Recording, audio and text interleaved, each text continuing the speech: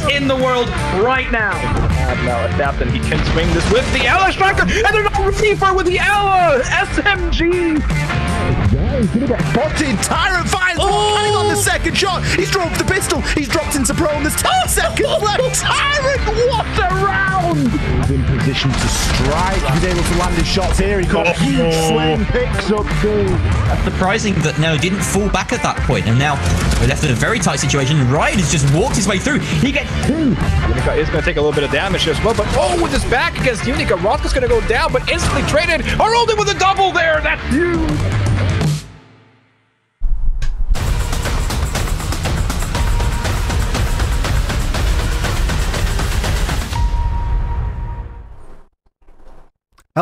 Everybody, and welcome back to the Northern Premier League. This is going to be playday number 18, and it is the last playday of the groups. There is a lot on the line here tonight, and I'm thrilled to be bringing it to your faces. My name is Ollie XR Troika Hatton, and I am joined on the desk tonight by Gibson and Whippet. Let's bring them in and start this show off.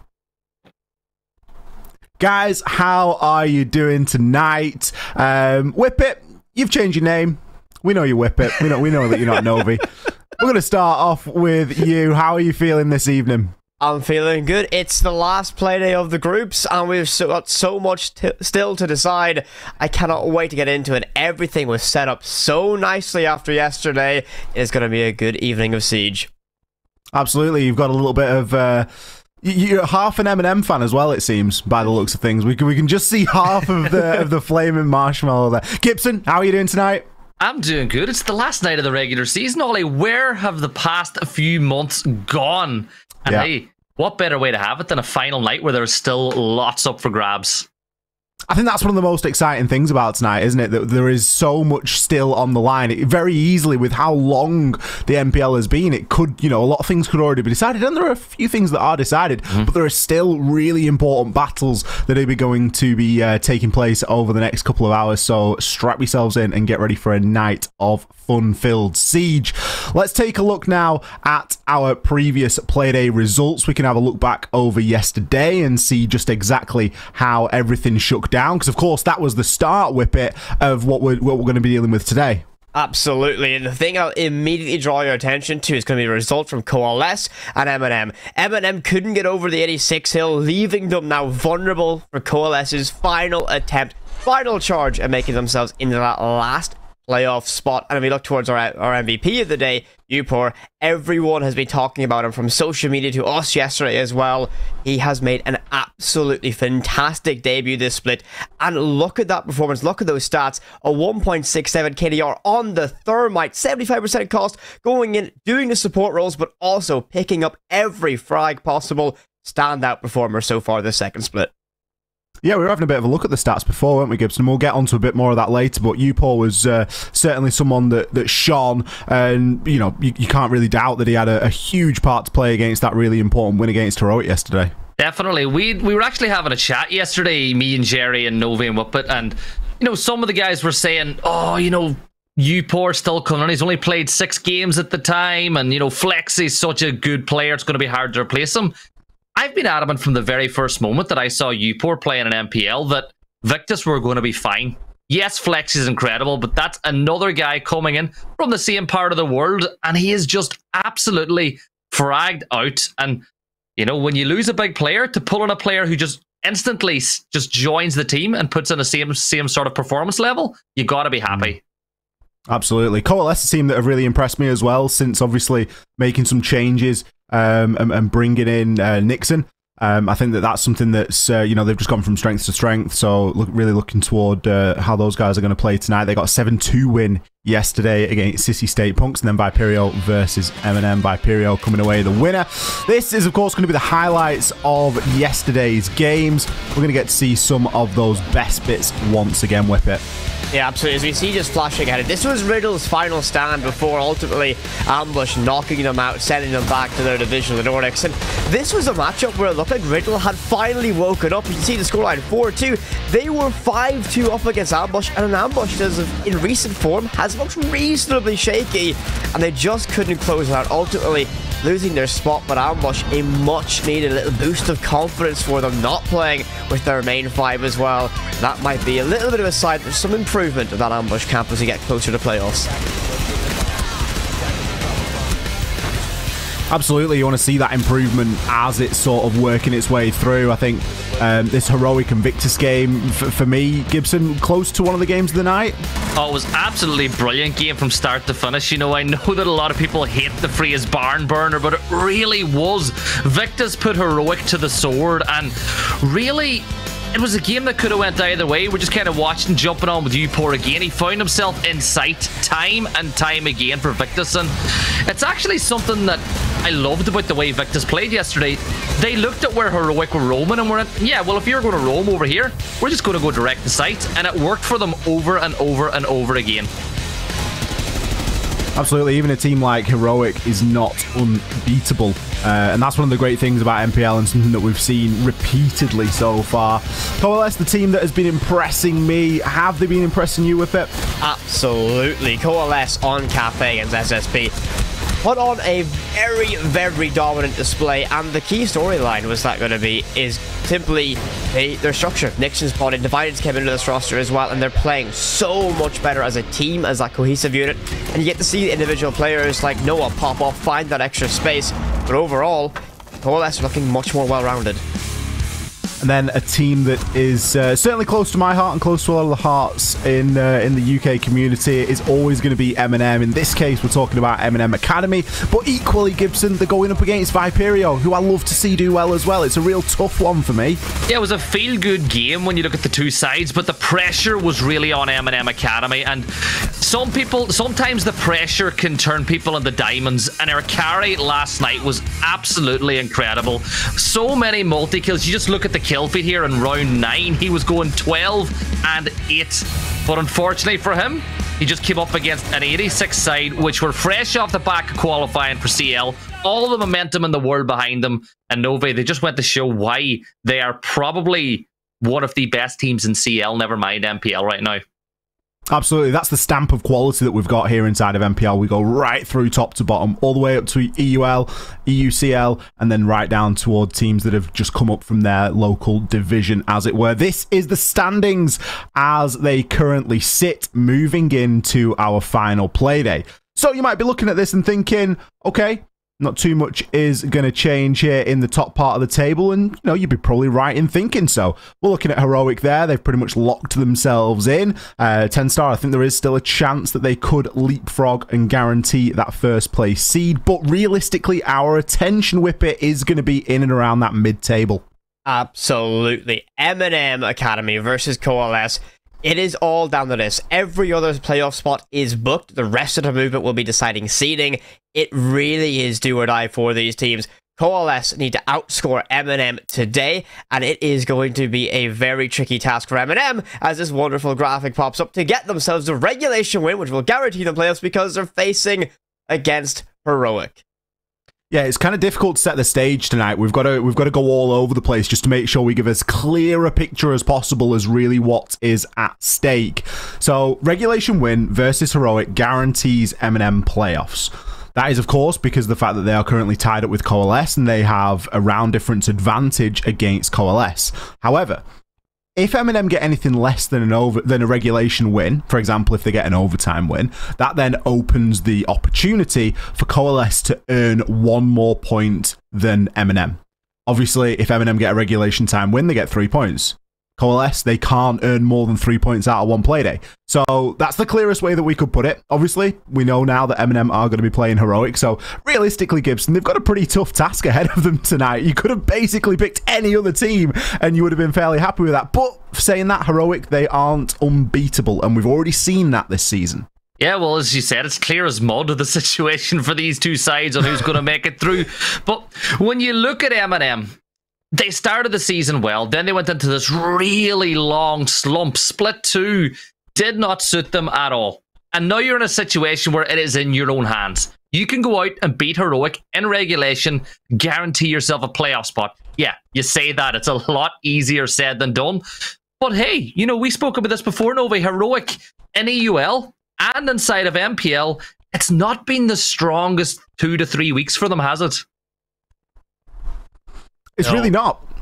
Go on, Whippet. Dive in. It- it's just for heroic. It's been a little bit of a shaky kind of period from them, and I'm really going to say since that loss to Coalesce, it's been kind of ups and downs from the side. They then lost to Tenstar, and then again to Victus yesterday. Granted, they've had Officer coming in for Sloth. We saw saw that yesterday, but. Their current form, they need a win. Heroic really need a win, and I think MNM might just be the victim of that, or of them waking up saying, "All right, for mental, for morale, we need a victory today." Exactly, winning's a habit, and teams, you know, do ti do tend to stick to those habits and those patterns. Um, certainly for heroic, they're going to be looking to get a win out here today and just really cement themselves. So we've given a bit of a teaser as to who is playing who, but let's bring up the schedule and let's get a very clear picture on the games that we have got to look forward to tonight. We're going to be kicking things off at the top: Tenstar versus SSP. Tenstar on an incredible run of form at the moment. I think if they win here tonight, that makes it nine consecutive wins, which, given the way that they started way back at the start of NPL, is very impressive indeed. The big game that a lot of people are going to be keeping their eye on Heroic versus MNM. Ambush, then going to play Viperio, and then finally Riddle versus Coalesce. Gibson, one of the most exciting things about tonight for me is that it really could all come down to that final game. Oh, whenever you write the script for a season, it couldn't come down any better than this. Riddle the side slap bottom of the league with nothing to play for except pride. You know, they get that first win under their belts. To, to be honest, it'll leave them leaving the season pretty happy. You know, they made some changes. They brought in players we know really well, like Reich and Vabs. They already have Kevin and Perry in there as well. They're a very good side individually, but they've not got going. Now, Coalesce, you look at the situation, that could be one hell of a banana skin for them, especially if MNM lose. You're going in to play the last, the team placed in last. They've got nothing to lose whatsoever. We have seen situations like this before where the underdog, which is Riddle, has come up and really put in a good performance. Absolutely. And you, you say there, teams playing with nothing to lose. Riddle could very easily come out here and just throw an absolute masterclass um, and, and really do a little bit of, uh, not quite gatekeeping, just but late performance, if you will. Um, Whippet, game of the night for you. Is there anything standing out? Of, of course, I'm going to have to talk about the heroic MNM, but I, I really want to go back to that Riddle point because with nothing to play for, all they can do now to kind of kind of put the bow on their season is make a nightmare for Coalesce, and I think that Yeah. might be their mm-hmm. exact intention. They're going in to to not win, but to make Coalesce lose because they know the stakes. They know Coalesce want that playoff spot. And a mental victory for Riddle as it's not been a best season. And what a time, what a storybook to get your very first win of the season if you can stop one mm. team making playoffs. Exactly. It's something that you're going to go and remember. It's something that you're going to enjoy about as you're, as you're chilling with the boys in TeamSpeak. Let's have a look at uh, some of the top performers over the course of this season. Uh, obviously, we've been hitting you with the top five graphics throughout, but at this point on the final play day, this is where we get to really see some level of consistency, uh, Gibson. And we're going to be starting things off with the KD ratio, kill to death ratio here. Yeah, and as you can expect, the five best players absolutely killing it right now. Gorgona sitting 1.59 KD, one of the best players in Europe. Him and Benja are absolutely phenomenal for Heroic, so it's no surprise whatsoever to see them both repping 1.5 plus. We spoke about Upor already, of course, your MVP yesterday. He's coming. He's basically kept that 1.5 plus KD, go- KD going the whole time he's been in an NPL and really picking up that flexi role seamlessly. And you know what? He's not the only Victus player there. You've got Oscar, who's KD. You know, it's slightly dropped a little bit, but Oscar really is, I think, the, the beating heart and soul this team. And I'm going to reiterate what I said yesterday. He's a, he's a man of very few words, but many, many kills as he sits there with that 1.48. And then last, you got Jegs. An old saying once goes, if you need a win, grab a fin. Well, Tenstar, they are on the crest of a wave, and Jegs is the one on that surfboard. 1.52 KD at this point of the season. And I wouldn't be surprised if he carries that on in game one tonight. Absolutely. No surprise there, really, to see the top three teams well represented here in this stat line. Obviously, it is more than just kills, but kills do tend to help in a shooter. We've got a couple of other stat lines that we are going to look over, and that will help illustrate some of the players that maybe get recognition for other actions in game, namely a little bit of cost whippet. Yeah, so cost is a good indication of the impact a single player makes on a round throughout the series, and we see some repeat faces here again. Upor, Jegs, Gorgona, as you'd imagine, they have massive entries or they have massive picks that are gonna have a high cost. But one player I really want to touch on is going to be Hungry. Yesterday, we saw Hungry pick up roles like Osa continuously plays the dirty roles you have to get in and get done, and he does a fantastic job for 86, and a lot of their core strategy revolves around what Hungry can get done. He's never given the easiest tasks, but he gets it done, and with a 66% cost, gets it done very effectively. And of course, Zenoxo, top of the standings right now. What a pickup for Tenstar he has been so far. 71% cost, and from everything you see, you'll always see his name popping up. He's always winning 1vx's, always having a massive impact for his team. Tenstar, so thankful he's on their side. Absolutely, and that consistency across those eight games that he's played has been really important, and we've seen that marked difference in the playstyle during this second split. Uh, we're going to keep things moving. We have a couple more stat lines to get through. I'm not entirely sure what it is that's going to be next. It's going to be KD. Now, this is brilliant because we had a little bit of a rework of the old KD graphic prior to the show. Uh, and we decided that instead of showing you the sort of number of kills and number of deaths, we were going to do it as a plus and it actually changed quite a few of the outcomes. But it seemed fitting given that we are toward the end of the season. This really helps to illustrate, Gibson, just how important the entry can be. It does, and you question looking at maybe the, the ratio at who the best entry in NPL is. When you look at this stat right here, it's without a doubt, it's Oscar. They could go out and get beat 7 0 and there's still a chance that you know when he could die first every single time, and there's still a chance he could finish on top of that opening KD margin. That's how good he has been. Jegs as well for Tenstar always gets himself in those early engagements. Grubby. We spoke a little bit about Grubby in the pre-show. We spoke a little bit about him last night. He has come into Viperio and he has been so good. Like Chris Sword's interview last night, he spoke about Grubby in particular. You know, not only the fact that he's been so good so far, but the amount of potential that he has and the fact that he's on that plus 15 at this point really looks good. Moving on to MNM, well, he is their carry, air carry with 14 entry kills this season. And honestly, I'm I'm surprised it's not higher with the way that he's been playing lately. And then, well, Tenstar, keeping up that appearance of keeping two players in nearly every single stat line. Azur on plus 13 on the entry as well. It's nice to see a couple of different faces in there, though, Wally, considering that some of these guys didn't make the cut based on the other way, the other metric of reading it. Yeah, exactly. You know, looking at it as a as actually how positive is this player. Um, you know, it really does sort of change the dynamic of it. There are players that have got a lot of opening picks, but they've also got a lot of opening deaths, and that sort of negates the uh, the sort of the usefulness of the statistic. We're going to round things out here with a look at the planters the good old farmers who are sowing the fields, Whippet. Uh, well, I'm going to very much draw your eyes to Curly. Curly has been one of the standout supports. If you want to make a comparison, G2's Dynasty, when Goga had that case in his hands and you knew it was going down, Curly is the exact same always sticks it, never has fear, and has been a, again part of that fantastic structure 86 has brought in.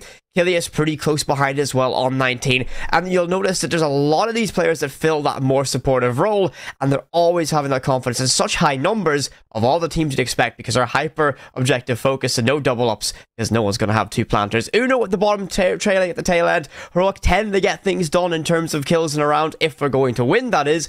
So I'm not too surprised he's a little bit lacking, not really the most comfortable role for him. So not too shocked, but I wouldn't read too deep into it for, for Uno. A, team that has really sort of impressed me in their ability to transition from Nordics into a wider sort of pool of, uh, of players has been Ambush. And the fact that Kilius there is credited with 19 plants, despite the fact that Ambush are fifth inside of the leaderboard. Now, it is pretty tight up in the top part of the leaderboard, so that much is granted. But it does just go to show that playstyle of Siege that they bring, and they've really not deviated too far away from it. And it's worked out quite well for them. Um, it's, it's just something that I really really enjoy seeing. I feel like they've brought that sort of real different approach, Gibson, into the league. They definitely has. You could ask Whippet now. We're proper ambush stands. We love everything Good. about that organ. You know, knowing the players, the coaches. We know the style that they want to play. And they've lost a little bit in split two. You know, going into the start of split two, we were like, hey, these guys could be proper contenders to make it straight to finals. Well, the wheels kind of came off. They uh, they yeah. took off the round wheels, they put on the square ones, and they really struggled week over week. And then about two weeks ago, they were like, you know what? Let's take this car back to the mechanic. Got the round wheels back on, two ones in a row, and they have looked a lot better. But Ollie, you're down in sixth now. Uh, they're the only team I believe in the playoffs whose position cannot change today. If you're them, you really need to turn it around going into the playoffs mm. because you're flying that flag for the Nordic region. I know you in particular, you will always fly that flag for the Nordic region as well. And well, if they can rediscover that fe- that first split form, who knows? They could go all the way. Gibson, you started out there saying that you're a big ambush fan. Mm-hmm. Now, I'm self-admittedly, I'm a little bit of an ambush fan, but I'm a little bit careful, especially when we're about to talk about predictions yeah. on just how much of an ambush fan I am. Uh, we're going to bring up the prediction graphic, and we are going to have a look and see just exactly where everybody has gone today. So, despite the fact, Gibson, that you're a huge, self-admitted ambush fan, you hmm. have gone for 86 today. Well, you know, I I live in a. This is going to be very localized, but uh, I'm a I'm a Finn Harps, and uh, I'm going to say it, I, I support Man United in football as well. I know what it's like to to support a bad team. So you know, yes, I would love to see Ambush to win. They are a fantastic team, but Viperio are just a little bit better right now. They're on the crest of the wave.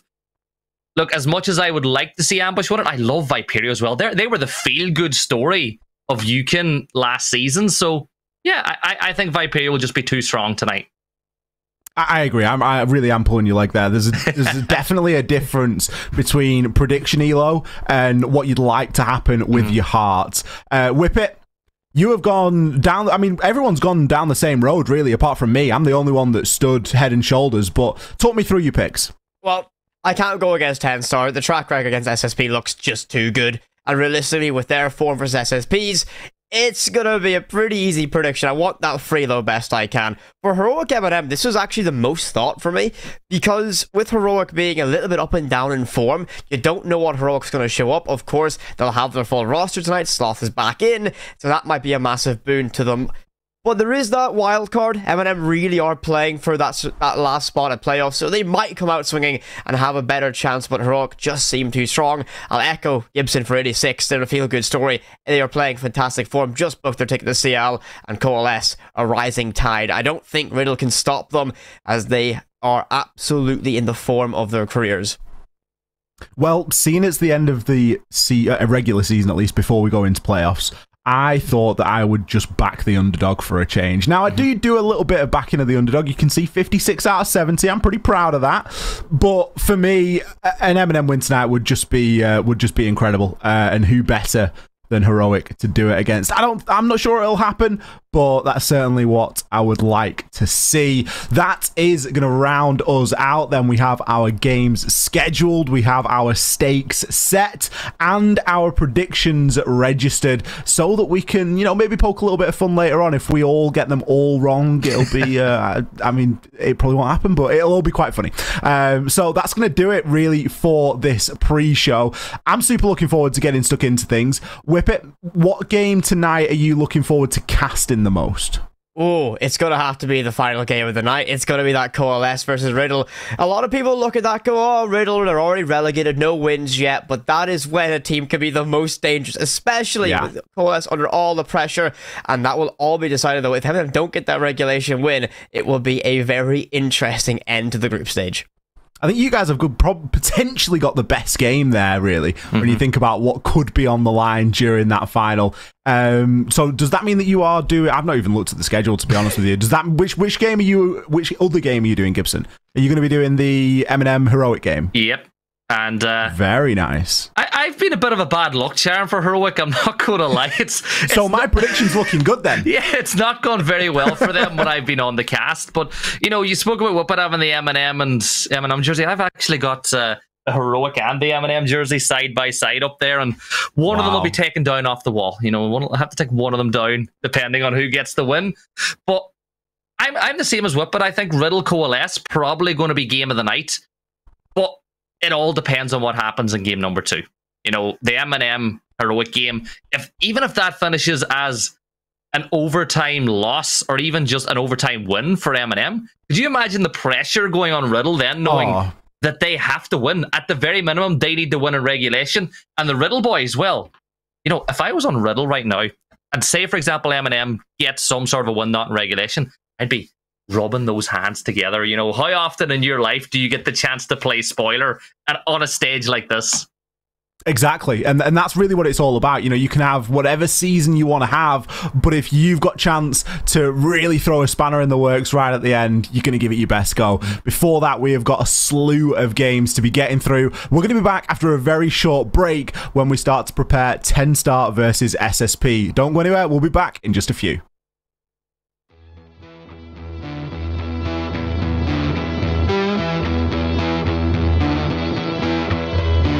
My name is Justin Ostafi, also known as Sinoxo. I'm playing the second entry for Tenstar.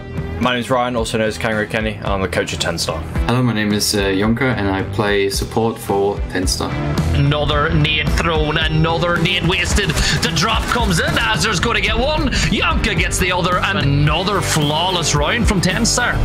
We learned a lot from Split One. I think that's the main thing. Bring in in Yonka with like the experience, being able to like keep us consistent all throughout the game and those really tight rounds like he can call something just keep everyone on the same page and when a team's on the same page it's it just benefits everything that you're going to do in siege The team was very welcoming, like the players. The more we scrimmed together, the better we became. It became really comfortable to play with that team.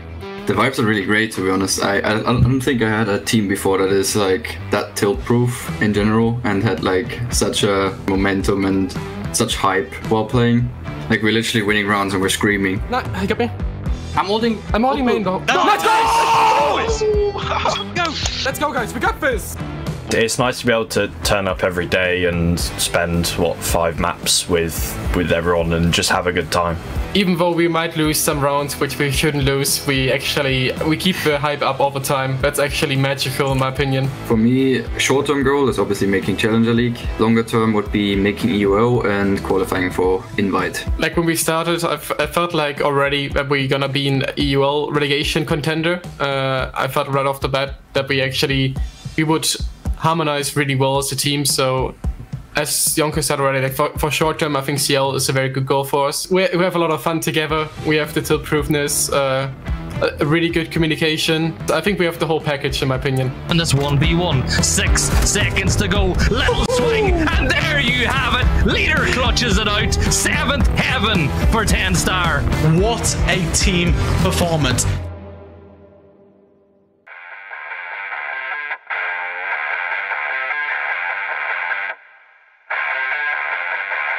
Okay, guys, let's go. Let's go, boys. Let's go, boys. And then the swing from Gargona. He gets one. He's going to swing and get another. There's 22 seconds left. Clear clear you win. Nice. Oh my god!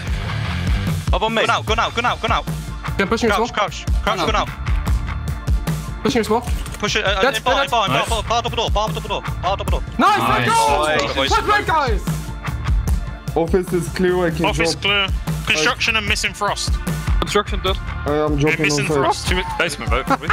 Where was frost? Basement. Look at this. I'm, I'm coming up with you, Scott. In Where's kitchen, your in kitchen kitchen, in kitchen, in Yeah, kitchen. kitchen Don't give him anything. Nice, let's go! Nice, go, boys. Well played! You know what, Jake? What? Oh, oh, oh, oh, oh. Yeah, you need to relax. You need to Yonka, relax. Yonka, can I get one big yeah? Justin, you need to relax. Any years? Any Yes, Yes, guys.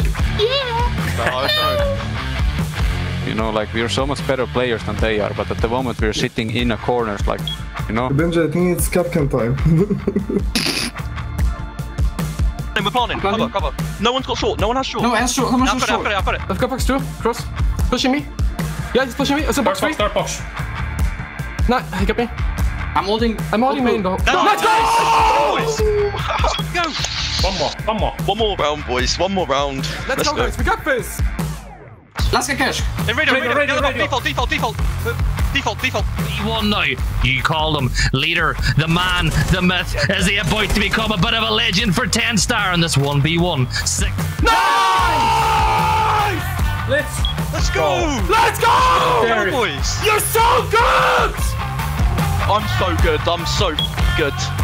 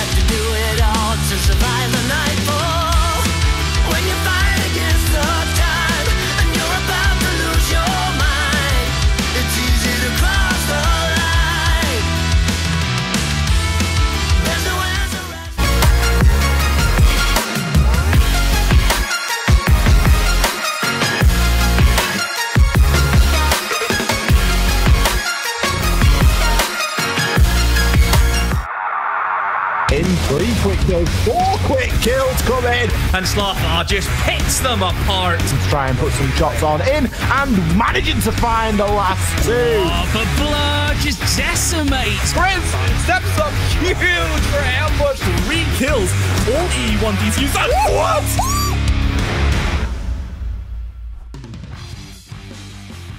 Hello, everybody, and welcome back to the Northern Premier League. We are here, of course, for our final playdate of the group stage, playdate number 18. But arguably, this is when things start to get a little bit more exciting as we can start to see how the land lies, set ourselves up for playoffs, and, of course, our finals. Before we get there, we have got four games to get through tonight, and we're going to be kicking things off here with Tenstar versus SSP. Now, we had a bit of a conversation Whippet on the desk a little bit earlier on. This one was looking fairly decisive for Tenstar.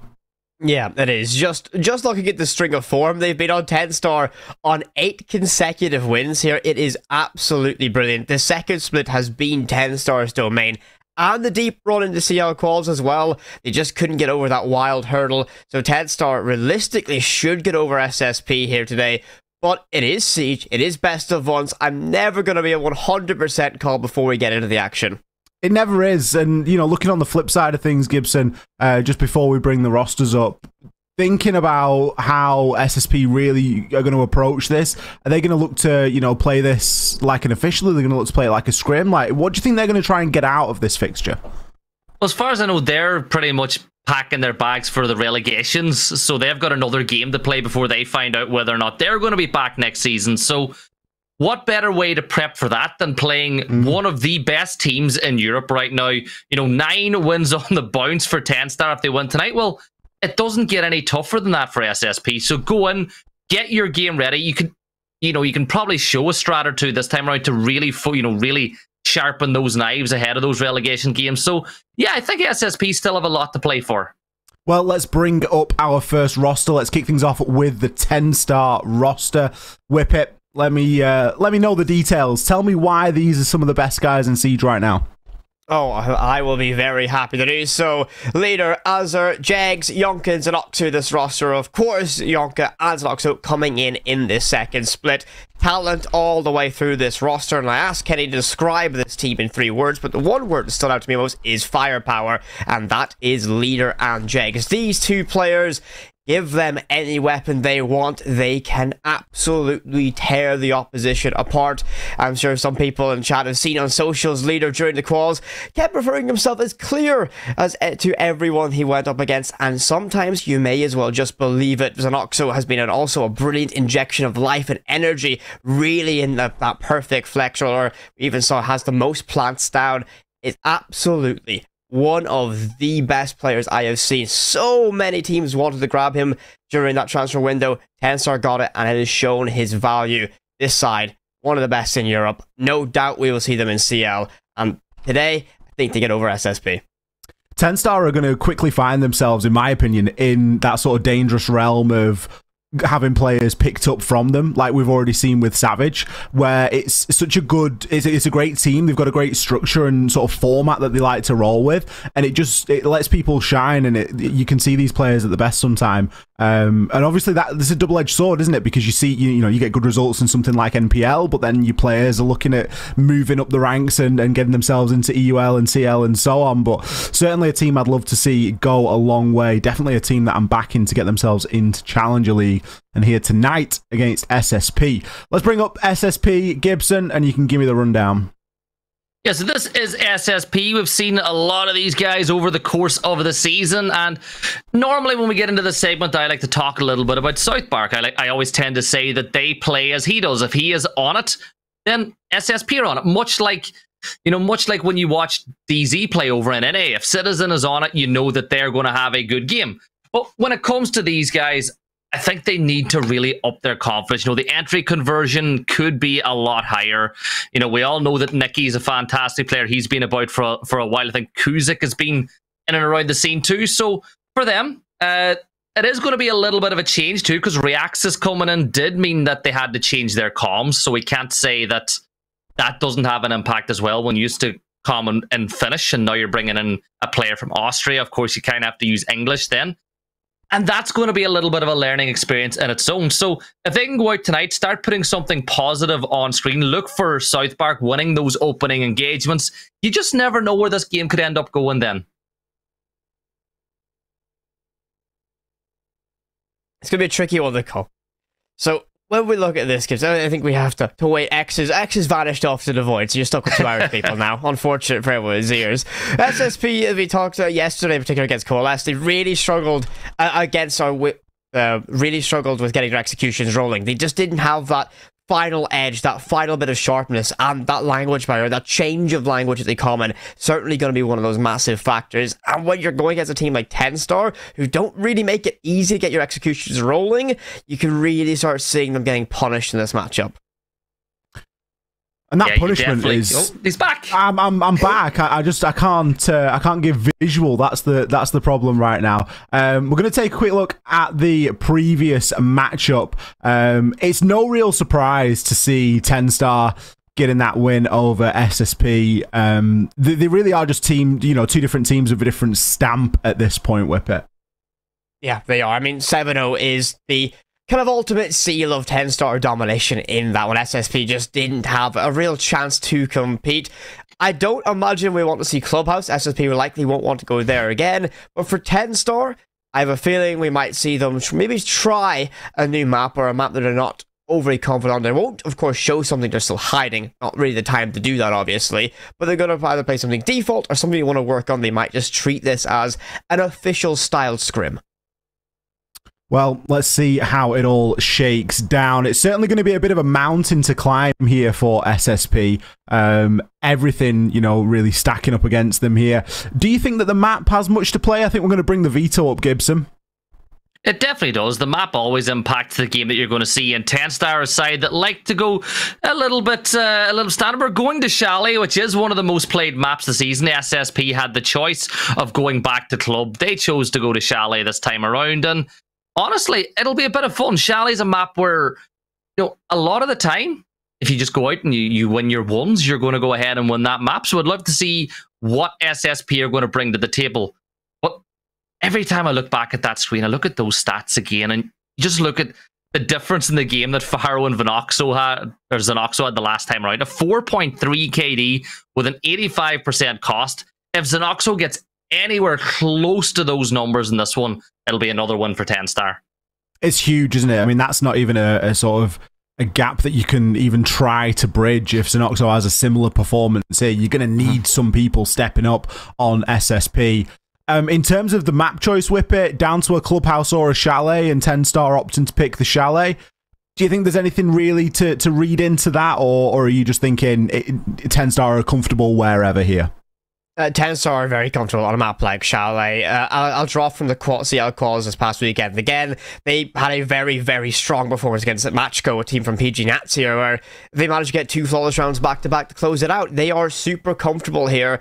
I don't think it's going to be an easy day in the office for SSP. Tenstar certainly won't let it be easy, but Tenstar, this side has so much quality, would have been comfortable basically no matter where they played.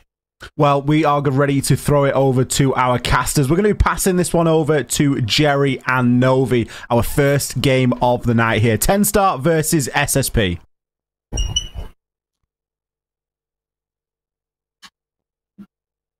Yeah, yeah. I was just. I, I was I was doing I was doing a quick check of crap. Am I am I muted? But no, no, I'm I'm all right. I'm all right. But it's it's exciting, Jerry. It's the final final day of group stage. It feels it feels like it's been a really really long time, right? Like it's been what 18 play days like how many three four months at this point it's so many games so many teams so many months but it all comes down to today Yeah. Um, I, I think that it's it's obviously a slightly different story for SSP because like their their season's effectively over, right? They don't have anything to play for.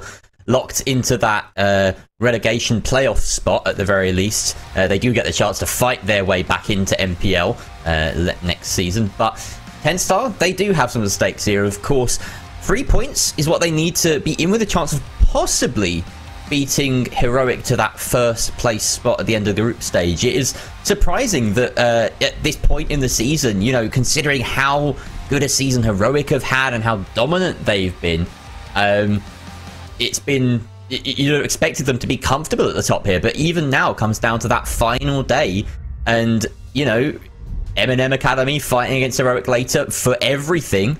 You could see that upset happening, and Tenstar could snag that first position. There's so many like high i mean there's it, it, all of it sort of boils down to this uh, is it actually going to happen but the fact that it could is just so exciting right because you know ssp have nothing to we saw yesterday riddle had had nothing to lose nothing to prove at that point they were locked in to going going home getting regulated from the league and they still put on their best performance of their entire season yesterday so far they didn't come out with a win but they were so so close and SSP, I'm looking for that today. I, like you've got nothing left to prove. You got nothing to lose though. So play with your absolute hearts. Put it all on the line. Well, they are putting it on the line, of course, right now. We are through that ban phase, and we've seen some interesting ones come out. You've got the Buck being banned out. And that's a quite an unusual one. Of course, does have quite a bit of impact on this map. You consider how soft a lot of the floors are, particularly from the top to the middle floor. There's a lot of vertical destruction that's been going on in that regard, and removing it from play. What 10 Star have wanted to do, clearly uh, seeing something in the way that SSP play this. It's an interesting map to want to take SSP to, in the sense that they've had a decent season here, honestly. You know, they I, this is on the on the back of four losses, granted, but the performances that they've put up on Chalet have been indicative of a team that, like Ubros and like Snow were, were sort of priming us for, that really do like Chalet. They do fancy themselves here. You know, they managed to take Victus to overtime here. That's no mean feat. They've actually put up decent fights against Heroic, both sides of the split here. So I wouldn't rule out SSP getting, you know, a good four or five rounds here potentially. 10 star, though, obviously have gone here for a reason. It's a map that, again, performance-wise, I think they're not at their best on, but they always get the result, and that's what matters. Yeah, this is the case of uh, Ten still undefeated, right? Uh, since Yeah. coming back from the split, so like they've got this undefeated run going. They are fighting. You made a really really cool point earlier before the pre-show when we talked about it, which is if you took before the break as a separate split to now. Ten, it wouldn't even be close. I know Ten Stars on the heels of Heroic, they would be miles above everyone. They're in such incredible form.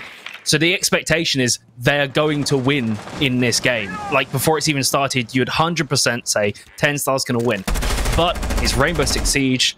You still have to win seven rounds or, well, more if it's going to go to overtime. It could happen, and I, I and I wanna I wanna si- I wanna be proven wrong, Jerry. Today, I wanna be proven wrong.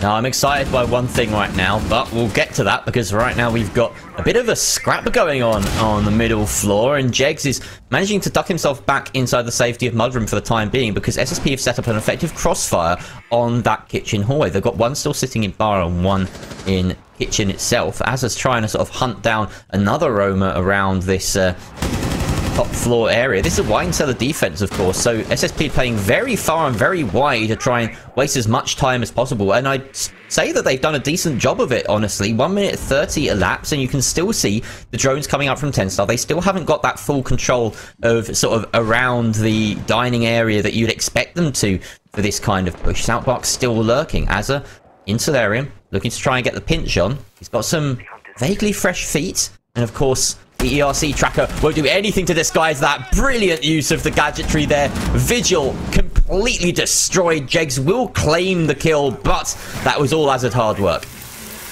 And the Thermites opening the snowmobile garage door. And now they've got that line of sight all the way across the B site. And The rest of SSP, they're going to start feeling the pinch from 10 star as they set up the vertical play and the angles in. But Nicky Woo might be able to get. No! Oh. Not able! I think that a, a bullet's ricocheting off the stairs! And Jeg swings around the corner for another one. Reaxis is giving props as well into the server. Barrow tries to recover something, but it's at least a one versus two. But there's the crossfire setup, and Azza closes out that round. 10 star looking very, very controlled. Got maybe a touch, touch too much chaos for them for their likings. I'm sure Kenny will be like, come on, guys, play, come on. You know, don't don't let don't give them a chance to get back in the round. But still, very good job by Ten Star. Yeah, that's what I mean about this 10 star team on this map is that sometimes this season it's been sloppy, but they've gotten the job done. And that's what matters most. The thing I was really excited about, and it did pop up in the kill feed during the end there, was we saw the Fuse, and we love to see a bit of Fuse here. We had a bit of Zenoxo running Fuse a couple of weeks ago, in fact, on this map, and to quite considerable effectiveness. It was almost an advert for Fuse, I said at the time. Um, believe it was the win against Coalesce, which they ended up taking 7-4. So yeah, a, a, massive deal for them. They really do like to bring it, um, and you can understand why. He offers a lot of utility. Those cluster charges not just used to, you know, get kills, but also to, well, primarily used to remove utility. But we also saw him using it to kind of clear areas in the same way that you might use a Ying, for example, to mark an entire room red so that you know your entries can push forward another sort of buffer room or two so that they're safe in doing so. And we may well get to see a bit of that in action on this site as it is kitchen and dining. And my prime memory of that fuse usage was emptying out the bathroom and just enabling the uh, your entries to push from piano and claim that ground very quickly. It looks as though we are, however, of course, not going to see the fuse this time around. Zenoxo instead on that Nomad, and well, he proved himself on this operator too. I, I feel like the last time I saw 10 star on this map, it was all about uh, just flexing between these two ops and delivering absolute hell to his opposition. Yeah, he's really shown the depth in his operator pool, right? Like we expect every player can shoot back. They can all fire the weapons. But the intricacies on how certain operators should just be played sometimes it's too hard for players to switch between those roles. You know thermite's going to feel very different from a Nøkk for example or you know Azza. I say this as he slowly sneaks on in. How on earth has he got it in that position? Snuck past the defaults, gets two. He's on the site. Where's the rest of the team, Jerry? Southbark at least gets one, but 10 Star are on the bloody site. And that is Nøkk at her finest. Azza is doing absolute bits in this game, getting two entry kills for himself, and now He's hungry for more, taking out that key utility on site. Zenoxo finds Reaxis again. That Nomad just set up to cut off as soon as the chaos is inflicted onto SSP. They scramble and they get caught by these angles. Farah and Southbark now in the two versus four. Southbark does manage to take down Jegs and Jonker will fall off the defuse, but after that kill, he's safe to go for another one. As a team kills the planter. Okay, that was not in the script. Farah, you've got a bit of a lifeline here. Lots of time remaining still for 10 star. They maybe have an idea of where Farah is, but more importantly, he's got yellow pings directly onto 10 star's location. Zenoxo trying to set that diffuser down, maybe, or rather covering for Azza to set it down, but decides to fall off it, maybe baiting a bit of a push. It's all quiet now. Everyone's just taking their time. Farah wants to try and get this angle, but there's no prepped holes, and Azza can stick it. And now we're in a post plant, and Farah, he can no longer play safe. There we go. Azza closing it. it out. That was all right, uh, that's a bit of a write-off. That was purely just Azza just doing Nøkk things in this game. Like that was SSP leaving a gaping hole in the middle of their defense, which Azza walked straight through, walked straight into the building, and just started causing havoc. Everywhere you can see the slow reaction as well from Nikiwu. So it felt, you know, we we talked about SSP and the fact that they're now communicating in English and they said that there's this lag that they're still trying to get used to it instead of instead of the majority of the players are Finnish um, and you could see it there. You expected a maestro should have just like 180 round and start blasting that lmg in az's direction but there's that slight pause or that communication slipping. And that seems to be SSP's undoing. Usually on defense it doesn't matter too much because it's more intuitive i want to say than attacking in terms of cohesiveness. But 10 star just able to create that chaos and then 10 stars better in those situations than ssp is in their current form Absolutely. It really is just showing the depth of uh, experience, the wealth of experience that 10 Star have right now, and the kind of the gulf between the two teams. So another attempt at this wine defense coming through from SSP, and they are once again going to try and commit to that heavy or deep roam, or tall roam, I suppose, because the site is in the depths and the roam is in the heights. In the heights. um, a little bit, a little bit hot where I am right now. So I'm feeling, I'm feeling that sort of, you know, the the samba You, and. you wish you were on this map right now, right? oh yeah, you- no, I, I would be, I would be enjoying like the hot tub in whatever it is, like minus five degree heat outside. This would be beautiful. Oh, But yeah. lovely. Lovely. Yeah, there's heat, heat wave going on. if you can't tell, all, all the Brits are struggling. We're not we're not built for this weather whatsoever. and SSP don't seem to be built for 10 star either. 10 star already. This is a minute faster than they did it the last time they attacked this site. So 10 star able to get through their checklist faster, and now they themselves are going to start opening up that vertical angle. And you said the fuse so good at clearing out rooms. Xenoxo, Xenoxo's on the operator. And even if he doesn't find any kills with it, just like you said, the information gained from knowing that someone isn't in there is absolutely invaluable. I think this is an interesting move from Tenstar. They are not just committing to opening that snowmobile wall, but also doing a full top-down clear. It's what they did the first time round, but like you say, maybe a little bit different in the time front. Jegs, though, taking down Farah as the opening pick won't be sniffed at, and that is the opening that they wanted for certain. But it just makes me a little bit concerned because it means that Tenstar, they have to be completely ruthless and fully efficient with every second that's available to them in the round. If they want to do that top-down clear and get the execute, then they are going to need some kills to go their way. So it's good that they found that opener. Reaxis sending out a impact to try and remove that drone and actually does a little bit of tickle damage onto Jegs, but I don't know if he expects him to be quite so close. The swing comes with the LMG, but he's just a tiny bit better there. Nails the headshot and now four versus four. Only one of those LMGs now remaining for the side of 10 star. It's in the hands of Xenoxo. You wouldn't bet against him, but Reax is certainly feeling himself, holding aggressively now. Xenoxo can begin trying to clear out some of that utility on the site, and he will maybe miss the opportunity to hit that mute jammer that's annoying that main breach. The double swing comes through and Leader makes sure it's done in one. Reaxis is going down Southbark, now reassuming this position and pushing up very tight with the ERC scanner in his hands. I'm not too sure if Azza will be aiming low enough to get this, but Xenoxo claiming Nikaru. Azza does in fact win that duel, and now it's all down to Kusik in a one versus four. Yonka's starting to plant. Kusik has a lot to do. The smoke is basically a barrier to him. He knows he can't push through that. Gets one before going down, denies the plant. But it doesn't matter. 10 star move to a 3 and 0 scoreline. Sis State Punks currently 0 for 3 in terms of entries. They've lost that opening engagement every single time. And I found it really interesting looking at their conversion rate. Their actual conversion rate is fairly high. Well, decent at least. Uh, at, at an average level, like 60 something percent. Hmm. But collectively as a team, they have the most amount of opening deaths of any team in NPL at the moment.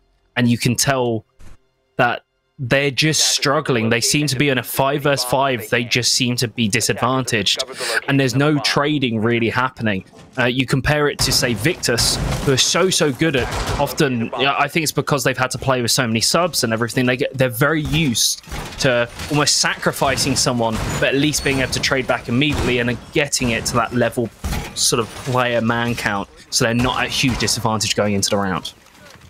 We're finally seeing the bar defense come out, and this surprises me. Of course, SSP really favoring that basement, but you've got to bring out what many consider to be the strongest site on the map at some point. Doing it round four, I don't know. It just means that you won't be able to do it twice, right? Or successfully at least, because once it's locked out, it's locked out for three rounds. So round four means that you're only going to get to see it once, which is again just just not ideal, especially for a map which is one that you may struggle to defend typically um, you need to be giving yourself every single possible advantage. So I feel like that's a bit of a, a misstep in terms of stubbornly trying to stick onto that wine defense and make something work when clearly it wasn't working. So Zenoxo sneaking that drone in somehow evades the notice of Nikavu on the frost and takes out a couple of pieces of utility, including that default cam at the top of Ivy, but nothing too unrecoverable for SSP. They still have these positions in play. Still yet to see 10 star enter the building at all. They've got their drone set up and that entry is bound to come pretty shortly. Azza currently absolutely flawless in this game. 7-0 right now. Gonna open up that A9 balcony and just get ready to hop on in, but he would be doing so mistakenly if he were to, with that frost mat waiting for him to welcome him. He didn't. I, I'm spot certain he didn't look. He didn't spot it. Absolutely didn't. Does he shoot down? This is the thing. They have spotted the frost. They have seen the frost on the Twitch drone earlier. So he's going to send in that flash, and the question is, does he shoot down? Nice flying flash in, but it's actually Zenoxo who's coming in all the way through library. Reaxis, though, does pick him up after Zenoxo claims Southbark. So good reaction there from Reaxis. Azza doesn't follow it up with any attempted refrag, however. Leader just hoping that maybe Reaxis strays into his path in the in the aftermath of that engagement, but it doesn't happen. Reaxis playing very nicely. He knows his square foot. He knows exactly where he can and can't be. Very disciplined play from the Jaeger up this up to this moment.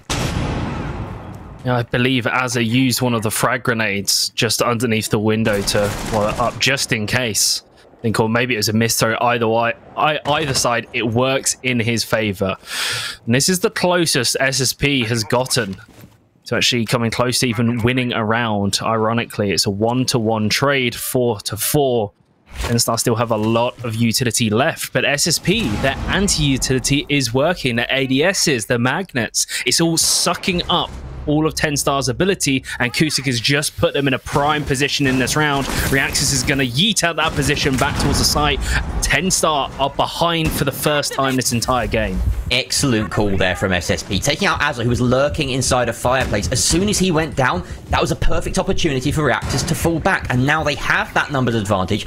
30 seconds left. Tenstar really have to do something quite spectacular here to put it back. A lot of damage sent onto Reaxis. Jegs just about survives it and takes down the Jaeger to even that man count. Still, though, only 20 seconds left. This power position of Kusik, he can cut off anyone that wants to enter through bar. But looks like Jonker is deliberating going down the hatch instead. Root spots it, sprays, but can't connect. Jegs goes down in the meantime. Kusik with that crossfire. Leader knows where he is, but can't do anything about it. And look at the time. Only a second left, and they cannot the anchors at all.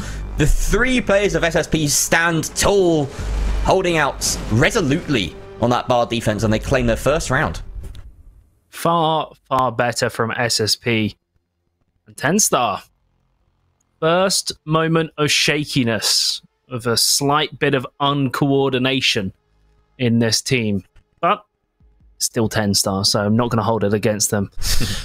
this is probably the most important thing because it also that site, Bar and Gaming, is one of, uh, in my opinion, one of the stronger sites if you do the right setup and tick the right boxes on the defense They defense. can't go back there. And they can't. This So is the where do they, that's it? Where do they go now? This is probably their best bet, right, compared to basement, because this one they pretty much just did an oopsie and let Azza into the site. Yeah.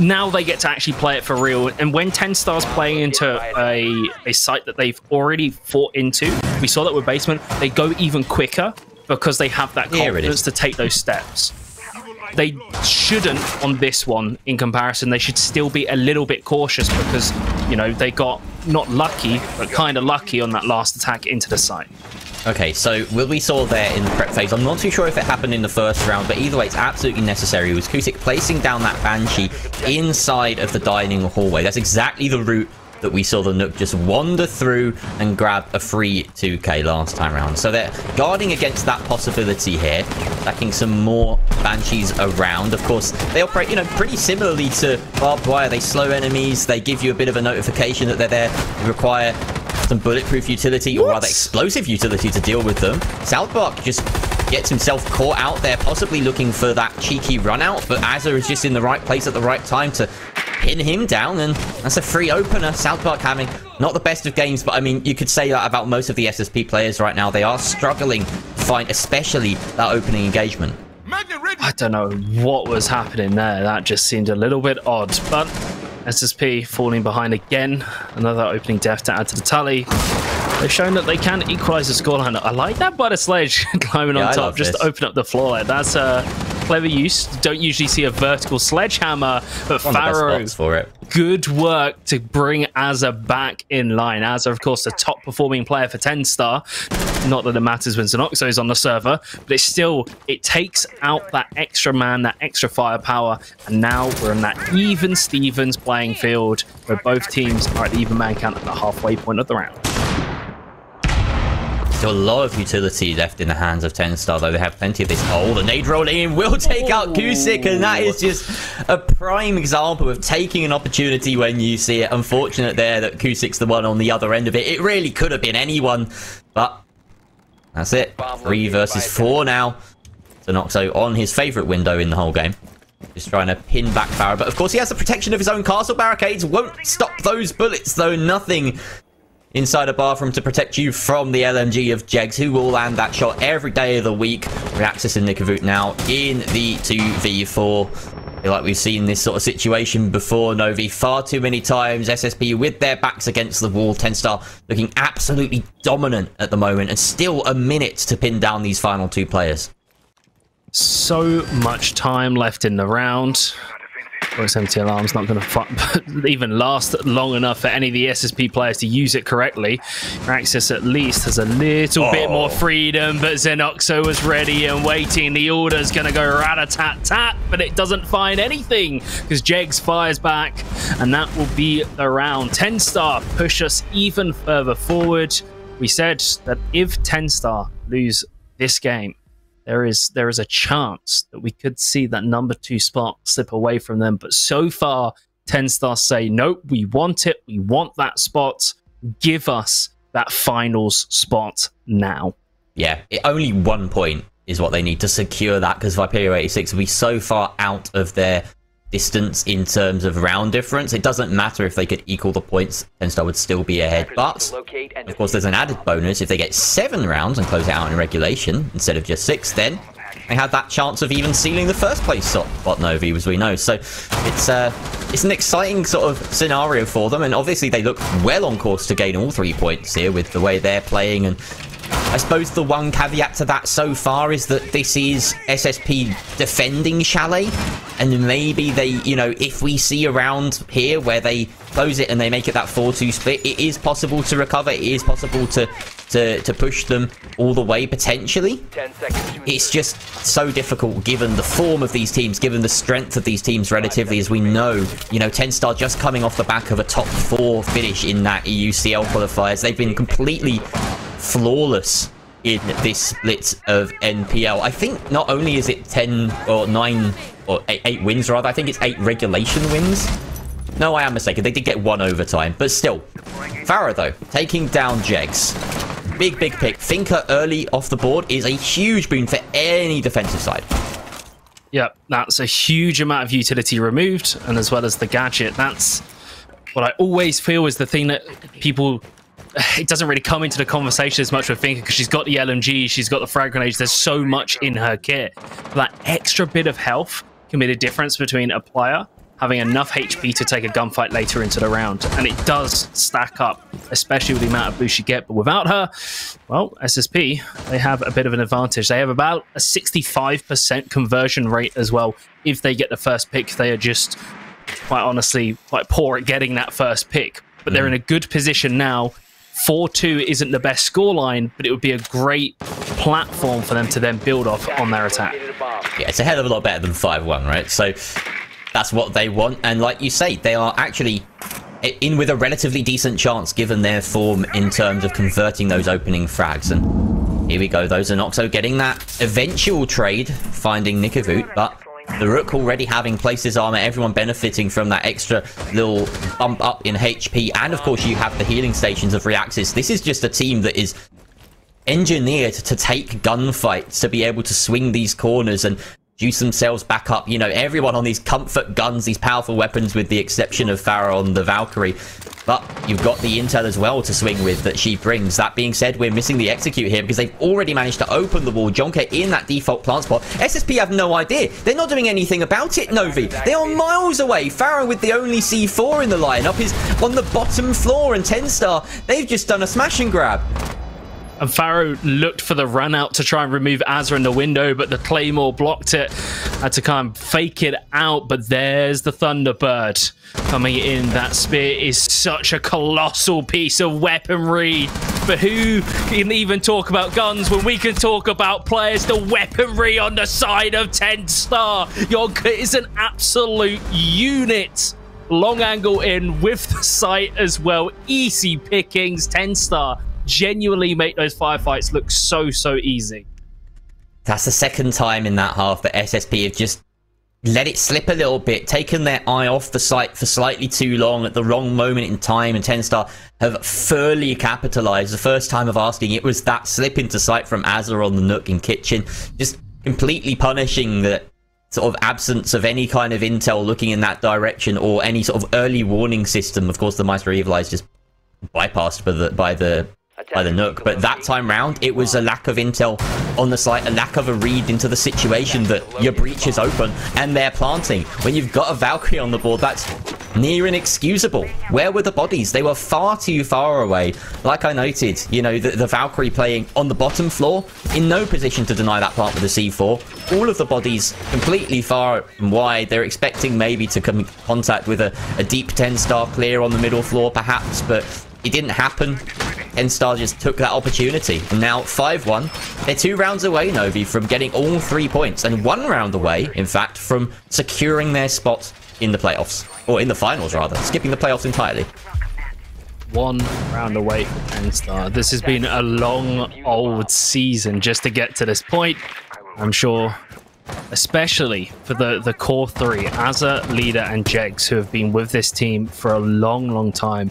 I'm sure it'll be such a relief to be able to secure and punch their ticket. They came so so like they've been on this phenomenal journey. We've been talking about them for ages. You've been hyping them up. Fresh has been hyping them. Up everyone has wanted to see this team succeed, and it feels like the engine is finally is finally being engineered correctly. And now 10 Star is firing on all cylinders. But just got to get that one more round. And SSP, they could be the gatekeepers. They could be the ones to just keep 10 Star at least on their toes. We're looking at a fairly standard 10-star defensive lineup here. Azza going for that early trench run out, taking out Nikovu on the repel, and now falling back, expecting the attempt of the refrag from Reaxis, who's nading deep into the trench wall. He doesn't expect him to have fallen into wide himself. That shot will give away the location of Azza, but playing this tight angle with the DMR, Reaxis is not going to have any of that. The call is made. He needs to rejoin the rest of the team. They need to try and isolate this roamer on the top floor instead. This guy holding the shield. This is a wine defense, if I'm... No, is it? Um, no, this is a bar defense. I've, I've, I had a, a bit of brain fart there. Yeah, bar defense. You've got all the shields, you've got the eyes, the discs, everything. The warden coming in as well to guard that top floor. So they just want to try and pick apart the setup. But Jegs, he ain't done. The rest of Gen 10 star, they aren't, they aren't done. They just want to keep getting these kills. Three versus five now, losing a lot of utility. There goes the final nade on the side of SSP. Jegs with another. Jonker with the fourth for his team, and all up to Kusik now. This round has gone by in a flash, Novi. Kusik just about damages Jonker, but it's not quite enough, and he's expecting the jump outs now. The aggression is flooding forward. 10 star want to get this done quickly. Zenoxo will find it eventually. A near flawless round for 10 star, and that secures their spot in the finals. Congratulations, 10 star. You haven't even won the game yet, and already you have punched your ticket to finals. They are confirmed to be one of the two teams into that, not the next stage, but stage after, alongside Heroic. And, you know, I'm, I'm sure Kenny and the rest of the team behind the scenes as well, because, you know, not just the players, but the support stuff behind. We've been singing their praises as well as the org, but it's six to one. Can they get a nice regulation win? Like, what a way to lift yourselves up before going through into playoffs. Like, a 7-1 is a very comfortable scoreline and something to be happy of, right? Going forward. We said this with Victus yesterday. Are Victus or Viperio going to try their hardest?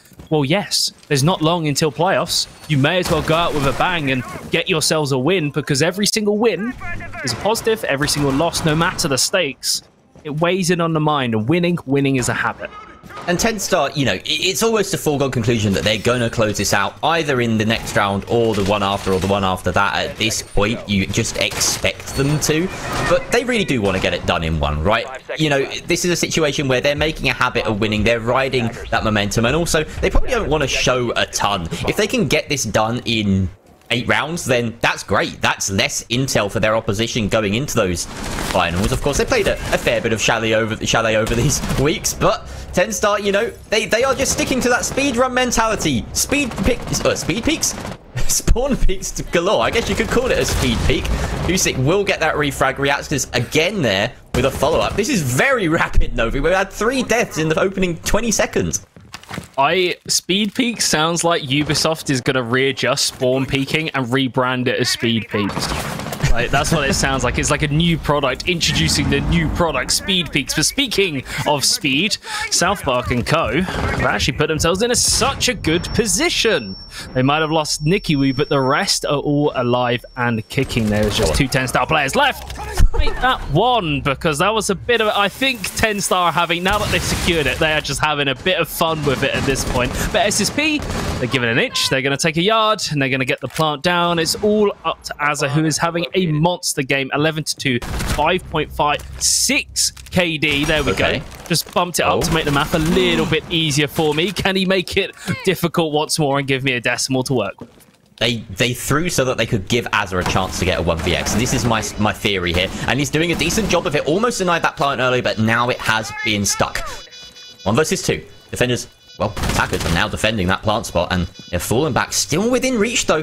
Now they've ducked out of the site, and Azza can maybe try and get the ninja defuse, but there is still intel, and the active drone worker, Farah, who's still behind that Twitch drone, can really cause some problems. Kusik getting another drone into position, and they're just harassing him at this point. No point zapping him. It's not going to do enough damage. Azza just going to try go for the ninja defuse here. Maybe expects that drop, but no, they haven't rotated that far. Send some shots his way. 10 seconds left. He really just has to stick it now. Past the point of no return? Yes, it is. Azza, doesn't matter what you do here. Go pad your stats, try and get some kills, but Farah will deny him even that joy. Doesn't want him to get the satisfaction. And it was a quick round. It was a round where 10 Star probably didn't show anything that could be entirely useful for teams that are coming up against them later. But SSP, they're prolonging this game. They're, you know, keeping themselves in with a mathematical chance, I suppose, of winning the game.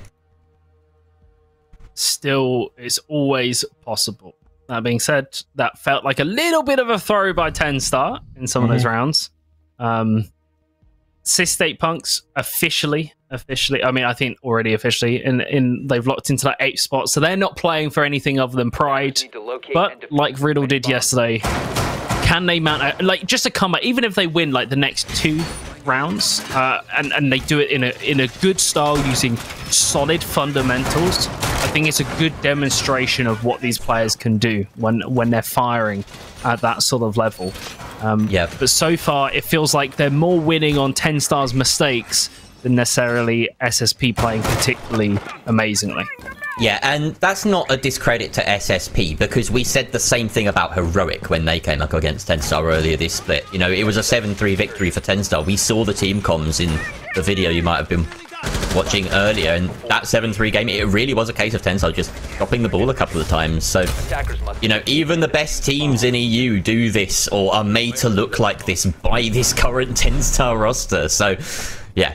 Uh, SSP, don't, don't be too heartbroken if, if you do end up losing this game. But just just for a second, let's entertain the possibility that they could beat them. Could you imagine the scenes? Could you imagine the upset and what that would do as a kind of question mark going into finals or what have you?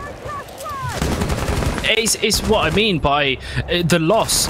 They could ten star could in every single one of these next rounds, right, all the way through. Give uh, not give SSP the win, but essentially have them win. And ten star doesn't change their situation whatsoever. However, it's like you said, it's that mental aspect. Everyone's going to be going. They're going to be going. Yeah, we seven three heroic. And it's like yeah, but you lost to SSP from a six two six one lead or whatever. Like, like, come on, stop, like, stop talking. And you, you have that aspect, and that most players, like 99% of players, are fine. But I don't believe for a second any player who says, "Oh yeah, yeah it doesn't bother me," I guarantee the tiniest little bit. It will bother them, and that little bit could be the difference between them winning and losing, or pl- hitting Oh. that shot because they've got confidence. But that is huge. Uh, Electroclaw has just denied that, and you can see the Thermite's kind of looking, and the Twitch is looking dumbfounded. At least Farah's opened it back up. It's Acoustic, no, look, there's still an opportunity. You've got to come back. I need to open it up again. Yeah, there's no world in which an Electroclaw trick should work against this lineup. You know, you've got the Twitch, you've got the nades, you've got the Thermite, the quickest possible hard breach. So the fact that he even managed to remove one of those exothermic charges is huge because you think about SSP's strategy, they want to try and open up and maybe rotate round, but in the meantime, there are kills going back and forth through that open breach leader. At least stems the bleeding for the time being, taking down Reaxis and the Finka gone, the LMG gone. As always, a huge boon as mentioned. But so Obviously, with that one exothermic charge gone, now they know that they need to push deep. Doesn't really react to the presence of the Kaid and Jonker with two massive picks there. That could be the end of the game right there. Nikivu does manage to take him out, but is caught out by Azza lurking inside a bar. All up to Farah, now down to the one versus one after taking out leader. Diffuser is recoverable, but this is a nice angle being held by Azza. Spots the gun barrel, but with that pickup, now Farah can duck deep into the other side. Expects perhaps a push. Wants to try and set the diffuser down. Tense moments here to try and keep SSP alive in this game. Comes off the plant. Nice reactions from Farah. But Azza has the HP advantage here. The peek comes through. Farah lands the headshot. SSP. They close that gap and maybe there is some hope of maintaining pride. Oh, Arrow is one of the newer sort of they sort of swapped a couple of players around. He came in and he has been performing very, very well. He's been a a definite high point for this team alongside Reaxis. Let's have a look at that. Oh, So that- just that you can see because the thermite had run away. He thought he Kusik thought he had it. I think literally the Twitch had to. Farah had to say, "Hey Kusik, we haven't got the breach open. You've got to come back because he'd run around the side of the building." I mean, the thing is, right, Jonker got a 2k in that round and he electroclaw tricked a breach. He will be mad that the 10 star have not just closed out there and then, quite honestly. Given his individual performance in that round, that is a win con right there. Honestly, yeah, we should be we should be back to cams by now. We should be talking about how 10 star have won 7-2 or 7-1. But they in I think they're adopting the mentality of their bigger brothers in heroic a little. You know, they, they do a little trolling. This is this is not this is A not little trolling. yeah, they do a little trolling, and you know that mentality. It's something that you don't want to slip into necessarily because it has cost heroic the odd point here or there, the odd game here or there. In fact, within NPL, and it's what gave Ten Star the possibility, and still gives Ten Star the possibility of finishing in first place right now in this season. You know, so up against MNM Academy later, that it, it really could go either way in the sense that MNM Academy have almost everything to fight for. So you, you know, making that winning mentality a permanent thing, it does have its benefits. definitely does have uh, its benefits, but also I think giving SSP a little bit of rope to climb themselves back on to the game and get themselves cruel. into it. It, it. I mean, it's a little bit cruel, but also I, I've got to say for these teams, for SSP, this is their final game of the season, right? They're not in playoffs. Yep. Giving them a few extra rounds to have a bit of fun with it and, and show show what they can do. I'm I'm kind of all for it. I you know SSP seems to be enjoying it. Barrow's starting to heat up. Yeah. He's, what six to six, Ku six on six to seven. Like South Bucks, they've started hitting their shots right, and now Ten Stars also having fun with it. I'd be I, I wouldn't be surprised if SSP are like, yeah, we had a lot of fun in this game as well. Maybe, just maybe, they might be able to get that fourth round. They haven't lost anyone yet, and that's usually their their main hurdle that they come across is getting that opening kill. It's usually that opening death. If not for that mentality, then Farah wouldn't have his, you know, 1v2 clip against 10 star, including XG2's Jonker to add to his, you know, little personal highlight reel. So yeah, there's the there's the benefit, I suppose. We're already halfway through this round, 10 star just waiting for SSP to do something. They've shot out a fair few drones, but uh, besides that, haven't come under too much resistance. Sheg's fighting back through this hole, and finally the breach will come down. He's going to play this half-wall position, though, and we've seen some crazy, crazy plays from this spot in recent times. Nikovic is hunting for something on the bottom floor. Leader and Azza on this deep, deep flank, but Farah will spot out both of them with that drone, so Southbark and Co should be alert to this fairly soon. Oh, Southbark, oh, wow. Whether that was intel or whether that was a nice swing on his part, either way, he nailed the headshot. Farah takes down Zenoxo, and there you go. That's a couple of people gone. Azza and Jegs, though, hitting hard. Azza on the flank and Jegs from the site, and now Jonker sat and waiting. Three versus three, 39 seconds left. This is that middle floor site. They've cleared the top. They, in fact, no, they haven't cleared the top. They've still got the vertical control here, 10 star. Southbark, if he wanders into sight, he's going to be wandering into a plethora of angles here. Farah needs to do something about clearing this position. Jegged under that pressure, but Nikifu taken down. Down, all the pieces fall like dominoes, and 10 star finally lock it out. And that is it. 10 star make it nine wins from nine. A superb split from them. Everyone at home, everyone who is watching, you can welcome your new finalists. 10 Star will be going through to finals.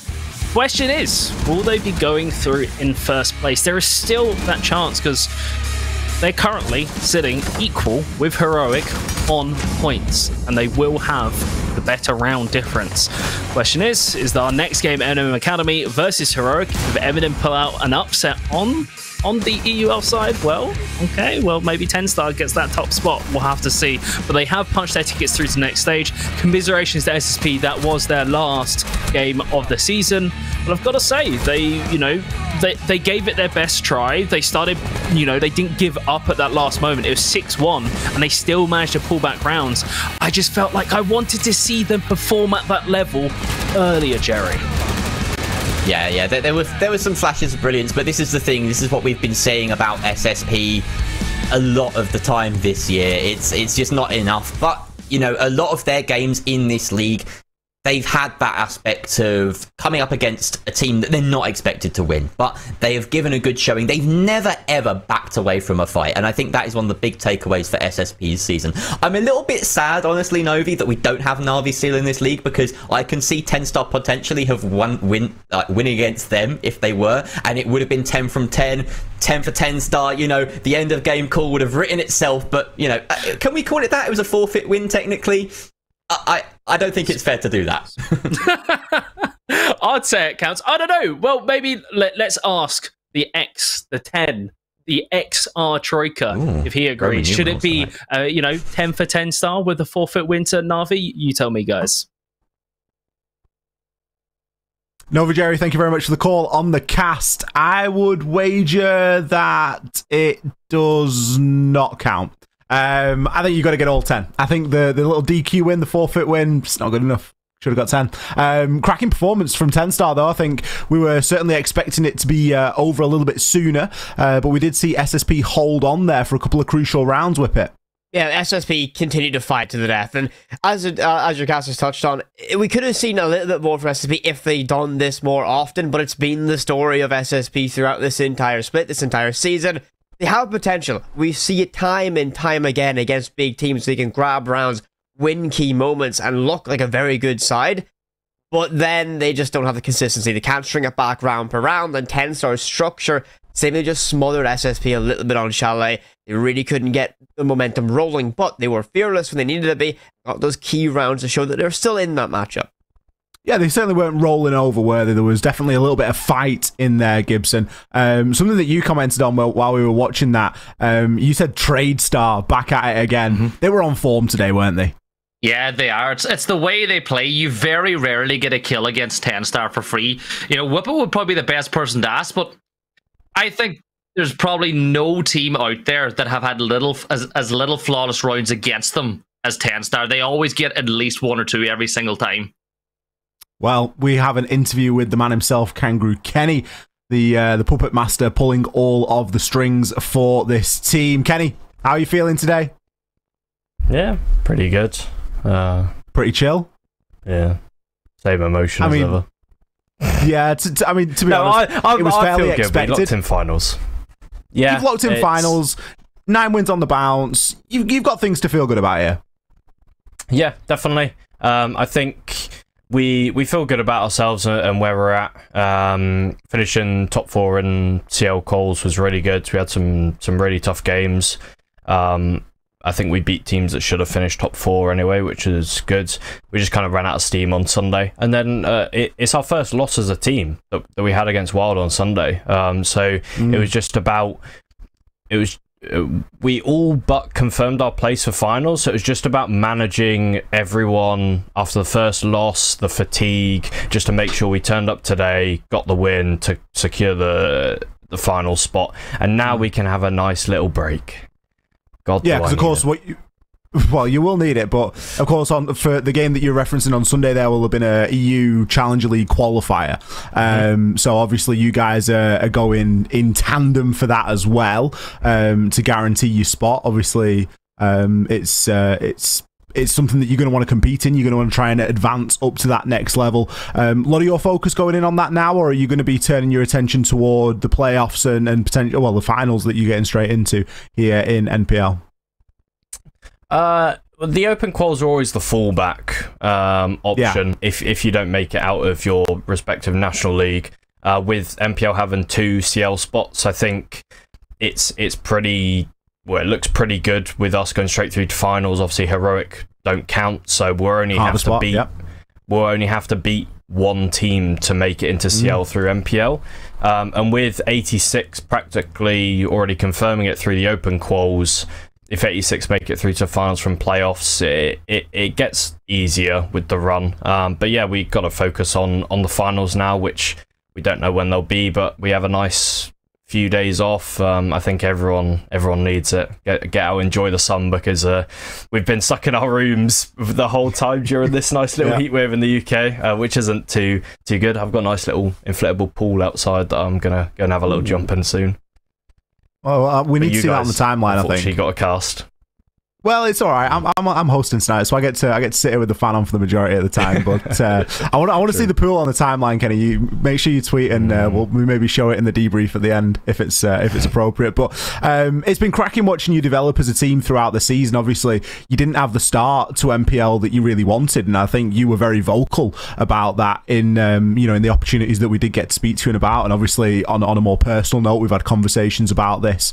Um, you know, just when we've been playing together um, in the So, how how is it for you to have sort of been able to turn this around and and turn obviously losing Savage into a bit of a positive and and almost not quite start from scratch, but start to rebuild the team again?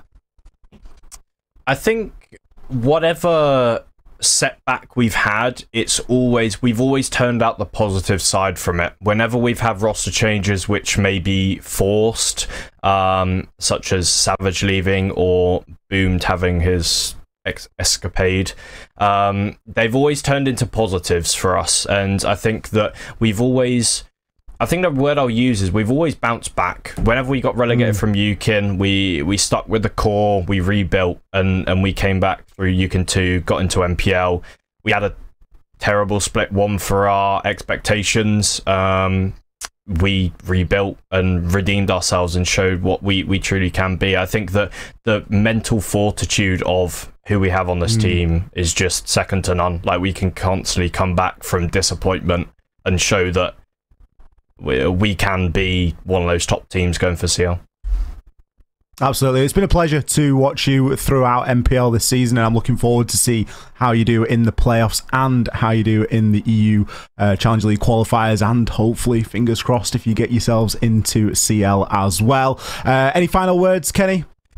Yes, can I just say for everyone watching, by the way, if MNM beat Heroic in the next game in regulation, we finish first. So, come on!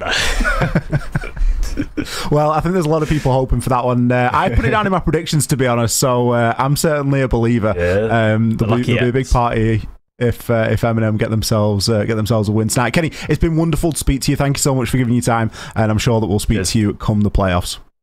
Yes, enjoy your evening. Well, there we have it. Always a pleasure to get to speak to Kenny for a little bit and get to dig a little bit deeper. Uh, we've spoken to him a few times over the course of the uh, the NPL, and nothing really much phases him, does it, Whippet? No, Kenny is a veteran coach. He talked about it there. He's been through so many roster changes, so many hard times. He always finds a way to get that team back in the winning form. And nine consecutive wins this split, Tenstar are very much in that winning form right now. Absolutely, and they are going to be looking to extend that into the finals, I'm sure, and finally give Gerry the line that he was after 10 for 10 star, but that's a little bit of a ways off. Up next, we have arguably the first of the two most important games of the night, depending on how this first game goes. A little bit of a confusing one there, but it is one that you are not want to. What, one that you are not going to want to miss. There we go. Um, we're going to be looking at Heroic versus MNM. This is huge for the Marshmallows if they can pull it off. We're going to hit a short break. We're going to switch out the desk and we'll be back in just a few.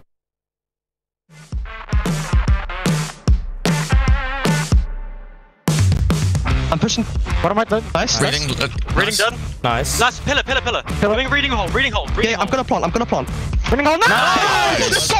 Come on. Let's go, Flex. You're insane. Really nice, boys. Want me to? We can see if it if they drop. Uh, yeah. The case has been dropped. Relaxing can recover this and hold on. He is in a one versus two. He will hear that drop. He'll swing wide, finds one. He's on for the second here, and he finds it. Oh, Nice, relaxing. You're so insane. You're insane. Good shit, bro. Oh, me. Or kill me, thermite. actually. No, I kill thermite. That's what Yeah, bombed that's down. why we 2v1. won. Yeah, exactly. 2v2. They're coming. Box, maybe. Get the, put them in, Kim, guys. I'm finding full level. On single door. 25. Let's go! Er hey, holy. Let's go! I'll play, boys. Let's go. You're a beast. Inside, inside, inside, inside. Red, red, red, red. One more red, one more red, last one red. Red, red, red, red. Top red, top red, top Hide, hide, hide, hide, hide. Nice! Oh, I'm so good. I'm so good. Oh my god, they're so bad. They're so Yes, bad. Let's go. bad, yeah. Just move, just Go. Oh, GG, lads. We needed that win. We needed that. Elevator. Full kitchen. One was office. Malusi office. Where's the castle though? Coming in. In piano, in piano. Okay. Okay. Go on over, careful. Yeah, yeah, I'm, kitchen I'm running. Small Malusi was office. Mega, mega smoke. That's the last zone. Nice. Oh, wow, wow. Cool. I'm not boring, man. Let's just get it out the way. I'm leaving main. I'm I'm coming vault with case. Gold killed me. Push Kane, Dig push. Kane, push Kane. In the Go vault, down. vault, in the... Kill gold, kill Win it, gold. win it, gold win it, dead. win it, 3-1. He's Window, inside. window, Fucking window, window, side. kill the guy. Watch the window, side. In the corner, deep of that. Let's go! Go, go, guys! Well Could be heroic. played! Could be heroic. Could be heroic. We heroic. Could be heroic. Could be heroic. Could be heroic. Could be heroic. Could be heroic. we're the best. We're the best team in Europe. We beat the best team in We beat the best team in Europe. Oh my Oh god. my god. My name's Will. I'm a C4 tetraplegic uh, following a cycling accident in July 2012. I got back into gaming in 2013 when I found out about Special Effect. For the first time I came, I really didn't know what to expect. I've been playing a lot of games prior to my accident, and of that, FIFA was one of the main games I had played. And literally within half an hour, we had the shoulder switches and had FIFA set up. I've got movement of the uh, shoulders, uh, limited hand movement. So I've got two shoulder switches. They can be set up for whichever trigger button you need them for. For example, you've got X on one shoulder, circle on the other. So for FIFA, that's two button modes and chin control, like the one I use for my chair, on the analog stick to control the ball. I was quite fortunate that after been to visit Special Effect the first time, I took all the equipment home with me and it gave me a couple of months to actually get to grips with, you know, whether it's something that I was going to enjoy and something that was going to be suitable for my needs. And it certainly was. And then got the links to purchasing the right equipment. Games are another aspect of the life that I had prior to my accident and a real social occasion. Great to be competitive with friends or just to pass time myself. When I was in hospital, I was seeking advice as to what would still be possible, and I had been told that I wouldn't be able to play games like FIFA again. I'm just really grateful I managed to find out about Special Effect, that I've had this opportunity to get back into gaming, and I wouldn't have been able to do it without Special Effect. And I would recommend it to anyone else in a similar position.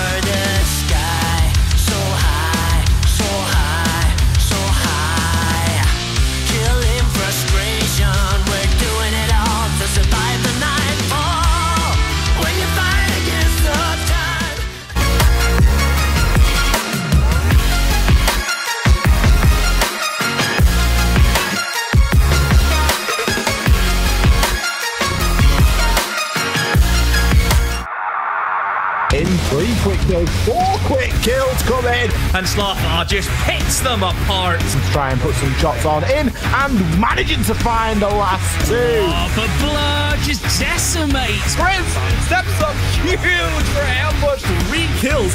All E1 DCs. What?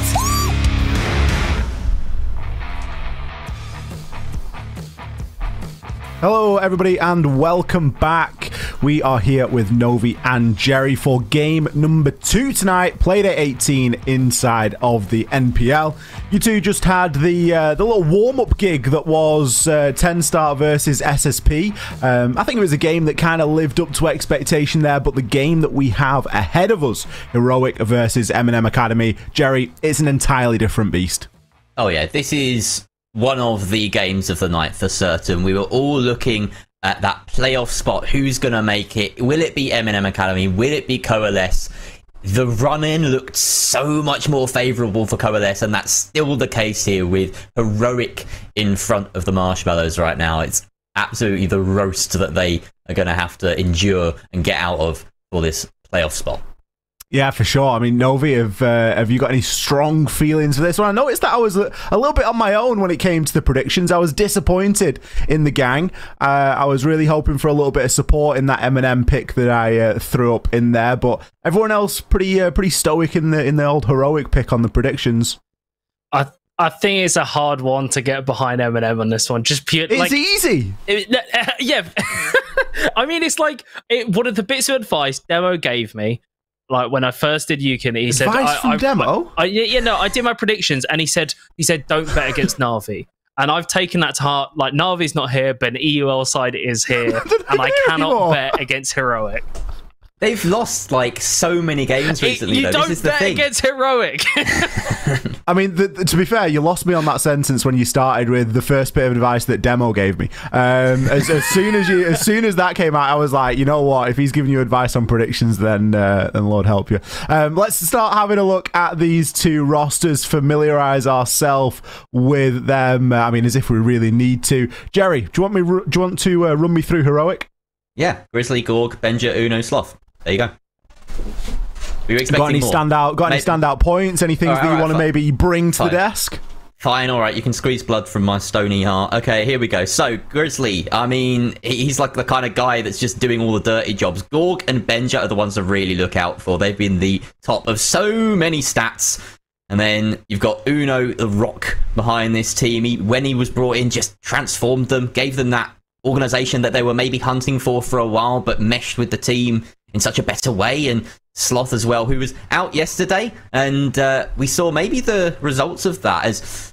To be honest, for a team that came out of, you know, the last stage of EUL looking really hot, they've been in a little bit of a dip recently, you know, losing to Secret, losing yesterday as well to Victus, and I've always said that it's rare to see them lose twice in a row, but they, they actually did it yesterday, and now it's the case of a really MNM Academy coming up coming up against a side that are probably just looking for revenge and looking to pick themselves back up. This is a scary heroic prospect.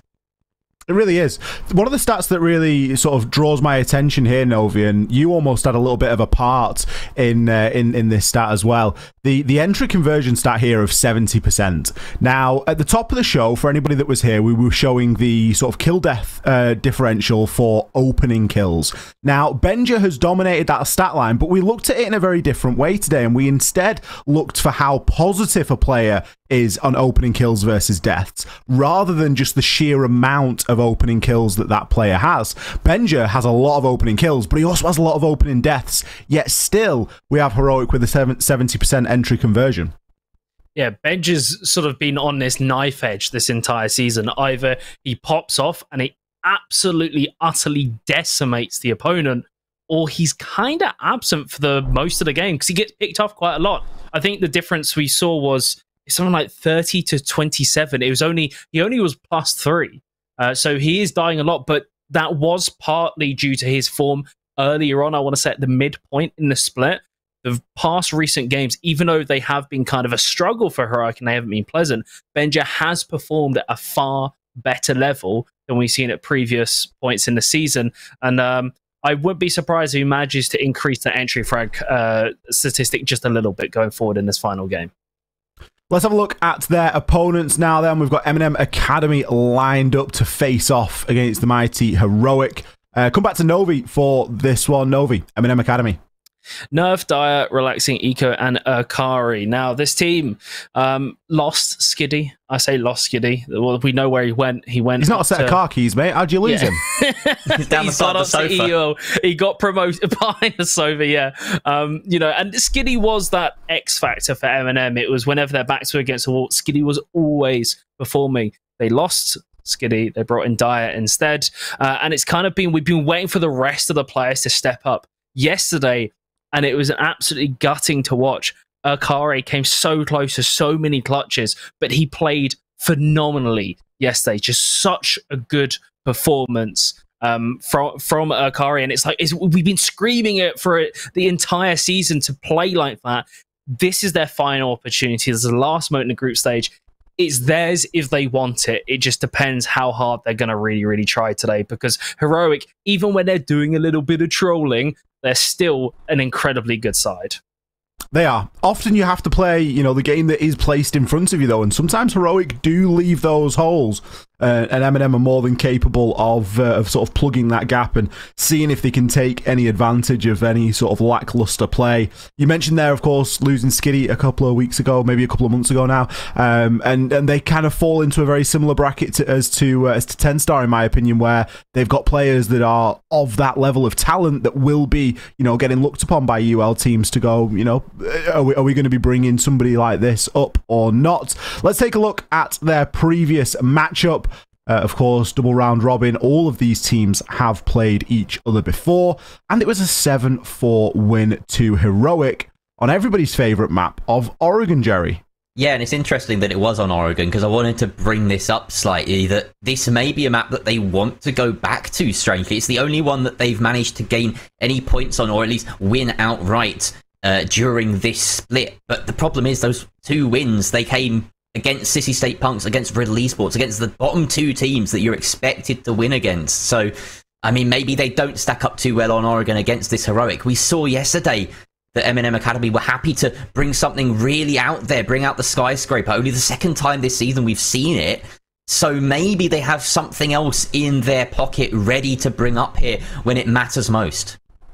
I think the difficulty that you've got when you face an opponent like Heroic is that where do you realistically take them?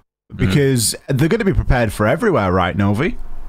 Yeah, this is a team. Even if you go for something that's outside of their map pool, they're gonna be comfortable with it. You can you cannot take this team by surprise.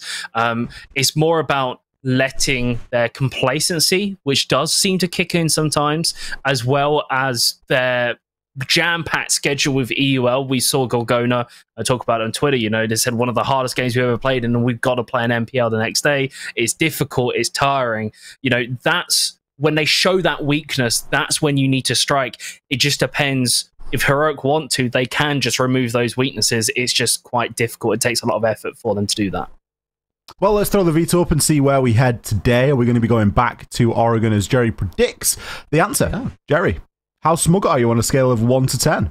I'd say I'm about seven because I did also throw out that possibility of, you know, something weird like a sky or a theme popping out. But no, of course, Heroic looked like they wanted to ban out anything funky in this ban phase. Both of those gone, and yeah, we end up on the Oregon again. I feel as though it's it's not the worst shout. This is a map that we have always pegged as where good teams go to die. I know it's a bit of a, an old one, but yeah, it still rings true, and there are possibilities to win here. It is where MNM have looked best so far this season.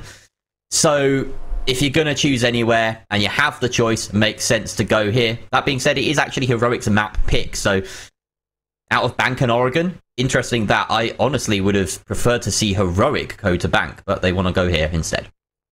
I think that Heroic obviously working with the uh, sort of the, the pending major that's it's around this time that we always start bringing up the major and sort of saying, you know, well, there's there's a couple of play days of EUL left, sure, granted, but should we just be going somewhere that's fairly fairly basic, fairly straightforward? If I'm not And, uh, mistaken, as well, their record on Bank in EUL is actually looking pretty bad right now, right? Like they- they've they've lost a lot of Bank lately, so maybe they just don't want to go there. Yeah, and it could just be a comfort thing, like you say. Like, why make the game any harder than it needs to be? Right? Just go down to an Oregon. Everybody knows how to play in Oregon. You can really hit your defaults quite well. Is this going to be a game of defaults, or is this going to be the upset that I know that some people want it to be? Uh, and it really isn't anything against heroic. It's more you'd love to see an underdog do well, or at least I do. We're going to find out. We're going to throw this one over to Whippet and Gibson. Heroic versus M&M Academy on Oregon. Take it away, guys. Thank you so much, Ollie. And this is it. One team, M&M Academy, fighting for their playoff survival. The other side, well, they just saw their rivals for top spot close that gap. So a win is a must for both these teams. But Whippet, can M&M Academy do what their sister team over at M&M couldn't do in EUL? It is going to be a very difficult mountain to climb. Heroic for all of the results or poor results they've had so far in NPL, they are still one of the best uh, mm-hmm. sides in Europe, and it will not be easy to get over them. Both of them want that win. Both of them need that win for the optimal placements in this season, and it will be Oregon the battle it out upon. And we were very excited when we saw this map come through the veto, weren't we? Definitely. Look, this is this is our favorite map. It's so exciting. We've every time we come here, what but we see I, you know what? I can't even keep up the facade. Look, this is Oregon. This is a map where everybody knows what you need to do to win, and nobody understands that better than M&M Academy. They tried last night to take a team over towards Skyscraper. It didn't work. So we are going now to Oregon. It's a best of one. You're playing, like you referenced, one of the best teams in Europe. And well, you look at the team that M&M Academy have in a best of one. Can they beat a heroic? They definitely can. Will they? Well, we will know in the next half an hour. Yeah, as M&M Academy on their day can be a very, very deadly side. It is just a question of what Heroic has decided to show up, show up today. It is you know, we see again, this is an EUL side, you're going to come in NPL with a little bit different expectations than the other teams grafting for those CL spots, for example. So we've seen lots of, you know, lots of Mr. Officer coming in for certain players when he couldn't make playdays, etc. So now is the real test. Heroic, all roster, need three points to keep themselves guaranteed in that top spot in our group stage. M&M same position, three points gets them playoffs.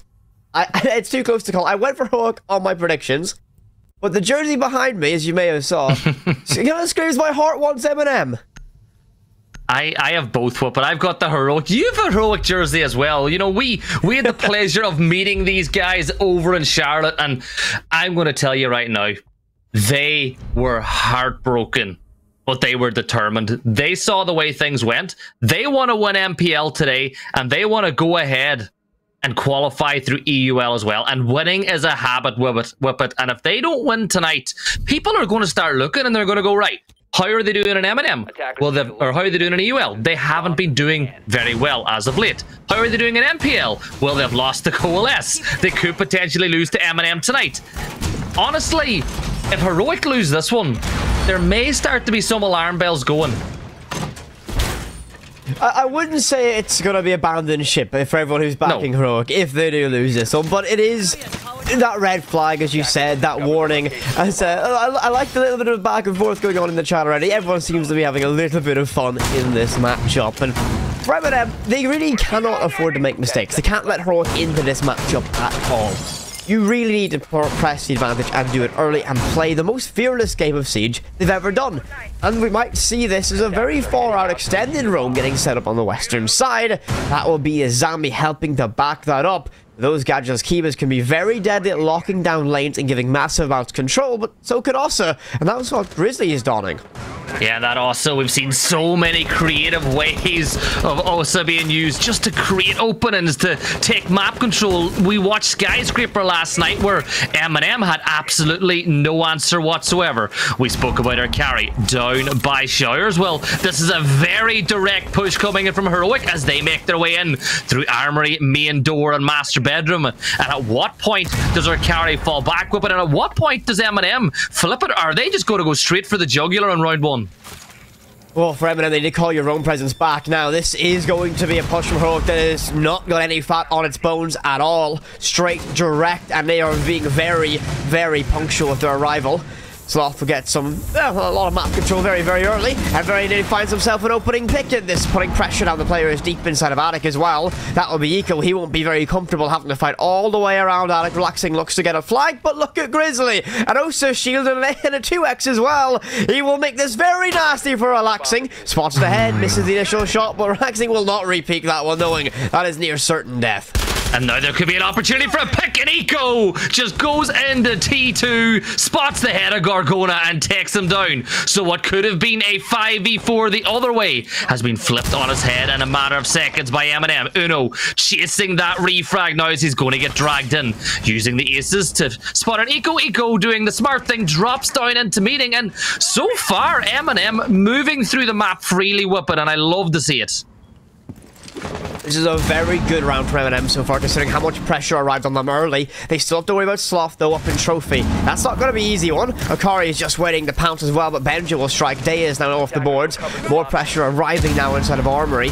Trying to queue themselves up and get this entryway going. Just under a minute left to go. And can M&M Academy hold on? A second Nate sent it. Oh, Oh. Sloth is going to find that one. It looked like it was arriving at the gates of hell. Uno will get in the action as well. Find it too. Leaving Relaxing alone against four. His own Goyos burned his entryway, leaving him 15 seconds of sitting and standing and waiting. A C4 will get sent, but to no avail. And it'll ultimately be Benja who shuts him down. Heroic take our very first round here in Oregon. And that is exactly what you expect from Heroic. Things didn't look their way, but they stayed calm. They reconvened, they moved around the map, and utility usage came out trump for them. Not only their own utility weapon, but they used the defender's utility against them as well, popping those Goyos in really good positions, and it allowed them to take map control and get the diffuser down. I mean, when you get you would have an opportunity to use those Goyo canisters against the opposition, why not? Worked out perfectly. They had no way in, no way for that retake at all.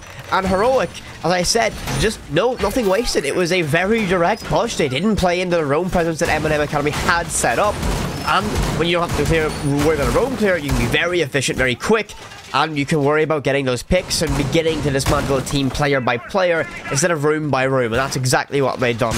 Now, we go to the basement, little bit of a different story here. You're going to have to go through the checklist. It's going to be a little bit more procedural. And M&M Academy will have a better chance here, at least, because it does tend to be one of the more defensive favoring sides that we do see on Oregon in particular. Mira, Wamai, Jaeger, there is so much denial being pushed over towards construction. And how will M&M face it up? Well, Grizzly is just pushing towards Garage with Monty, and that'll be a, a very big key for them in taking map control. But this is the opportunity for Heroic to take a second round in a row. And don't get me wrong, but if Heroic win this round, there will be no bigger roars than those coming from the Coalesce players at the end of this. Absolutely. Coalesce will be very much watching this one with keen intention. So far, once again, Heroic look to be very direct and punctual in their playstyle. They're going to take, or try their best to take control of Tower, but Gorgona going to be the first one to get slain out. Relaxing will find that. A double roam presence is Attic will now be unleashed to roam free. Will they find much success with it, though, as Benja still alive, will claim one to carry on stage, and that will be a bit of a warning sign so far. Larone be able to have an impact now? Day will be very timid, a little bit more passive, knowing Benja's lurking, but oh! He thought he had a freebie Uno on the cover. Day is slain, and Heroic in a 4 versus 3 now have the advantage in terms of players. And look at all that time the work. You can storm your multi in and take all that control for free. That man mountain pushing down backstairs, providing drone work as well as Sloth spots out the head. Eco We'll pull one back, and now all of a sudden it is a 2v3, but you could class as a 2v2. The, jo- the drop will come. Uno will find Eco. It's all down to relaxing, and Uno will get another, and it is 2 0 heroic, and they have been near on flawless. The only negative on the side of heroic so far as well, Gorgona not in two. He has been the entry pick both times around for MNM. Yep, that's not a, not an ideal personal start, but the team has got two rounds, and two rounds that look to be very comfortable. MNM certainly had good setup, they had good procedure, they played well enough around the circumstances Heroic put them under.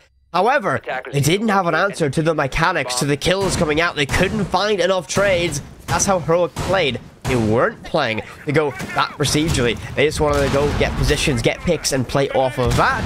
M&M need to read into that one now, whether that's playing full turtles or more extended roams or fighting the initial entryways, something needs to change already for M&M to start getting some defensive rounds on the board. Something has to change indeed. Last time we came here, the push from Heroic completely focused on going in through Master Bedroom, taking the main door and holding the flank watch. Normally, Whippet, you've got a camera or a player down around White Stairs to prevent the cutoff point over by Shire. Last time around, they made that cutoff the main door in towards Meeting Hall. What's going to happen this time? The spawn location has changed as Akari will be the first line of defense. The head will be revealed, but he misses it. Gargona will live to fight another day. Akari now pushing himself into a corner as he goes up inside Small Tower and Really, Whippet, this is a dangerous game Akari is playing because there is no retreat. And well, there ain't none at all because there's their carry. But here is relaxing Whippet, waiting to get some revenge. And the swing comes, and he gets it, and he falls back. That's what M&M need. They need to find those trades. They cannot give up player control. They cannot give up map control for anything for free right now. They must make Heroic work and bleed for every inch of this map. So far, they're doing a very good job of that one. Relaxing will swing wide from bottom white window, get the pick on the sloth, removing the twitch, removing a very potent weapon and player from the cards. Massive pick, M&M, far better this time, and a little pinch of aggression has gone a long way, helping them secure this site so far. But Heroic still have three players alive. You can't count them out. And you look at the players they have, Benja and Gargona, both in the top five. When it comes to those KDs, it's a scary situation to be in. But where will that next pick come from? They've still got three nades. They've got control of the bottom floor. And when will we see those nades being cooked? Well, here is Benja now beginning to do some prep. Oh, but will it land? Well, just as we were expecting it Benja has a shot instead, and the casters built it up for nothing. Oh, it's so unfortunate. Even Medic threw up. He was ready to catch that on observation, but they don't have solid information. And actually, that's why he might have pulled off. He had it ready to go, waiting for a ping or something to arrive. But now we'll send them at these default positions. They don't have live pings. And three bodies stacked up inside of Attic. Oh, a good decision from Eco to rotate away. But it's going to be somewhat shooting fish in a barrel if they all stay in there and pressure arrives. Grizzly can essentially walk in once these flames stop burning on the white stairs. And then every everything gets a little bit uncomfortable for M&M as Gargona has rotated all the way to big window and that might just read the intentions what Heroic want to do. A direct push, vault the window, get the case there as Grizzly might just push in through the smoke and that's exactly what he'll do. He has to be forced to back out now. Didn't go deep. Toxic counters won't make that an easy. Yeah, and now Benja's got another need, but there's nobody on that ping whatsoever. So it's another exercise of utility, but Nerf is holding the window. Gargona, I believe, has snuck on and he crouches and prones and he takes one down, but Daya trades it out. It's a 3v2 inside 15 seconds. Pushing through the smoke is Benja, and he's taken down, and it's all down to Monty. Grizzly, well, he finds one. He reloads. Nerf is going to take out his own teammate as the pre-fire around the corner comes out, and Dia sends him down. And well, M&M, game on. I was internally screaming, no, there's no way. Not with Monty. no, no, no, no, no. Surely you cannot do that. And thankfully, thankfully, for M&M's sake, they managed to shut that one down. Heroic smited and the extra bit of aggression that M&M brought out that's what they needed. They found the early pick. Well, sorry, as they found the early trade, and then relaxing found the second on the sloth. And once they had that player advantage, they played it very, very well. They almost, as you could say, got a 10 star and traded themselves to victory. Mm -hmm. Very well played from them. They get themselves that war round back. They get themselves one round striking distance away from Heroic. And now they go for their second bite at the cherry of this basement defense. Three rounds down in the history books. We're still on the way, and you know we've we've got our boy Gerry on the desk with us today, Whippet. And Gerry's Gerry loves a good stat. You know, one of his favorite stats is the entry and plant conversion rates. Well, Gerry, you'll be interested to know that it's a whopping zero percent in this round so far, Whippet. I mean, in this round, Gibson. In this game, this oh, game, this game. Yeah. I mean, you're technically right about the round, technically, so I mean, you're right. but it's unusual to not see the conversion being far higher. Been a very different style of game, you could say, at least so far. Sloth will be Oh. very keen to get a rapid entry. That's exactly what he'll do. We'll see no one on our silhouette, so we know he's safe, and I don't think he even had a drone, so he just decided, yeah, I'll just win my ones if need be. He'll make a very quick descent and likely put pressure on the player who will be eco on these basement stairs, and Sloth wasting no time at all, being very forefront. Daya is there to help find that trade. This can be all important. They play together, they can make this direct push begin the waiver. Yeah, and the pings are coming out, so Heroic know roughly where Daya is, but Daya's given up no ground, given up no quarter, and maybe he should have. As Sloth gets the opener on this one again, will the 0% trend continue? Aliko pulls one back, Akari is in the spot to get the headshot onto Uno, and Benja trades it back. It's a 3v3 now, Whippet, and the accelerator has really been pushed in this round. MNM with this way more aggressive style than what we saw in the opening round. Far better from them, but now they need to convert that early success into a more dominant mid game. You fought the entries, you got your trades, okay, you've done damage. Both teams are weakened at this stage. For MNM, it puts them in a little bit of a better position. You've took away Uno, you took away Grizzly, you took away that Monty, a massive piece of utility Heroic. We're likely going to rely on waltzing that down and applying direct pressure onto site.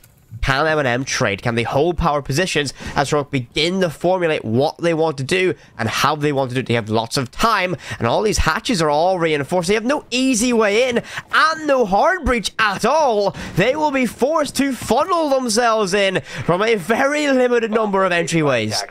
But they do have two LMGs and they do have the L85 with some nades in the back pocket. Sloth pushes down to the freezer as the push is going to be coordinated in through main stairs as well. Gorgona peeking around the side. Soft ping is coming from Laundry as he attempts to find that pick that'll give them the sight. And here is that nade being prepped. This time the nade will be delivered, but relaxing ain't going to be there. Pre-fires onto Gorgona, but not enough there.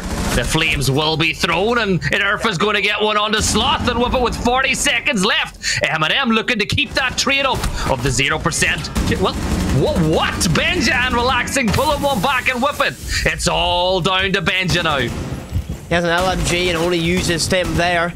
Two left in back pocket, but we won't see time for them. He'll try to stick this case, but only to make the sound. 20 seconds. He'll creep and crawl, looks for an angle, has information the player inside of elbow. He'll spray just a little bit, which will give him away. Up close and personal No with the but No relaxing way. down. Surely not, Benja. Surely you can't pull this one out of the bag. Stims himself up a little bit more HP. Will try and get this case down. The downed M&M teammate can try and give information, but now Benja caught out by Eco as he goes for the swing. Should have planted, should have stuck M&M. Now level. And that 0% still stands up at four rounds in. And well, it seems like getting that opening kill is just a recipe for disaster. This game, two more rounds for MNM on defense and Whippet. They're, I think they're going to need to go 4-2. A 3-3 split for, for Heroic on this map. They're going to be incredibly difficult to take down, but momentum is starting to build. MNM, they've won two in a row. They've tied the sides. Can they get that third round, which gives them just a little bit of breathing room? To draw your memory back to what Victus was like against Heroic yesterday. Heroic Mhm. had a very strong start in the opening against Victus, and out of nowhere, Victus found an extra gear. They figured out what Heroic were doing and played perfectly around it. MNM not playing perfectly around it yet, but playing very well to get themselves level again. Starting to build all that momentum, starting to figure out Heroic in this matchup. Surely we aren't in store for yet another upset. MNM really want to get this as well. They need three points to guarantee their ticket to playoff and really spoil Coalesce's night before it even begins. And they have a little bit of momentum to fill their sails. Well, but we have said this. We are agents of chaos as casters. We want a situation where I think, I think we said we would love to see MNM win in overtime to put a bit of pressure on the Coalesce to win in regulation. But MNM, they want to win this in regulation themselves. They want to get those three points and secure their spot in the next round. And well, heroic. The, this is an EUL team. They want to finish top of the table, and if they lose to MNM, they lose that out. So Sloth will begin the entry once more as he pushes in through T3. Last time around, it was done with Amaru. and nothing was found. Eco hears all the noise, drops back into meeting as well, and it almost seems that he was on a 40 second timer. When it once the 40 seconds went down, he left, and Uno will get that open and pick onto Akari. Surely at this stage, that 0% conversion on the opening pick's not going to stick. I really, for everyone who's a statistician in chat and on the desk, this is absolutely bizarre so far that no one's converted the opening pick into success. They tries to find a trade, battling away the player on Master Bedroom balcony, and very nearly finds her head cleaved from their shoulders. Grizzly fighting a very nasty angle as they will drop down, retreat, and try and regroup. Gorgona has taken buckets of control upstairs and will be a real problem now as MNM have forfeited all of upstairs. They have, but there's a minute and a half on the clock. The need comes out to nerf and relaxing the dynamic duo holding their crosses. Bring it back to a 4v3 now as once again the open and pick seems to work against the side. Gorgona beginning to open up that cross so we can keep an eye on anybody pushing up through that Shire corridor, but nothing will be found. Benja still joining his friend on that top floor. But Whippet, M&M Academy, this is a situation where they have really thrived in, in this game. Bring it back to a 4v3. And well, the longer that they wait, and the more obvious that the push is going to come from that top floor, the easier it becomes for M&M.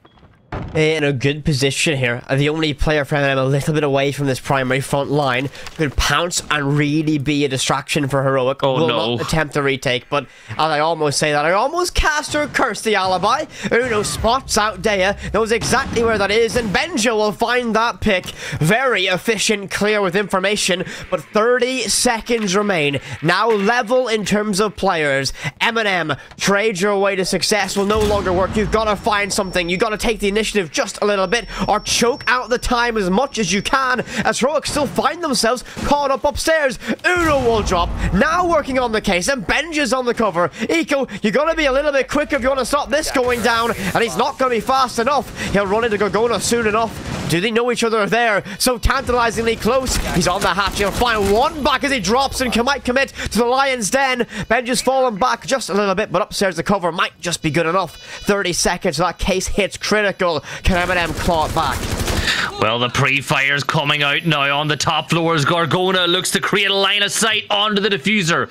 A long arm temp, you said it. The time is against the Benja. is going to swing and he gets a triple. And here comes the attempt at defuse. Nerf beats it out. Now he's going to go back to that diffuser. He's going to get one. And Benja is on the hunt. Benja is on the hatch. And there's no way whatsoever that M&M Academy win this. And well, Gerry is just going to take a big sigh of relief as finally, five rounds into this game, the team that got the opener pick get the round, but Whippet. It was close a lot closer for comfort than what Heroic would have wanted. Considering they got the case down, it looked like M&M at any moment could have found themselves success back in this. And that might be a little bit of an indication of how close this matchup get. It is Oregon, so we do tend, tend to see a lot of overtimes, a lot of very close matches, and well, as we said, we are Agents of Chaos in our casting booth, and we do want this to an overtime, especially if M&M can get an overtime victory, well, that's going to really make that last game of the evening a very, very exciting one indeed. But I shall not look into my crystal ball any longer as we must look to the present as Heroic now find themselves 3-2 up against M&M Academy and what has been a scrappy matchup from both sides so far. It has been scrappy, it has been punchy, and it really is the side of M&M Academy that we've not seen enough this season. They're going toe-to-toe with Heroic, and if they win this round, they will take the 50-50 split going into their attacker. Carry once more, just playing over by Small Tower, relaxing, playing on those back stairs as we tend to see him do, but this is it for Heroic. Can they bring it in? Grizzly's going to take Amaru this time as he goes straight into the top floor. Sloth gets the opener, so the tempo is up. And can they catch them? Coldwell relaxing with a beautiful little fade back shot with that lovely, lovely vector. We'll pull it back to a 4-4 and all the pace taken out of the rounds.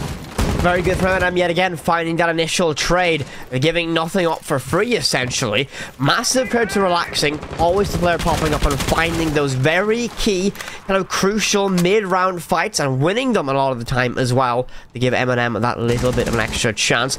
But Heroic, very similar structure yet again. What a shot from Akari. Finds Benja, takes and blunts the Spear of Heroic. And this is a very good round already for M&M.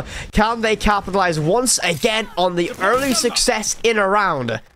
Well, to do that, they need to make sure they do not lose two players back to back like they lost the last time they were in this situation. Eco just roaming around now, looking towards the white stairs. Sloth begins the, the sneaky crouch walk as he takes master bedroom as suddenly Heroic start to take what little map control they can with three men on the board.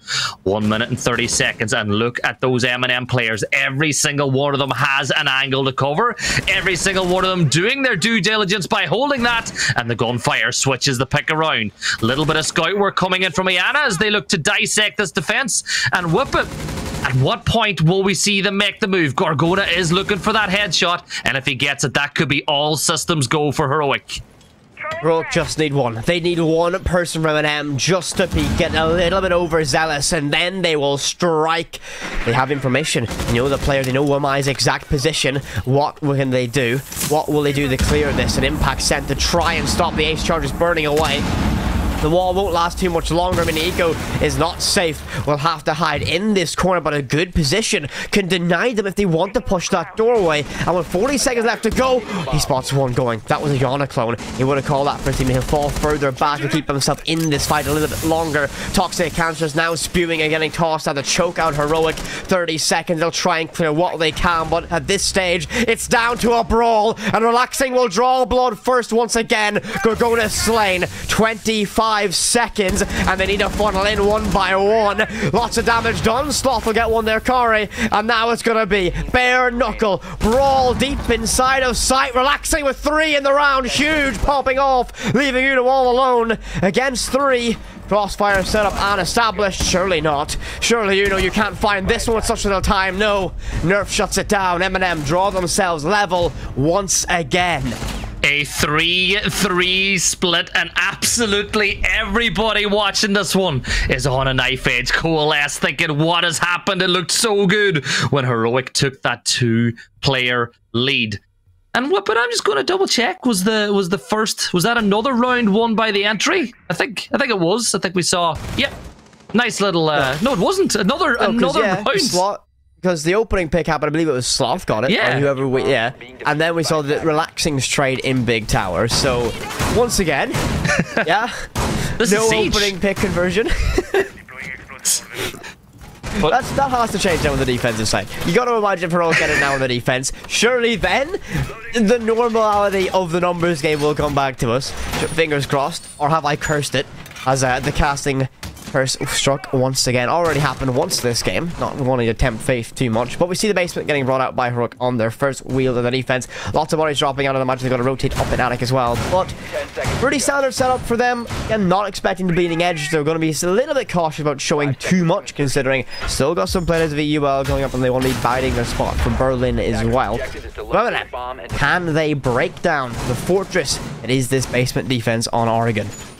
Well, we will soon find out, and you pointed out Heroic don't want to give too much away. They're looking to pack their bags for Berlin, but whip after their trip to Charlotte. Maybe packing the bags would be the wrong idea for them, because they were a they were waiting a long time for those bags to finally arrive at their destination. They're also being made wait by MNM Academy in this game, as it is 3-3 at the half, relaxing on the entry. Ash, we love to see a bit of Ash back in the server. The drop down in the freezer, that audio cue given away. The pre-fire from server, from security as well, We'll also give away the position and relaxing. What a shot onto Sloth. And now Grizzly is pinned. Relaxing will continue sneaking on down, but you have to clear Goyo from Freezer. Goyo beginning to peak. Relaxing moving the other way. Whippet. This is a tense tango that we're watching between these two players.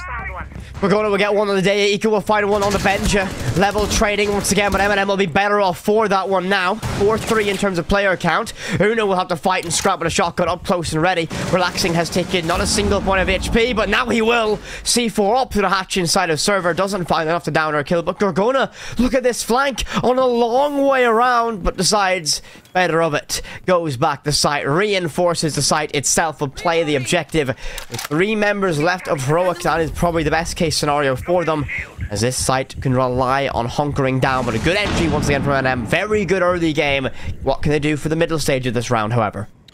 Well, we will see. Nerf's going to open up that laundry hatches. We're going to see another attempt at that push down through laundry. Nerf opening all the hatches that he possibly can, creating possibilities, creating opportunities, opening doors for them to potentially get this round win. But is it going to be possible? All three members of Heroic in spot. And look at this whip. But Eco is just redesigning this map, making it so that whatever decision they make, every player can go full tempo on it when it comes.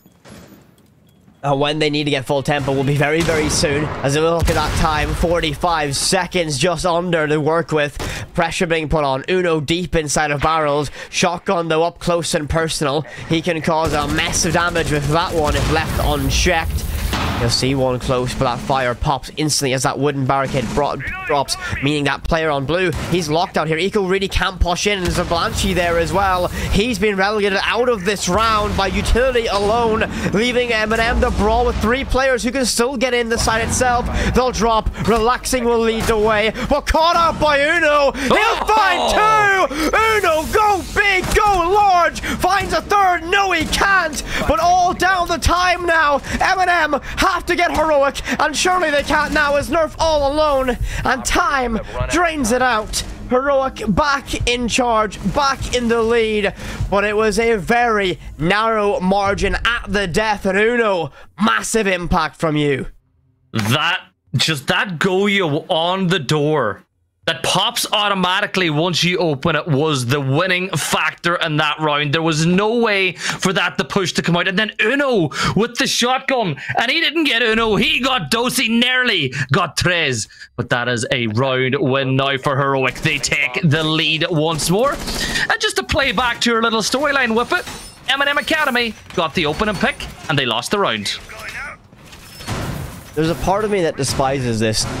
I, I, I love to You're bring up the fact. You're a purist. Well, I love the conversion rate, right? So I used to love saying, you know, defense gets the opening pick. Oh, hurdy hurdy hurdy. They have a 60% chance of winning the round now, right? That's what I use, love to say. That's kind of how the math works out. This has been, know, the upside down just a little bit. We're not exactly seeing the the average siege narrative unfold, but I'm a little bit here for it. I know all of our statisticians gonna be looking at this going, what is what is what's going on here?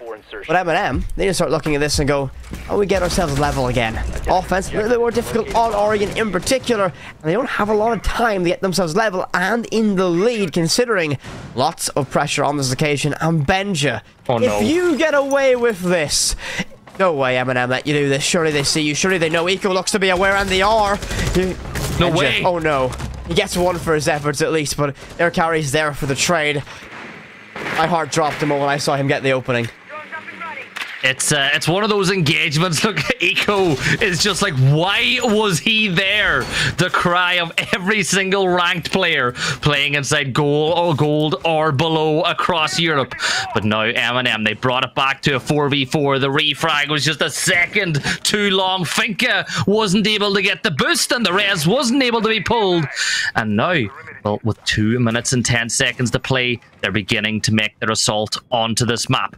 Grizzly with the pulse, though, can be such a vital position. He spots out Daya, and he's going to get him through the wall with a beautiful little pump. And well, whenever you talk about pulse being a situational operator, it. There you go. Spot out your own player, shoot him through a soft wall, run away. Oh, are you also missing the fact that's a pulse shotgun? A little bit of pulse gaming action right there. Very unusual combination, but it certainly worked a devastating effect towards Daya. Caught out completely unaware. Relaxing will push up very quickly after the Gonne-6 detonates just ahead of him, looking for an opening as MNM really forced to go to the direct avenue here. Route 1 play, but they will get shut down by Heroic. Sloth and Grizzly popping off, leaving Nerf alone with the pistol, with a the In the hands of Omai. Locks it down. Heroic clear No. MNM by two rounds. what a shot that was. You, you know, you know me, but I love watching a beautiful pistol one tap. Usually, because I am watching them in the kill feeds whenever I'm dead. So, to be fair, I appreciate. But look at this Grizzly. He set the trap. Daya didn't react whatsoever, and well, pulse shotgun doing the work. And sure, uh, you know, there's ano- another member of the Rainbow Six UK scene who recently said that the UMP should have an orange tip on it with it because it's a non-lethal weapon. I know the exact social post you're talking about. I can't remember who it is, the appropriate credit, but I, I disagree. That's a thumbs down take from me. I think the UMP is serviceable at best, but it can do the job. You don't need to put the orange tip on it just yet, but the shotgun certainly worked out very well for Grizzly, and I really do love the positioning that was set up from that pulse as well, right in the heart of the building, inside security, able to feed infinite information with that cardiac sensor and drop away for free as well. Uno, big impact in this matchup so far. 2-0 the opening KD and a high cost of backing it up as well. You expect that from the man himself, one of the most famous Finnish players there are. And Benja, not doing too bad themselves either, but only finding that one opening pick so far. One opening pick, but a lot of the weight's being carried by Sloth in this game. He's got the opening pick quite a few times, going 8 and 6, but Benja, he's been finding his kills elsewhere, finding his engagements and making them stick as he goes 9 and 6. Grizzly getting into a fight with that SMG-11 will take relaxing down, making it a 5v4. Daya's HP looking a little bit dire right now as well as he makes his way into that closet. But 2 minutes and 20 seconds, it's time to relax. It's time to drone. Work out where those defenders are. Where are they weak? Where can you possibly take advantage of it? And do you know something? But see this little line of sight that's been created from trench, from you know, from attic looking towards master bedroom. I love it because it can it can really slow down a push because teams are terrified to push into trophy. And they have no information either, so they really have to essentially try and face check it. MNM looking like they want to rotate and put direct pressure on, and well, that's exactly what they'll do. Corey will vaults on in, and Uno will be the first to fall. Looks for a second, couldn't quite find it on the towards Sloth. A minute 40 left to go. Donna's deep inside of sight, but is there a trade? Is there a reaction from Heroic here? Yes, there is from the vertical. It's still not yet cleared, but Gorgona's going to find themselves down. Irakari in a massive play. Everything's going to pop up in that kill feed. Benja with two huge picks, leaving Akari now all alone on a single point of HP. And that round on Benja's shoulder, well played. Heroic now three rounds clear of Eminem Academy. Three rounds clear, and everyone from Coalesce cheering because they feel that they are about to be giving the opportunity they dream of. They're on match point, they're heroic, and if they win, it is simple for Coalesce later tonight. Win, and you are in. For MNM Academy, the writing is in the wall, and that writing says you need to be perfect. Three rounds coming up, three wins required, and Whippet. That at this point will not guarantee them to go through. Even an overtime win for MNM Academy takes it out of their hands and puts it in the coalesces. So that round one for Heroic has completely changed everything, regardless of what happens in the next one. Okay, I suppose we'll, we'll follow suit with the chat as well. Congratulations, Benja. 200 kills. Congrats. Mm-hmm. 201 more than I've got. It's not hard, Gibson. It's not hard. I think Benja, I think Benja could win blindfolded against you and me for, for that measure as well. But for MNM, you touched on, it is time to be flawless. It is really do or die now. It is no longer in their hands. Even winning this now is putting it all in the ballpark of Coalesce. Coalesce will simply need to outscore MNM in this current situation. This is a real team-defining moment for this side. Jump down at the bit, get the work done if you can, but you can't back out of this fight now. And Heroic, they are not the person you want a team you want to see on the other side of the server when you're facing off against them because you know that talent pool runs so, so deep, and they have made this offensive side so difficult for NM so far. I just, I just read chat. I'm so sorry. I just seen the shade being thrown saying that you lost the secret in chat as Relaxing is throwing it back the other way. Look, and you know what the best thing is for anyone watching at home? This is banter. You know, th these guys, they all know each other. They're having a bit of fun. There's nobody actually properly throwing shade right now. But let's be real, eh, real for MNM Academy. They need to get out of that chat right now and get into their heads and get into this game because you have three round deficit to turn over if you want to just go to overtime. This overtime, though, does confirm Heroic as number one. They will finish the groups at the top of the table. Tenstar coming tantalizingly close, but ultimately, Heroic will get that one done. So that's a point to take out of this matchup from them. Uno will find the opening pick towards Eco, though. That's the blow that MNM did not want. That is a massive, devastating loss. You lose those nades. Oh, MNM already in dire straits, it feels. It really doesn't for Heroic. They've also just sealed themselves top spot in NPL in the regular season. With that extra point at a minimum they've gathered. Uno and Akari are going to get one-on-one back either way. Daya tossing the Ying Candela in. And it will begin to pop. Another one thrown just to be safe. There's a player behind the boxes. Mozzie swings. Finka times it absolutely perfect. But still, it doesn't matter. Sloth pulls it back. Akari now in this 2v4 situation. One 1v4 the whole season rests in the hands of Nerf and Whippet. It would be a sin if I didn't hand it over. Well, I was just about to hand it over to you, but Gargona will clutch it out and Heroic take top spot and coalesce. The ball is in your courts. That sets us up for a very, very spicy final game of our group stage. But MNM, what a performance on your defense. They were able to get themselves to a 3-3 split, and it was hard fought as well. They really had show their worth to get that get level at the end of the half, but when the side swapped, when they had to attack, things are a different story. And whether it was the structure, the strategy, or just the aggression and confidence of heroic, they could not find an answer. And ultimately, that now puts them in a very difficult position, leaving Coalesce in a very good chance of booking that final spot playoffs. Well, it is all down to Riddle now. If MNM Academy want to make it through to the next round, we look back at the replays of this one, and MNM, they really started the game well. You know, they were 3-3 at the split. Even whenever they went on to attack, they were still able to find kills for fun, but just heroic. Their, their style of play with it, the fact that even when the numbers were against them in the server, like this situation here with Uno, they didn't panic, they stayed calm, and MNM just were not able to take advantage of the numbers game when it mattered. No, they really did just struggle capitalizing. And I mean, the way Heroic set everything up, this wasn't like it was the most bidding edge strategy, but they played with such a high level of confidence and composure. They never got flustered, and that's what you'd expect from a side. They are in EUL for a reason. They're one of the best performing teams in Europe as well. MNM, though, very, very good kind of shaking the defense, but ultimately they just couldn't break down Heroic's defense, and it really showed. And ultimately, that's going to be the hardest pill to swallow of the entire season.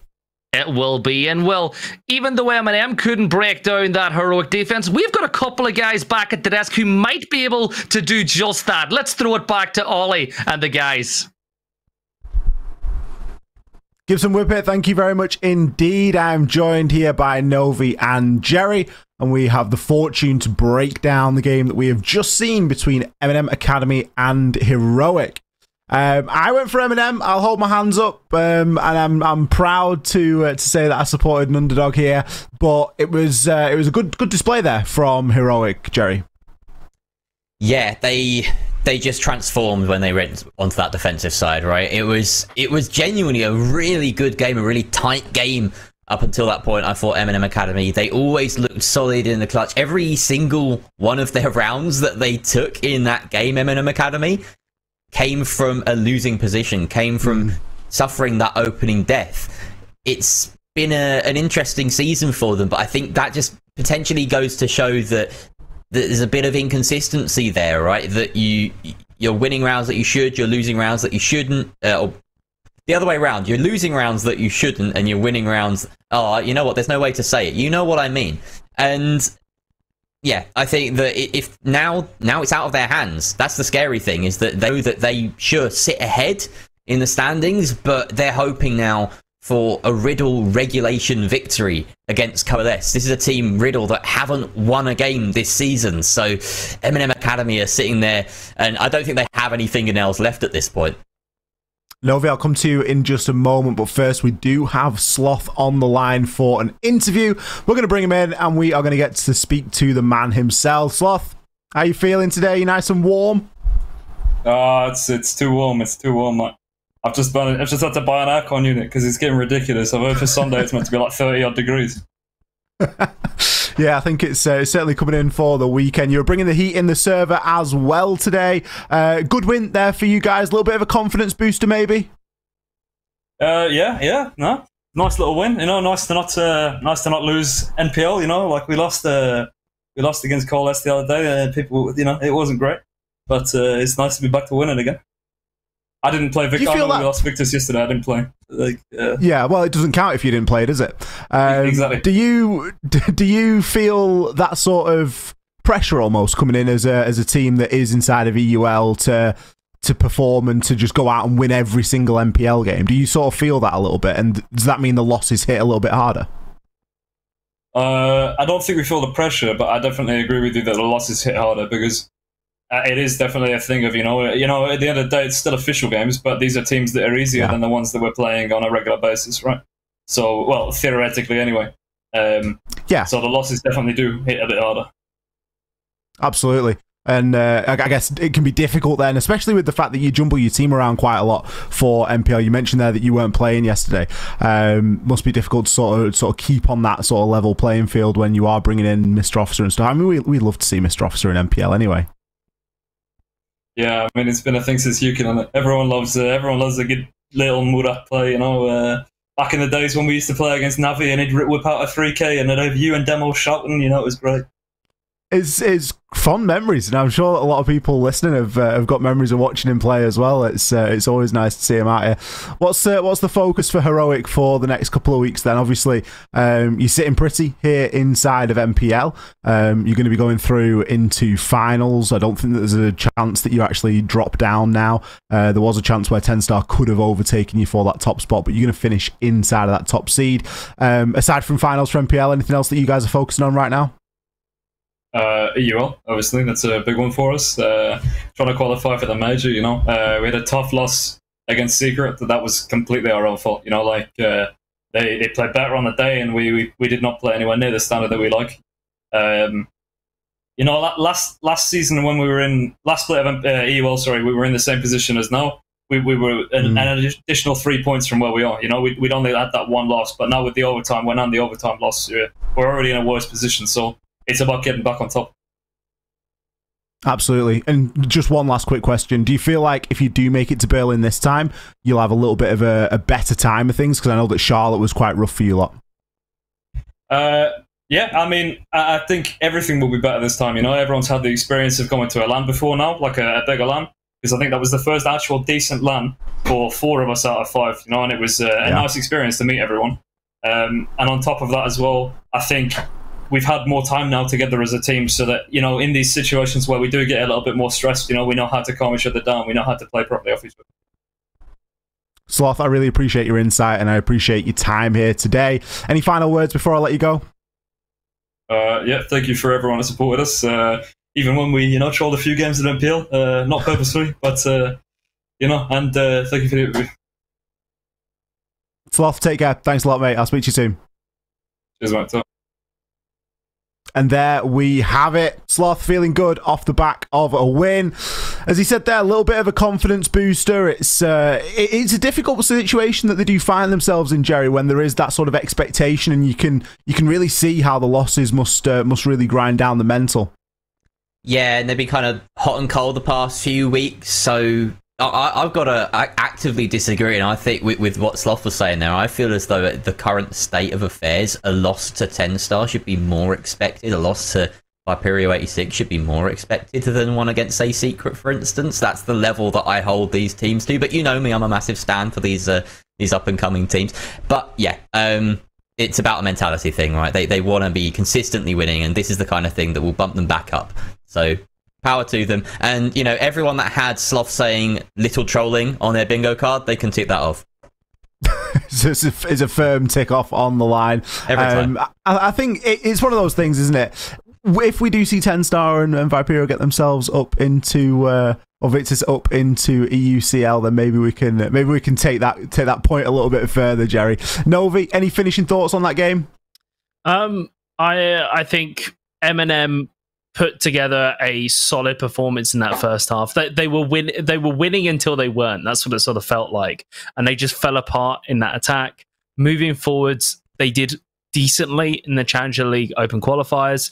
Even if Coalesce wins today, there is that still that chance through the qualifiers.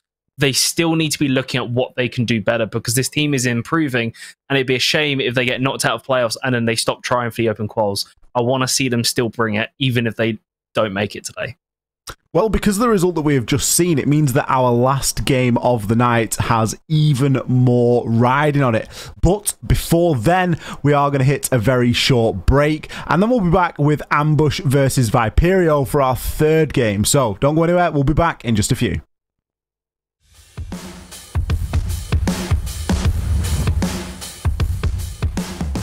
Yes, guys. Yes, guys. Yes, guys. Yes, guys. Yes, guys. Yes, guys.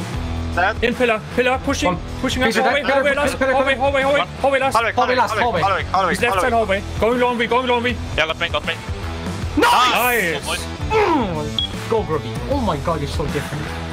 You got this. He knows that leader is a bit far away, but here's the gunshot, so he knows that he's there to force him off. And leader is Nice! okay. Yeah, so much better. Let's go. Let's go, boys. Let's keep up. We need to hurry up, guys. I'm ready to Ready? smoke. I'm ready, I'm ready. I'm ready to smoke. I'm, sm- I'm smoked off. I'm. s- Let me I'm smoke smoked off. I'm firing. I'm dropping. I'm smoking. Walking. Firing. I smoke closet. Watch out, rotate, Peter. Pushing in. Yeah, yeah. Target that. Right, right, right. Right, I'm right. Flanking, flanking. Freezer, freezer. Freezer dead. Let's go. Let's go, lads. Well played, well played, well played. We have had him flanked then at the last second. I'm gonna play hobo. I take that Nice. Nice. Right, Trophy no, no, door, no, left no, side, no, trophy trophy door. door. Dead. Be injured. I want main bridge, main bridge, main bridge. Main bridge. Drop that tick, drop that tick, drop that tick. Trophy door, trophy, trophy. One HP. Trophy pit. Nice, let's go! You're so much better! Nice. Go, guys. We're so much go. better. This is what we needed. We needed momentum. He's in tower right now. He's making a rotate, punching a rotate. In attic, in attic. You can I'm out run. Oh, might be on attic rotate. Joining is clear. I think Oh, attic rotate, shot. shoot you. Dead. Nice. Nice. Nice. I'm running Chill short. now, chill now. Let's go, guys. your life, play your life. We have him, feet, hallway, Pillar, hallway. pillar. Where? Where is he? On us hallway. Dead, yeah, that zombie dead. Nice, nice! Let's go! The Amaru works. Nice It's fine, it's fine, it's fine. Next round, boys, next round. It's But fine. if We can't don't act like that, boys. It's fine, it's fine. We have to go next round. Rotate, see what's some pitch. It's good, boys, it's good. Stop stressing. Let's go next round. We got this. Shelf, Son, son, shelf, son. shelf, trophy, trophy, trophy, trophy. I can plant here, guys. I can Yeah, plant. they've got shelf, shelf, trophy dead. Oh my god, man. Yeah! Such a team effort! Big Daddy. What a comeback, boys. Let's go!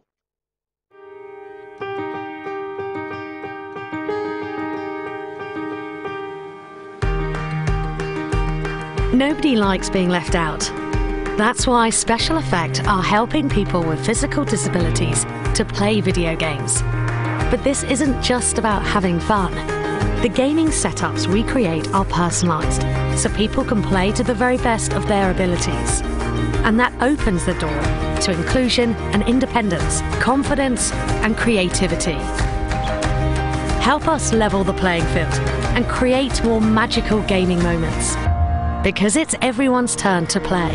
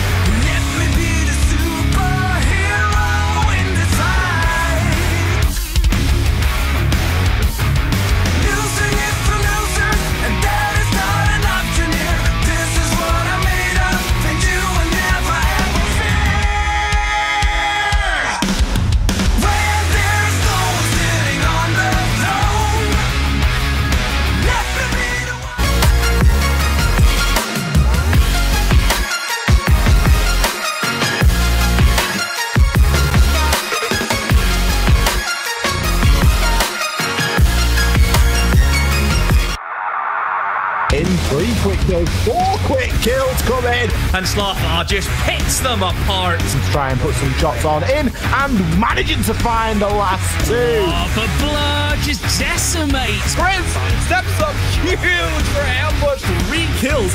All E1 DCs. What?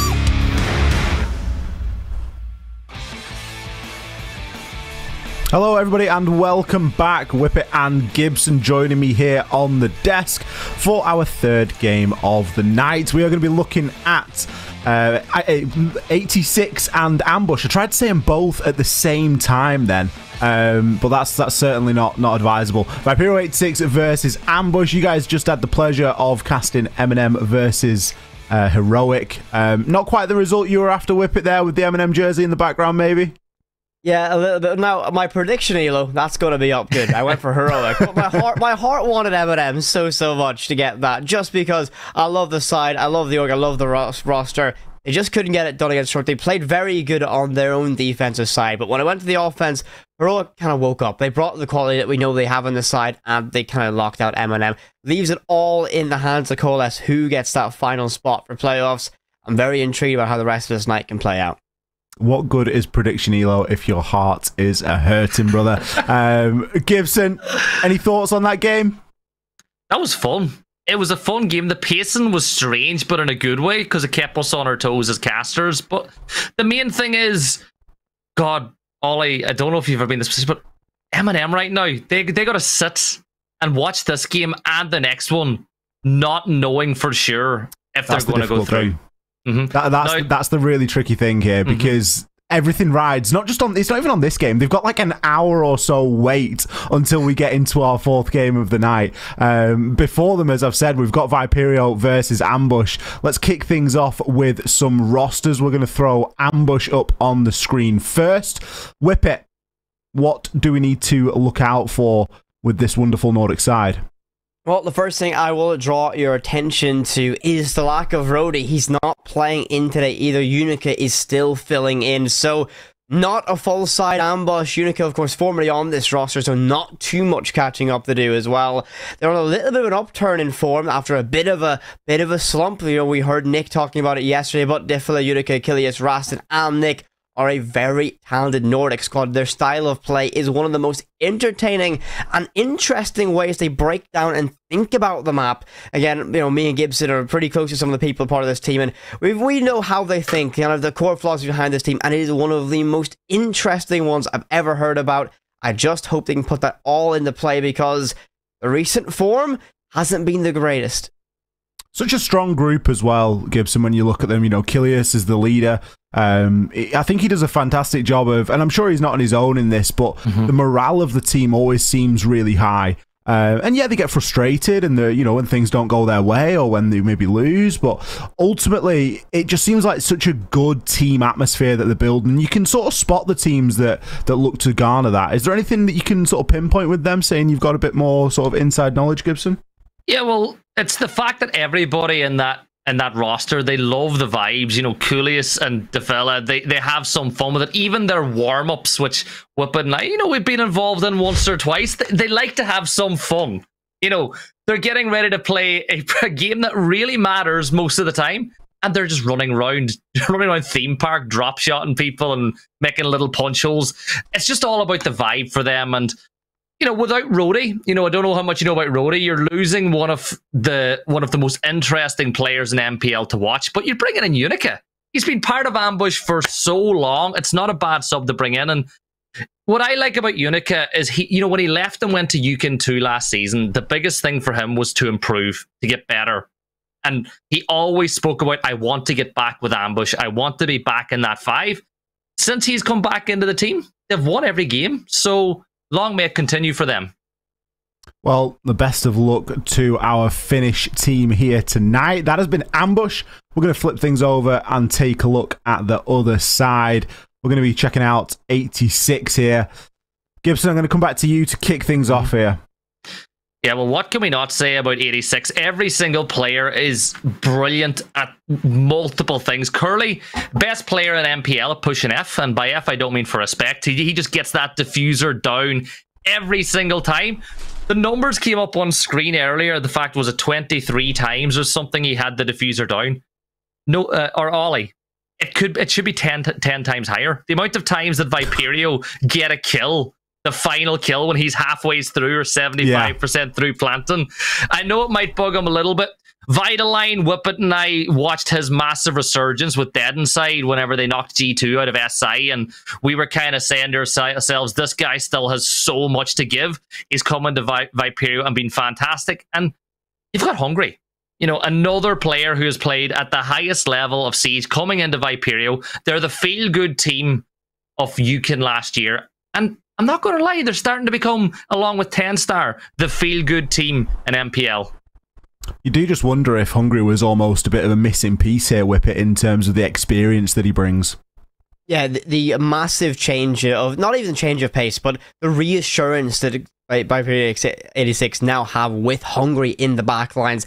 He plays in these way more difficult positions, like we saw him getting stuck on Clash. He likes to play Osa as well. He has to do a lot of critical work to get the strategy rolling. He's responsible for setting up crossfires, pinches, and being in charge of helping the rest of that support game get rolling and enabling Astro, Grubby, and Vita to do all the very flashy work to get to do. And speaking of some of the flashy work, Grubby, one of the hottest talents right now, absolutely in fantastic form. Give him a 1v1 and he's going to win it. Let's take a look at the previous matchup. These two teams have, of course, played one another before. A fairly close game by all accounts on Clubhouse. 7 5 in favour of Viperio. That's going to give you a little bit of confidence if you're an ambush fan, right, Gibson? It's going to, and I remember watching this game, and it was an, one of the really good games in NPL. Like you just have to look at the stats of Rastin and Curly. There's not too much there separating them, and what I loved about this game was the fact that they really went toe to toe. Ambush played their fun freestyle that Whippet alluded to earlier, and Viperio played their really regimented, we're going to play objective style. They clashed really well. And then I think Viperio you give a team like Viperio a round or two advantage and you're never pulling it back.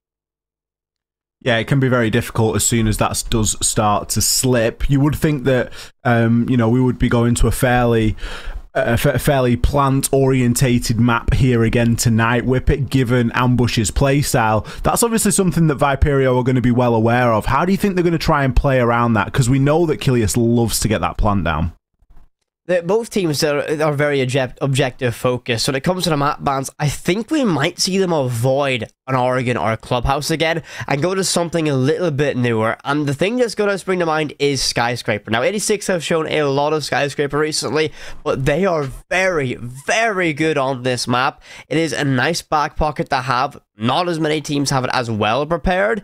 And I really think if they let it get through, they're going to be very keen to go there. But Ambush, they would have seen how much the 86 have played it recently, and they'll likely ban it out early. So it's a hard case to justify, but I really am predicting and somewhat hoping we don't get an Oregon. Well, let's have a look. I think we've got the veto ready so we can see just exactly where we're going to be headed here. Oh. oh, well, Whippet, unfortunately for you, well, I guess fortunately for you, you're not casting, but unfortunately for you, we are going to get an Oregon. Now, Skyscraper was actually left in there right up until the bitter end, and it was actually ambushed to get rid of it. Smart choice from Ambush. Definitely a smart choice from Ambush. Viper is so, so, so good there. If anyone wants to see how, how to break down a karaoke T defense on Skyscraper, just look what 86 done yesterday. And the way they used Blackbeard, the way they used Osa, it was very, very good. Something. I've only just noticed, Gibson. Sorry to jump in, but yeah. Curly's KOST 91% in the last time these two played. That's got to uh, attribute, you know, a good couple of rounds there to Viperio. Is there a danger that if someone doesn't pop off quite big on, on either side, that it could uh, that this could fizzle out? I'm I'm not sure because if Curly doesn't pop off, Grubby pops off. If Grubby doesn't pop off, it's Hungry. And on the side of Ambush, a lot of that popping off falls on the shoulders of Nick. You know, he's that guy that's that I whatever road he's not. Yeah, he's he's incredible. And when him and Rody are together, there's magic. But now Rody is gone. Unic is a very different player. So I feel like a lot of brunt of getting those kills tonight, Ollie, will fall on the Nick's hands for ambush. Nick is uh, he's a cracking player to watch. He's got a great Twitch emote as well that always gets spammed in the chat whenever Ambush are playing. I'm sure that we're going to see it here and now tonight. We're ready to get thrown into this one, so we are going to head ourselves over to Oregon. Gerry and Novi, take it away. Thank you so much, Ollie. Thank you so much. We are here, and it is Oregon. We were this close, Gerry. This this close to getting skyscraper, man. So close. I wasn't holding my breath, honestly. This is a pair of teams that have very little kind of in their states. Ambush are locked into fifth, right? They have been, even before this point, just hiding maps. They've been going to the same three, maybe four maps. They added Chalet to their sort of list of maps at the split, and they have just been saying, you know what, we don't want to show too much because if we get into playoffs, then we've got the best of threes, and that's when we bring out the big guns. Here, I felt like a club or an Oregon was almost inevitable. But, you know, we, we could have seen that skyscraper. Viper 86 were clearly happy to go it, go to it after, you know, showing their hand on it maybe a little bit yesterday and over the weekend. But yeah, we're not we're not gonna have that luxury, unfortunately. It is an Oregon and I mean, we have seen some some boring Oregons, to be fair. There's a reason it's got its nickname, but we've also seen some proper cracking ones. And to be honest, these two sides, I think they could deliver a really good one. They definitely have that potential. It it depends what ambush we see today. Uh, I think that's the biggest factor. Just although the stakes are very low, to go over the stakes once more and reiterate them, uh, ambush they're locked into that fifth position regardless of what happens. They they will be in fifth even if they lose 7-0 or even win 7-0. They're in fifth. 86 though, they're the opportunity to move up to third place, secure third position. If that's the case, they will then end up playing either MNM Academy or Coalesce in the next playoff round, or if they uh, if they actually lose this, they will be against Ambush if they're in fourth. So that's the That'd be only funny. real stakes. But uh, uh, regardless, Ambush is not going to want to show anything, just in case. Even if they do tr- win this game and force the fact that in the playoff round they will face 86, they're definitely not going to want to show anything, right? Like this is a potentially their playoff opponent. They don't want to risk it. This is the thing: is that there's no way they chose skyscraper, right? In in any world, because you. What is there left to show on Oregon? It's already a well played out map in a lot of regards, and to come here now at the end of a season where you played it a ton yourself, it's it's absolutely the the the sensible tactical choice. We've got our bans in already, and of course, uh, there's some interesting ones there. The Flores is probably the most of those, and uh, definitely a targeted ban when it comes to removing utility. He's got a very unique way of doing it, and particularly especially useful when getting rid of any sort of elbow hold down here on the bottom floor. And uh, Ambush are going to try and benefit from that as they head down here. Of course, that being Viperio 86's ban. The Thatcher gone as well means that the Kaid, often paired with it, can't be used. So uh, a lot of Maverick going to be in play most likely to try and... Uh, Actually, no, you don't need the Maverick at all because, of course, there's no electricity on the Thatchers. So you're going to see a ton of Hibana in this matchup. And then last one, the Valkyrie, a very powerful operator all around. Does leave the Mira open, does leave the Azami open as well, as we see her banned quite often. But for a basement defense, no Mira. That's uh, that's an interesting choice by by Viperio 86, quite honestly. It's a, it's an interesting one, but I'm trying to think what options. Why why wouldn't they bring that operator? I guess uh, they've got the Azami, they've got the Goyo. Maybe they have something in mind. Of course, Mira does lend itself to being a little more rigid in terms of how you might control that site. It does give Mm. you options with the Black Mirrors, but Mira's uh, she's a three armor. She's not a quick operator, right? Azami, a little more flexible. You can change with your gadgets on the fly what you want to do depending on the situation, and maybe rather than sitting back, oh. they're going to be the ones who are hunting. Robbie takes the first bite into Nick. Astro follows her into Unica, and that is Viper 86 looking very, very good in the opening minutes of the round. And an excellent call here. You see the value of those impact grenades as well. Astro able to cycle back to site very quickly. That extended drone, they just pushed out past the network of drones that Ambush had already set up, and that just shows that maybe they had some active droners, but they didn't have anyone flicking through the, the static flank cams if they were in play, and that's really cost them here. Early two-man advantage for 86, and we know how difficult this basement can be to attack. That is even harder. It's amplified a loss of two bodies. So Ambush, they really have to put together something. They've got still a lot of the tools to do so. Not all of their frags have been lost, and they do have Kilius still with that hard breach in you in pocket, so he can try and open up all these hatches and make sure that at the very least Viperio 86 need to be playing this relatively well on the basement hold.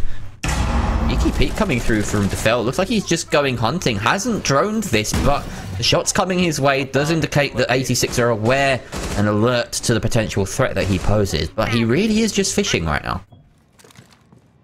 He's he's taken a risk in pushing into that position You into uh, into laundry, but at the same time he's there waiting to see if Viper 86 will re-aggress. And there we go. There's the snap. Kilius picks up the first one for ambush. Azami removed off the board, but hungry. He's certainly hungry. There we go. Viper 86 is a quick flurry of kills. Quick one, two, three.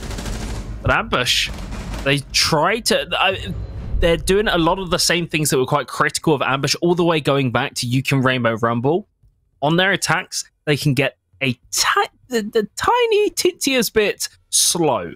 Like they just, you just kind of want to like slap them and be like, "Come on, move a bit quicker." Please, you are wasting time here.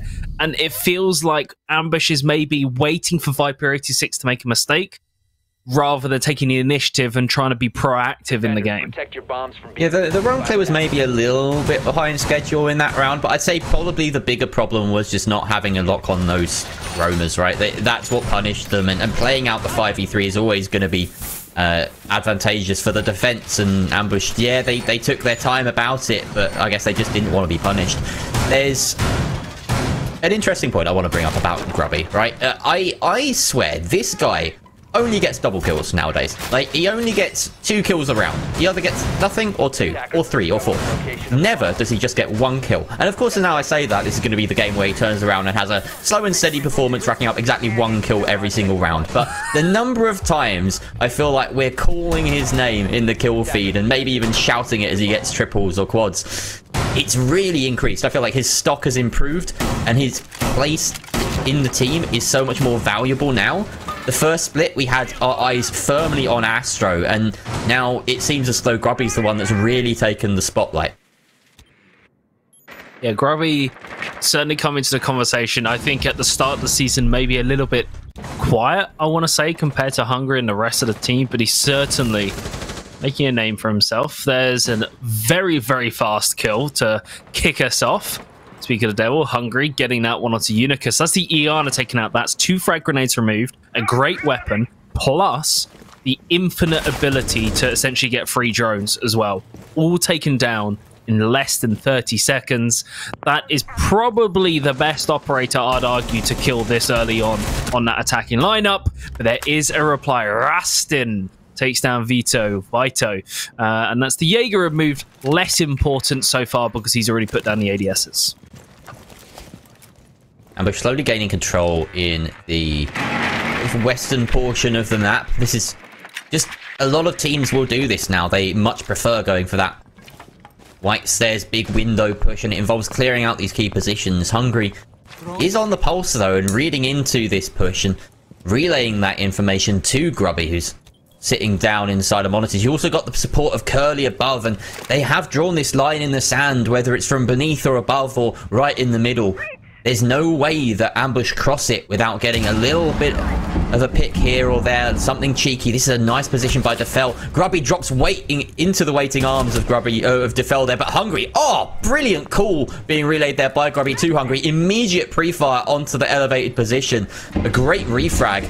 Now he does need to potentially facilitate uh, a rotate back up, and this is going to be a little bit tough. Rustin, no way should you lose that. Hungry's reaction speed on point with the UMP Black Ice, and now Kilius has to try and mop it up, and he will do that with the pre-fire from the LMG, just catching the knee of the pulse, but damage done. Two versus two, not unrecoverable for Ambush. Not unrecoverable, but still tricky. The time left, and with the operator still alive, with Curly being that smoke with two canisters still in pocket. There we go. There's the first one thrown in, and you can see the work that Azami's doing, forcing the, the ambush players around. Kidius, did he just check Jenny Wall just to check to see if it was open? But it's not.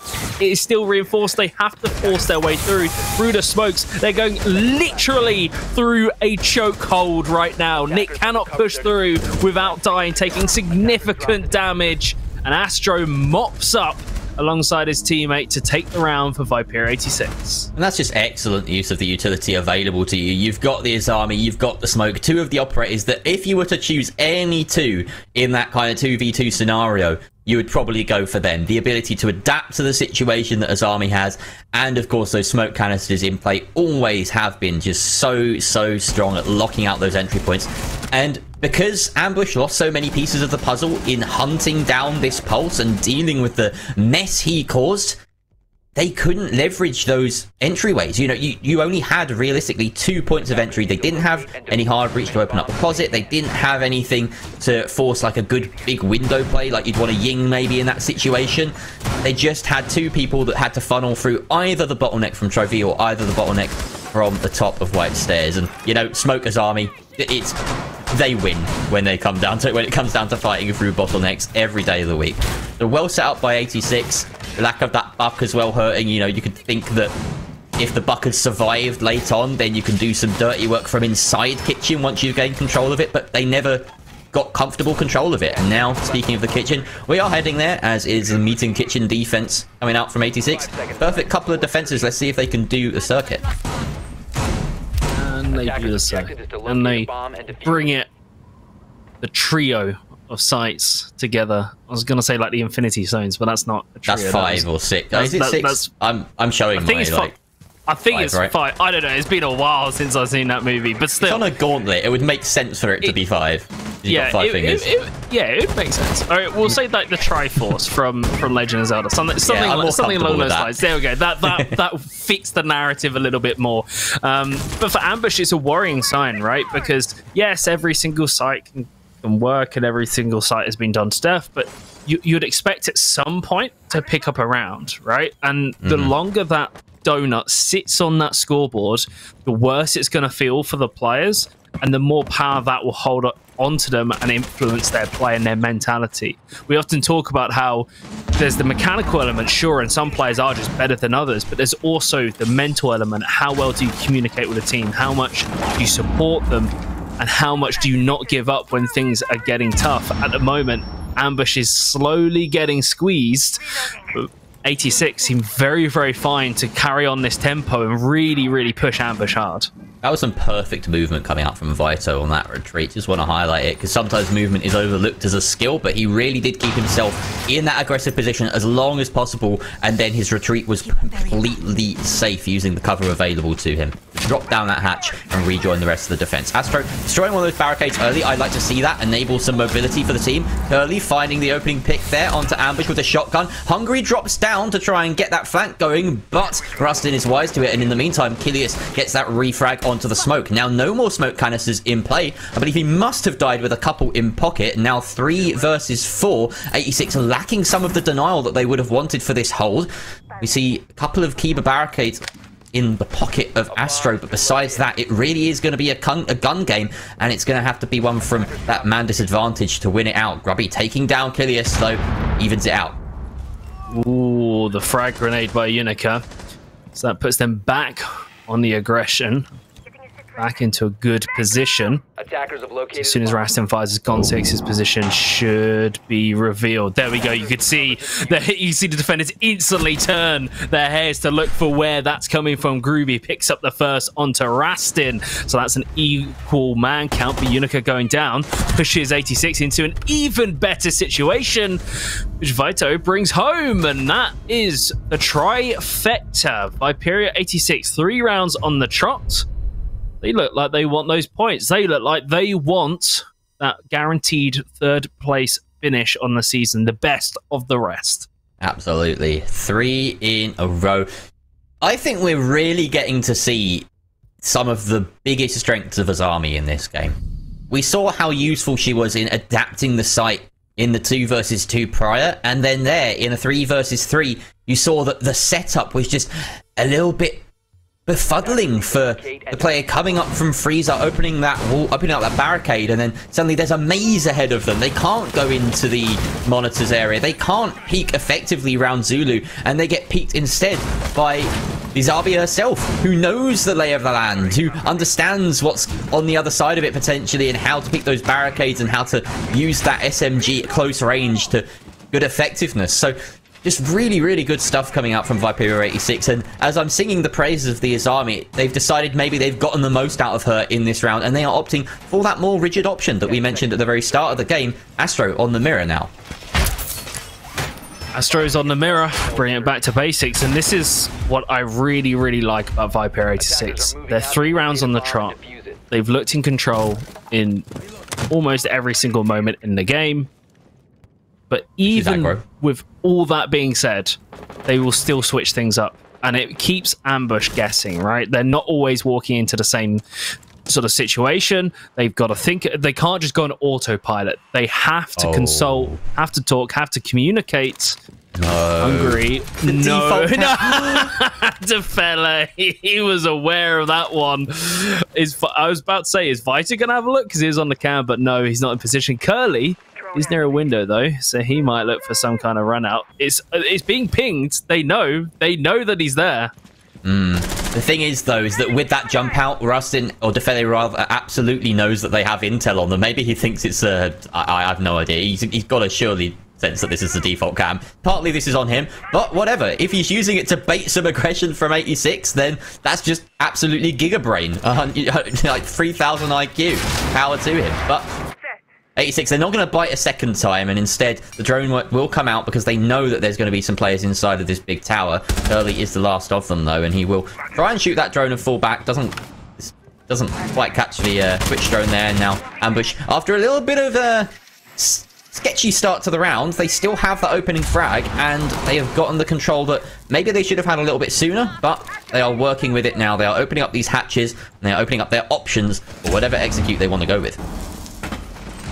Definitely have to be careful. Very, very, very careful. Ambush is close, knocking on the door. This frag grenade. Okay, it's got cancelled by Nick. If it goes deep into freezer, might be able to catch one of the 86 boys out. No, it does not go off.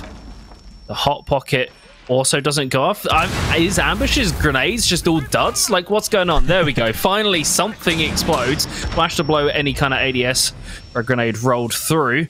And here's the push getting readied by Ambush. Once these flames die out, they're going to start seeing if Viper 86 step out of line. It doesn't seem that way. They're entrenched in their position, setting up the crossfires. Vito pushing aggressively up elbow and getting Rastin, evening the man count before this execute. Nade sent down will actually find Grubby, well cooked. Kilius taking out Curly as well, leaving Astro and Vito in the two versus four. One gas canister in hand, but it's going to take something miraculous. They do have one mirror left up for them.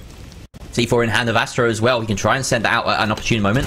Nade comes out from Nick. That is the last of them. It's now a gun game, but Nick will put that gun to good use. The LA will melt Vito all up to Astro. We've seen big clutches from this position before, and the timer is working in his favor. Diffuser tries to get set down, but Defel, holding the angle from the south wall, will find the final player. Ambush capitalize on that collapse and find themselves their first round.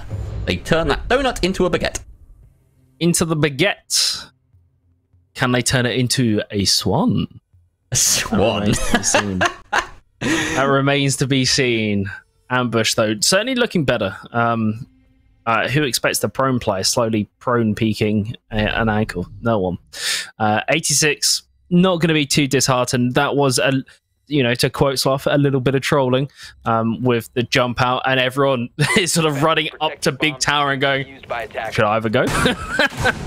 um, but no, I expect them to get back to business now. They've gone for the dormitories hold, which they had a lot of success. They were very, very good at forcing ambush into choke points and taking advantage of their mistakes. Ambush did not go down the checklist correctly or in fact got stopped purely by Viper 86 taking kills, so they didn't have the utility to do so.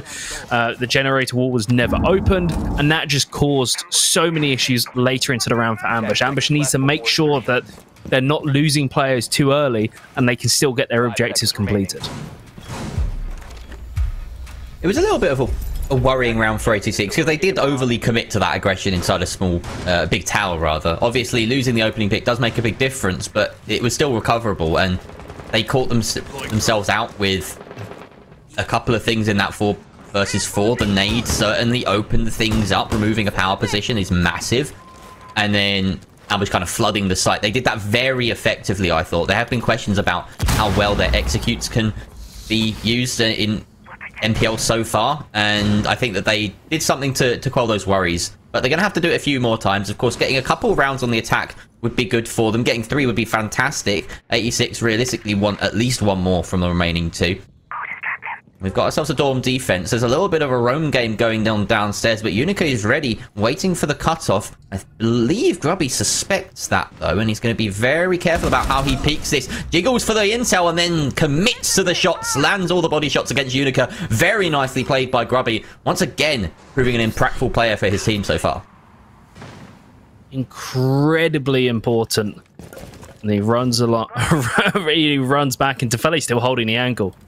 How long is he going to hold us? Because also, the tower hasn't been fully cleared out. And that could certainly bite ambush in the behind later on. They're at least droning through, so they're sticking to their fundamentals, committing with these upnades, and often we, we see these pings of where they're trying to throw them, and you go, there's no one there, of course, on the X-ray. But it's like with the fuse cluster charge we discussed in Chalet. He said even if it clears a room where no one's in it, it gives that information. A lot of those spots are predetermined spots where players are likely to be. Mm. And so you can just kind of remove them, at least guarantee that when you swing those corners, that there's no one, there's no one going to be there. Plus, you can open up a line of sight if someone rotates there later on through the floor. So it's worth throwing utility around these corners, even if there's no one there. If you can't check it with a drone and get that information. It almost reminds me of the way that Lion used to be played. You know, you'd hit that button once you droned an area and then claim that ground for free because you knew that you weren't going to crash it. You can do that without the droning aspect if you've got Candelas in play, so it's a really strong utility, even in that use. Nick finding a delayed refrag there to close the gap somewhat, taking out the Azami.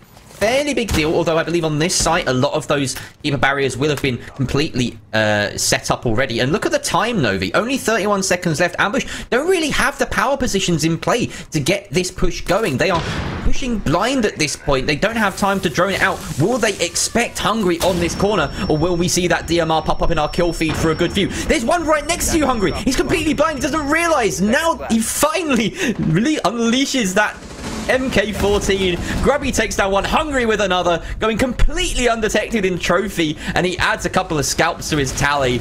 Ambush just leaving it far too late. Ambush moving too slowly is something that's been kind of synonymous with this team. I remember, like I said beforehand, in Yukin Rainbow Rumble, but even before that, X used to cast the Nordics and he said uh, we asked him for information on ambush and he said sometimes this team on attack can just they just don't do anything. They wait till the last 20 seconds but the, by that point it's too late. Uh, so it's something to keep an eye on. And it seems like that's still ingrained within this team's play style. Um, they've looked good on like one or two rounds but the rest of it has been viper 86 certainly leading the way and, and kind of it's like uh, leading lambs to slaughter. That's what it feels like at the moment. Ambush is being led on this ride. Viper 86 is very very happy to take them to that destination. So the swan eludes them for the time being. Like the one in hot fuzz i guess. And the site rotation is very important on this map right? We've seen ambush managed to snag around on the basement, which is a pretty good thing, a pretty big deal on the attack, right? Usually you're winning the tertiary sites. And we're back here at one of those tertiary sites meeting, despite the fact that, you know, 86 did have the option go down to the basement. They want to come back here instead. So this is where it all matters, right? 4-2 obviously looks a lot better than 5-1 at the split, and Ambush really do need to take this with a bit more conviction than they managed last time, okay? They had a decent opening. They just didn't convert it. They they got a bit confused by the setup, and their late game play was to backstab from freezer stairs. They didn't have the knowledge, they didn't have the intel of the setup, and that cost them. So maybe a little bit more drone work, a little bit more intel required. They've got that zero once again. They've got the Iana, who of course brings the intel with her in that utility. Unica though upstairs, looking to try and get this entry. He's got frags in pocket. He's being fed that intel by Rastin. Rastin trying to get that cut off, but it looks as though 86 have managed to scarp her. In the meantime, the rest of Ambush, they're working on this tower clear. They want to get that vertical. They want to exert pressure onto meeting itself, get that hatch control, and open up the wall on stage as well. They're doing quite a good job of this top floor push. Everyone on Viperio 86 forced back. It looks like the Jaeger is fighting for that ground inside a pit. This is Vitaline. Here's the front line. Grubby in tow as well. At some point, they're going to come lock horns, and there will be a death on this top floor sooner rather than later. Sooner rather than later, but oh, ambush. Oh, they fell off. Okay. Like, yo, they fell off, man. Like, they are gone. He fell off. The Defele, he's falling in into attic. And have that push. And actually, that's a good point to raise about this army. Actually, is the gadget can work both ways. It's not just defender favored. They've actually given Defele a little purchase point. It's harder to pre-fire that. You've got to, if a player's not aware that Azami has used the gadget there, but there's Grubby oh, picking up the first one. Speaking of the Azami, there's Vito as well. That brings us to a three on five. And all's well and said, we said we're going to see some contact sooner rather than later. It's already firmly going the way of 86. Grubby with another entry kill. I believe that puts him on three for the game. Just a monumental impact this man has had. And now 3v5, Nick trying to hope that someone wanders into him. 86 won't budge. A tight angle being held by Grubby in the distance. Kilius doesn't quite spot him. Smokes come out with 42 seconds left. That is the second canister. They've still got those Hot pockets in play as well. Astro swings from kitchen, punishes Kilius, just wandering into the midst of him. Astro with a second onto the head of Nick, and now it's all up to Rastin. He's going to try the same thing twice. Barricade's already gone, mate. That Gonne-6 ain't doing anything. You've just sounded your own dinner bell here. Everyone's going to converge on your position. If Viperio 86 are hungry for more, and that's what they'll do. The drop comes through, and soon enough he'll be backstabbed. Rastin takes down Grubby, but there it is. Astro with a 3k on the round. A dominant performance in the final defensive half for 86. Put themselves up 5 to 1, Novi.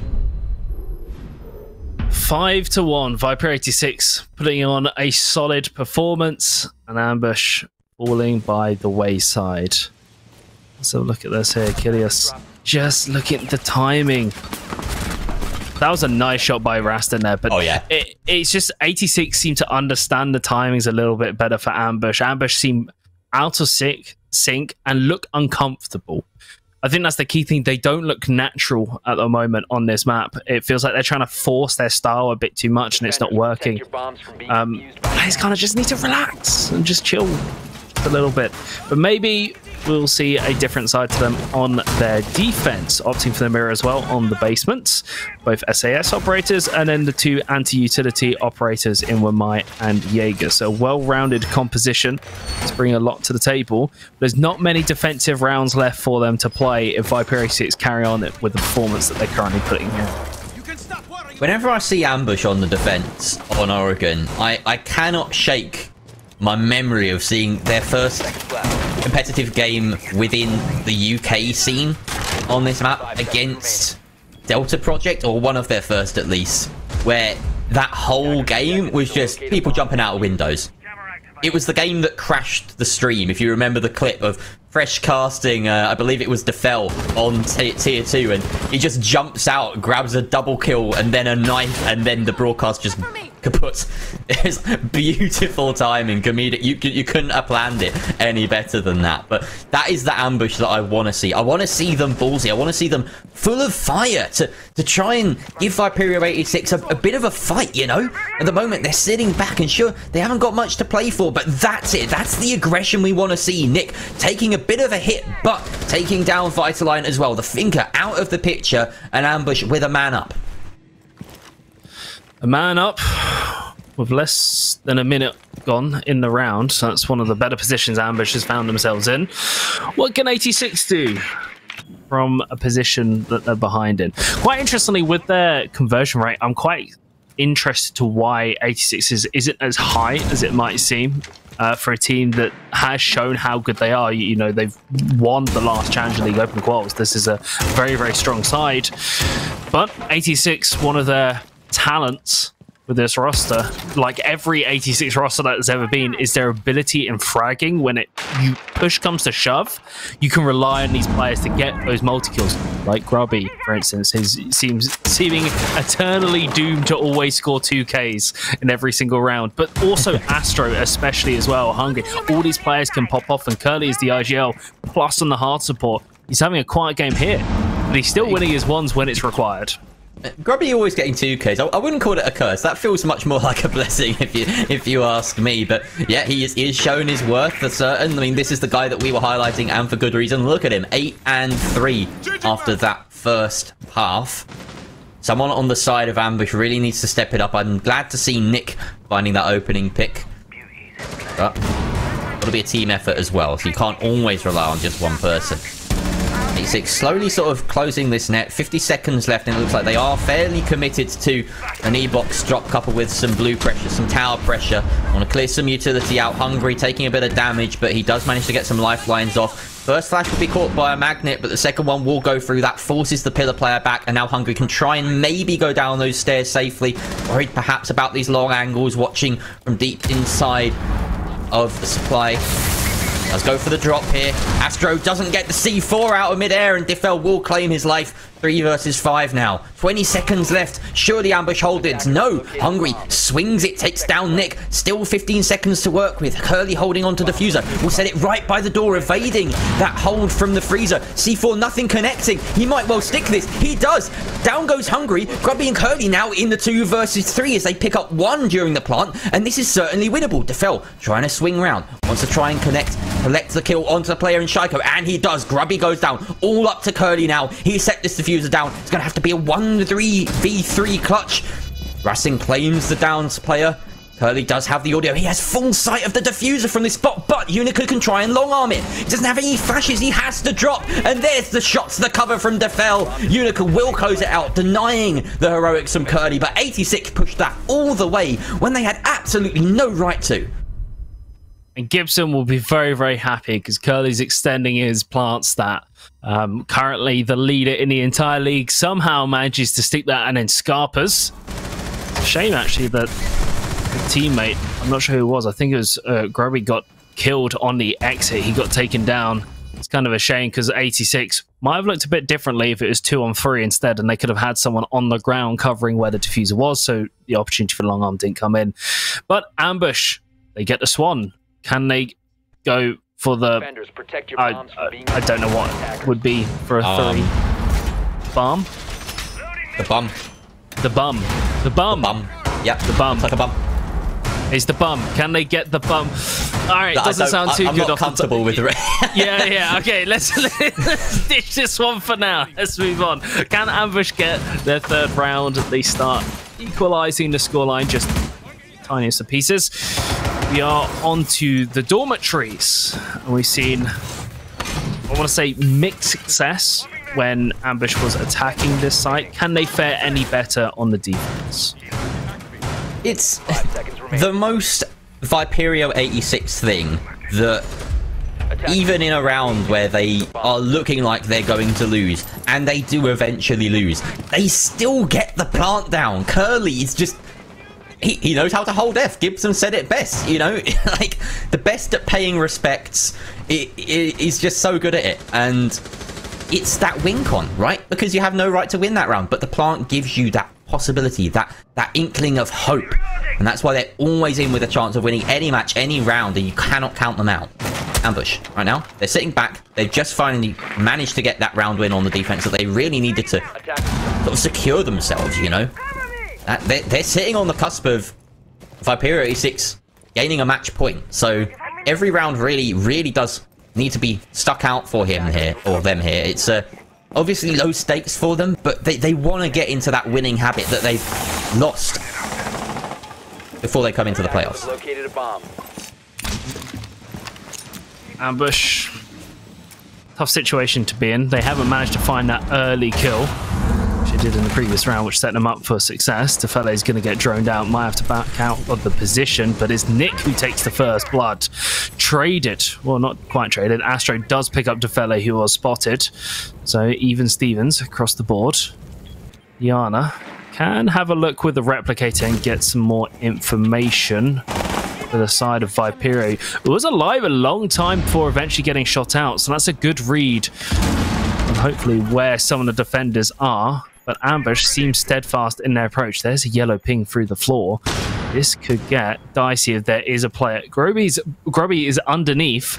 He doesn't have any frag grenades. There's no frag grenades remaining, so no up nades going to catch any ambush players out. They're going to have to go for the good old-fashioned approach and take it them with gunfights. They do have smokes in the pocket of Hungry, and you know, as a player, he absolutely knows how to isolate site into his favour. The shot in midair onto the position of the smoke will actually catch the canister, and then the smoke, and then Grubby gets another, and Curly gets another, and suddenly 86 have destroyed any hope of ambush holding on to this round. As Rastin just held at bay by his own team's flames, and now an impossible retake, Novi. How is he going to do this? I don't even know if this wall is open for him. There is a rotate, so it is possible. But Curly with another kill. Two from Curly, two from Grubby.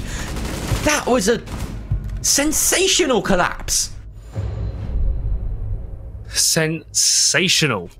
Absolutely amazing by Viper 6 and their match points. So one point away, one round from securing third place spots in the NPL group stage. Ambush, not the performance they want. Those shots were so clean. He That only is- gets two keys. Two keys. two keys. He gets two keys as well, apparently. We should start calling him the Swan because he always got. See, he's always getting two, isn't he?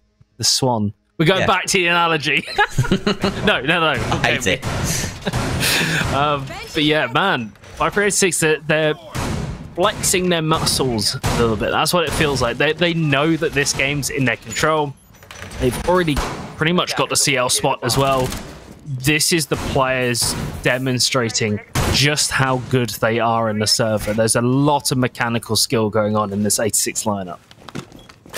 I was a little worried for the mid round, honestly. I was looking at their drone economy and thinking it's not the best. You know, they, they managed to get about a minute into the round and they'd lost all but four of their regular drones, but there was something that I believe it was Grubby on the Iana was doing very effectively, which was maximizing the use of those clones. Hungry as well with his shock drones, gathering a bit of intel before that push. And it didn't matter that they lost so many of their regular drones. They are stacked to the nines when it comes to alternative sources of intel. And that's super important when you consider the amount of utility and knowledge you need to be going into that roam clear with and then into the execute with. It's a great lineup for that particular site. And of course, they've altered it a little bit for this site. You've got Diana off and instead it's just Hungry with that extra intel, but he will be able to provide it no more as Defel will melt him from inside of dining. It seems like the intel was maybe a little dry. They just weren't expecting that roam.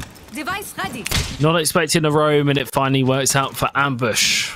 We know that they can convert the first blood into a round win.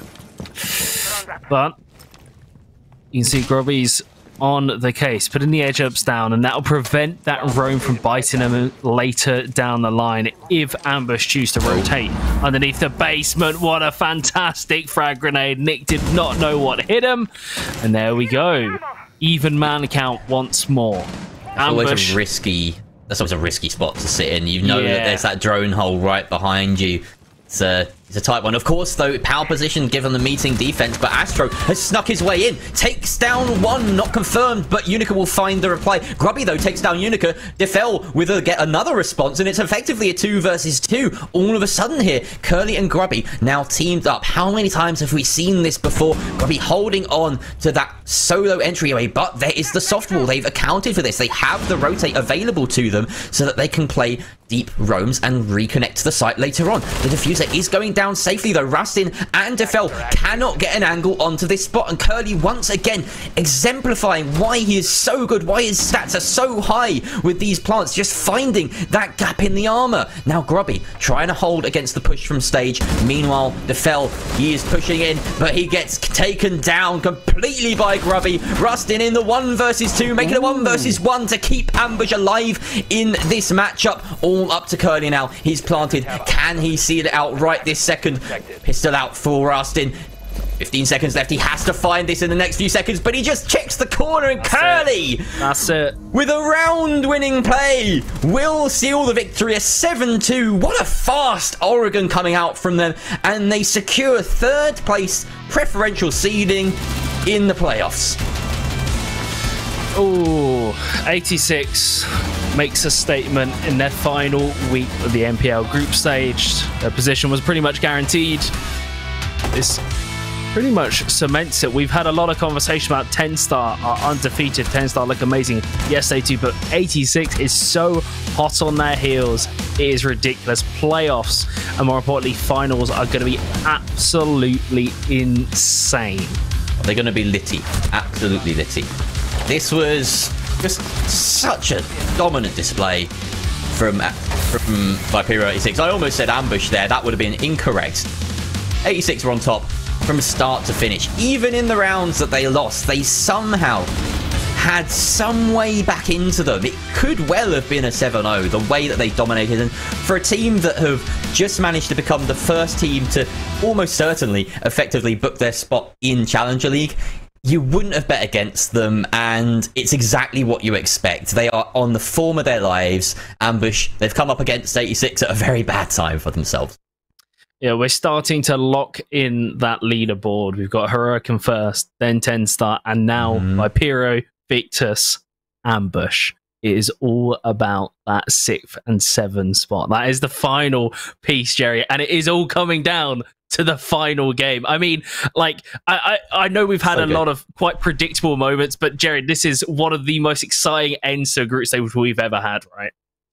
Absolutely. Well, I think that we could gush about how important this next match is for a long, long time, but we've got a wonderful analyst desk who will break down just how Viperio 86 managed to smash Ambush out of Oregon.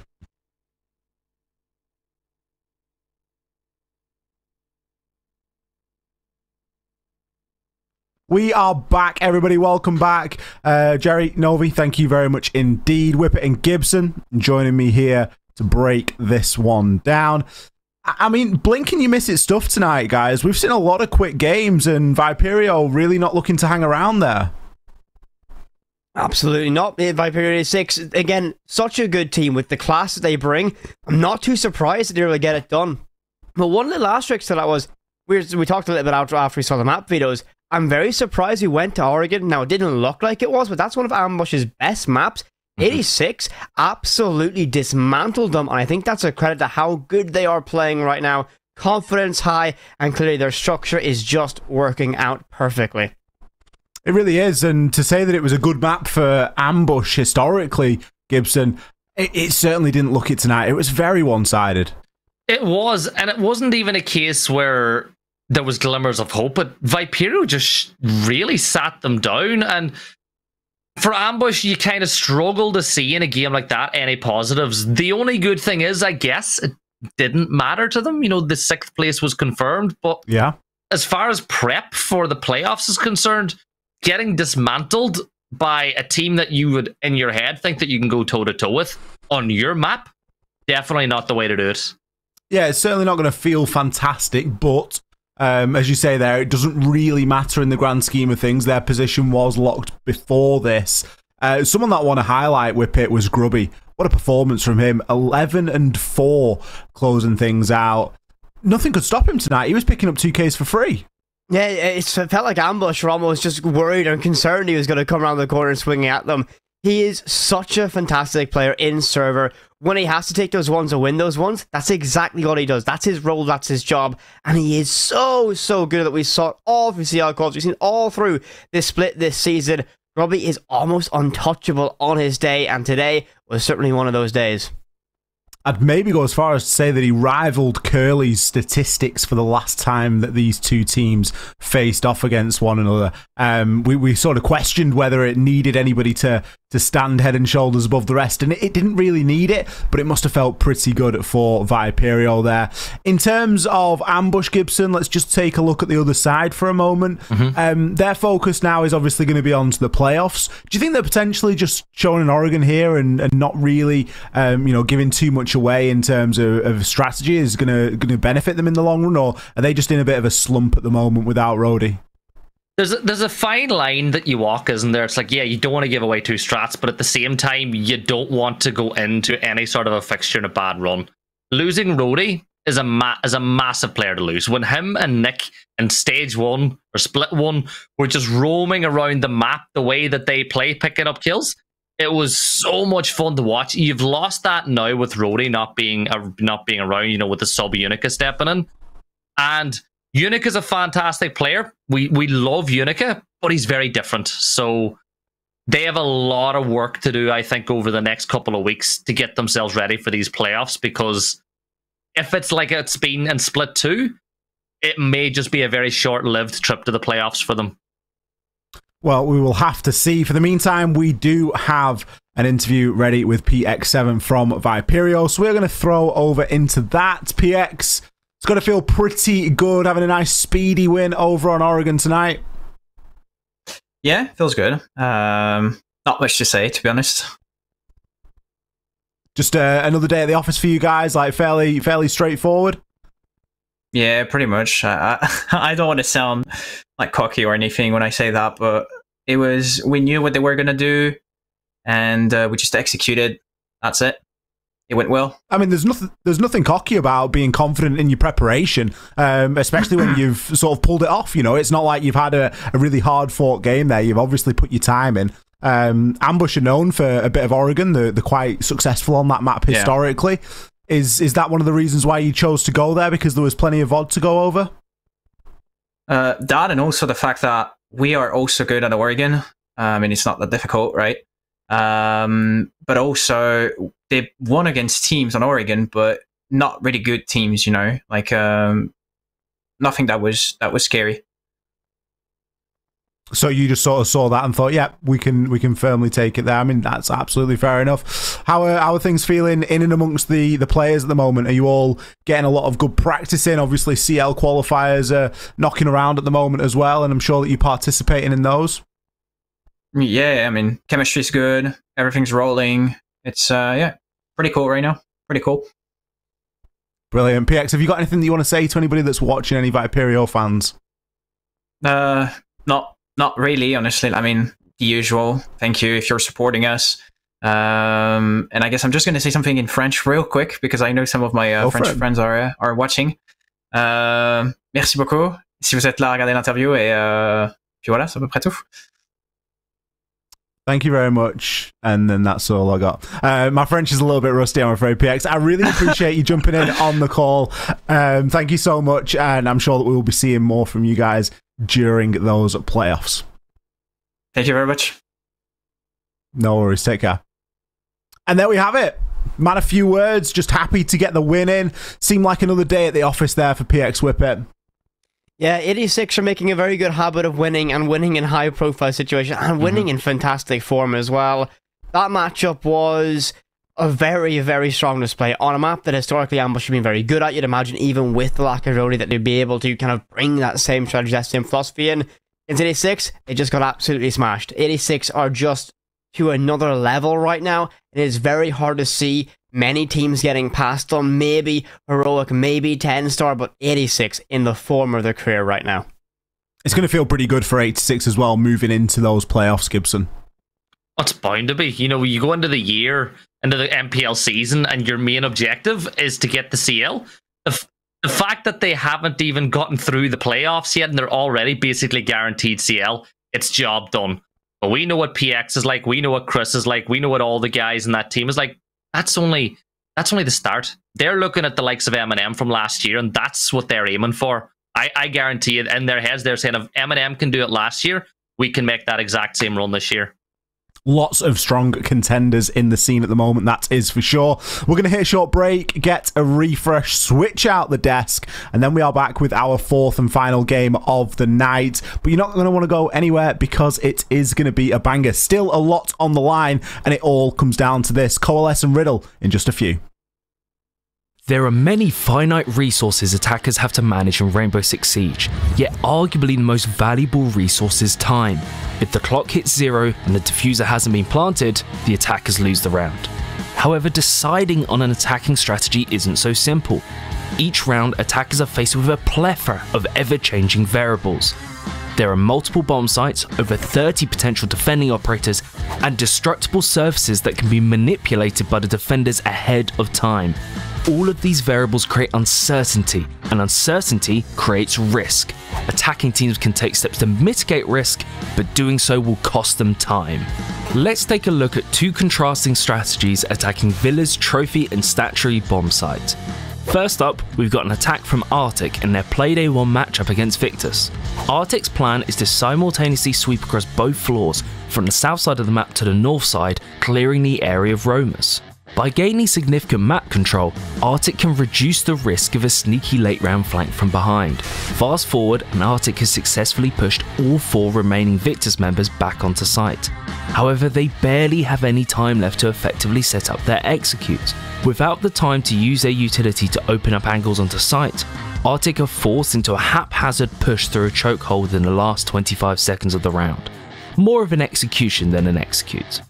On the contrary, Viperio 86 had a very different approach against MNM Academy. They completely disregard the south side of the map, instead focusing all their efforts immediately onto the objectives. Using the windows and their utility, they can force the defenders to rotate back or, unfortunately for Skiddy, eliminate them entirely. They've chosen to ignore a lot of MNM Academy setup which could leave them vulnerable to nitro cells from beneath, but the risk pays off and V86 are able to seize control of Master Bedroom and Astro before the halfway point in the round. This fast, risky strategy attempts to make up for a lack of map control and options through speed and aggression. But a good strategy will only get you so far. Small decisions can swing rounds in an instant, and sometimes you'll just get outplayed.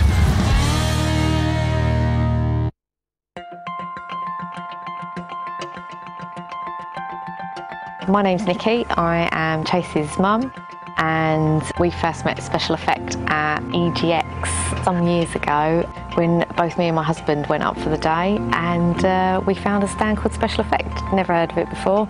Didn't realise there was such a thing as a, a gaming charity for the disabled. So before we visited Special Effects, I mean, we've always been a huge gaming family, and um, gaming is something I wanted all my children to, to be able to have the opportunity to do. Chase has got a severe form of cerebral palsy and he has dystonia, which means he can't fully control his body very well. Even trying to get Chase to push uh, a button is really difficult to do because he just doesn't have the fine motor skills to do it. But he really loved gaming and you could see that he wanted to do more.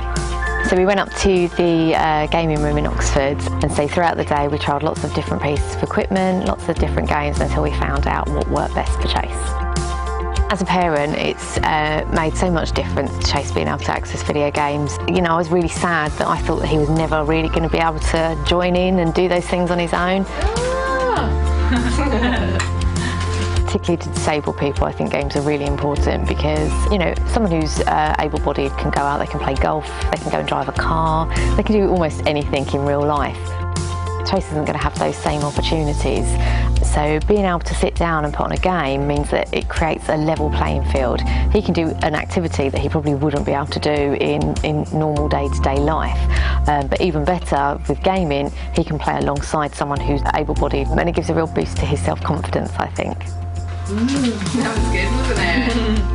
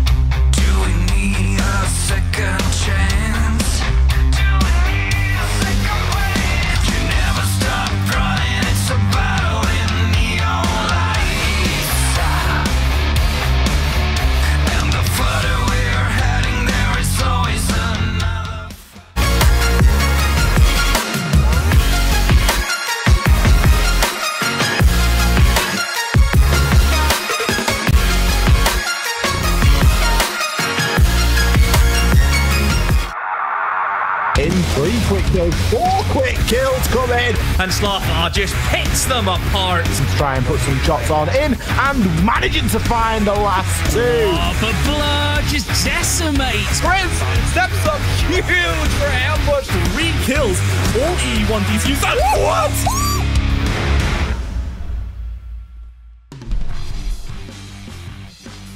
Hello, everybody, and welcome back to the NPL. This is our fourth and final game of the night, and our final game of the group stage.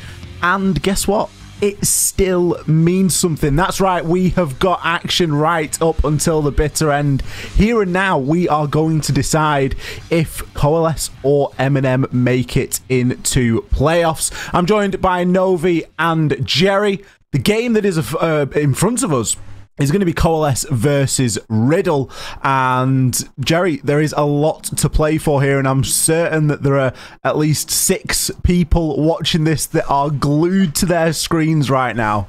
Yep, those six players on MNM Academy and staff and what have you, they will be hoping to heavens above that anything fight that, that, that Riddle can can summon up all of the the improvements that they've made throughout the season that have just not come good yet. They've they've been improving so steadily and and every single time they just cannot cross that line because all Coalesce need for this is a point. They just need six rounds and MNM Academy they have to hope that Riddle beat Coalesce in regulation. Is it possible, Novi? I think it is because Riddle showed us a different side to them yesterday. And looking at what the players were tweeting, they weren't happy, even with that performance, that they didn't win. They felt like they could have won that game. This is their last opportunity to truly put onto display for the rest of the league why these players should be in NPL and why they're NPL caliber. Uh, caliber. This is their last opportunity. And from their reactions, I'm betting they're going to come in and give it their all. They are not going to roll over today. I certainly hope so. Let's meet the team. Let's bring up our Riddle roster. Gerry, you can talk us through. Well, Kevin, Katal, and Perry, the trio that have remained since the very start of NPL, but you've also got Reich and Vabs in there too. A couple of players who have uh, become well known through the university scene, coming and competing as the new roster within the new roster in UKIN 2 a couple of times and just actually being generally quite impressive. Always uh, sort of outdoing people's expectations. Do not think too little of these guys. And the supporting cast as well uh, have shown considerable improvement under uh, a bit of their stewardship. That entry conversion rate, well, it's very telling. It's one of the, well, it is the lowest in the league by quite some margin. And to be honest, it really is indicative of some of the troubles that Riddle have had up until yesterday. They are very good, at, actually, at getting the opening pick in a lot of cases, but they just never managed to you know, hammer that home. So yesterday we saw a lot more regimency, a lot more ability to get the opening pick and convert it, but on their attacks it was a little bit lacking. So they just tighten up the attacks from yesterday to today, and they've got a good chance here. Absolutely, and as you say, bringing in you know more experienced players or players of a different type of experience can often uh, just take a, little bit of time to to settle. But once you do it, it can be of a great benefit. Let's take a look at Coalesce now. Of course, these uh, these players here they're playing for themselves at this point. Coalesce need a win here, and that is all it will take. Novi, talk to me. Hi, Ollie. Um, Coalesce, similar story in terms of the player break. Two players leave, two players come in.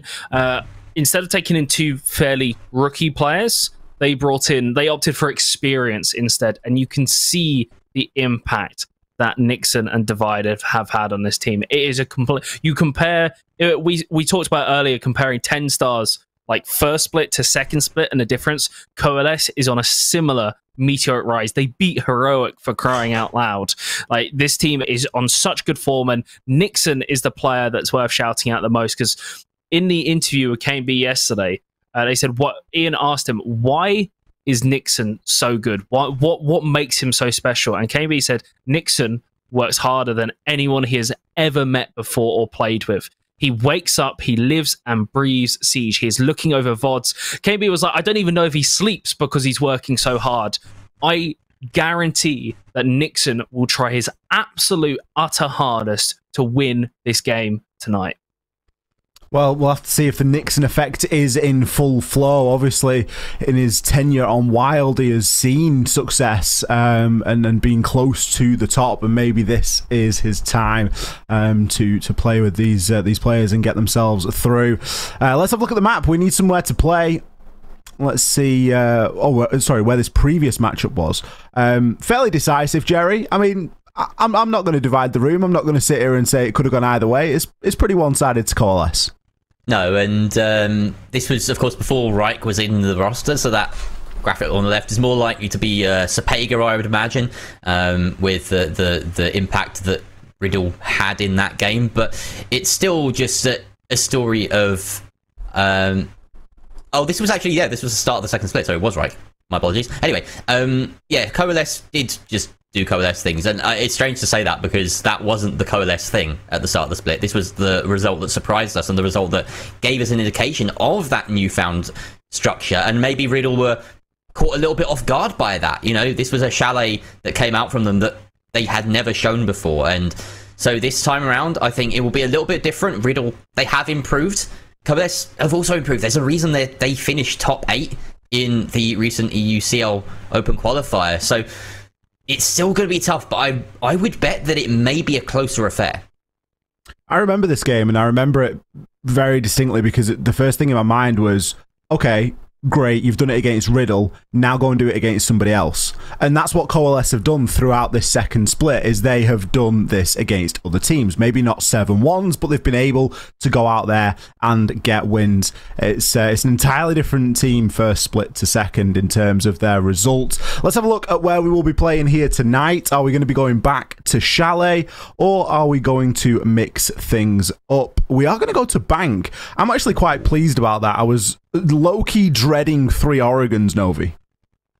Yeah, Oh, free wow. Oregons would have been a bit extreme, but also Bank. You can see Riddle had the option there. Did they go for the rematch in Chalet or did they play it on Bank? They ch- opted for Bank, uh, and I'm kind of excited. I think this leans actually leans into their the newer pickups Reich and Vab's favor. It's a it's a large map. They can play off of each other, most importantly. And we've seen on an individual level, Riddle can work. They do have the firepower, is working together. Maybe with a bit more space where they can sort of pair off rather than having to coordinate the entire five man unit as one cohesive being. It might work out in their favor. That being said, Coalesce, they've, they're in the hands of Nixon on Bank, a map where a good IGL can absolutely tear the other team to shreds. It's going to be a tough one. They beat Heroic here. They beat Heroic here 8 7. If you're going to take Coalesce somewhere, this is not really the place to do it. I know this is maybe somewhere Riddle have been hiding. They've banned it all season long.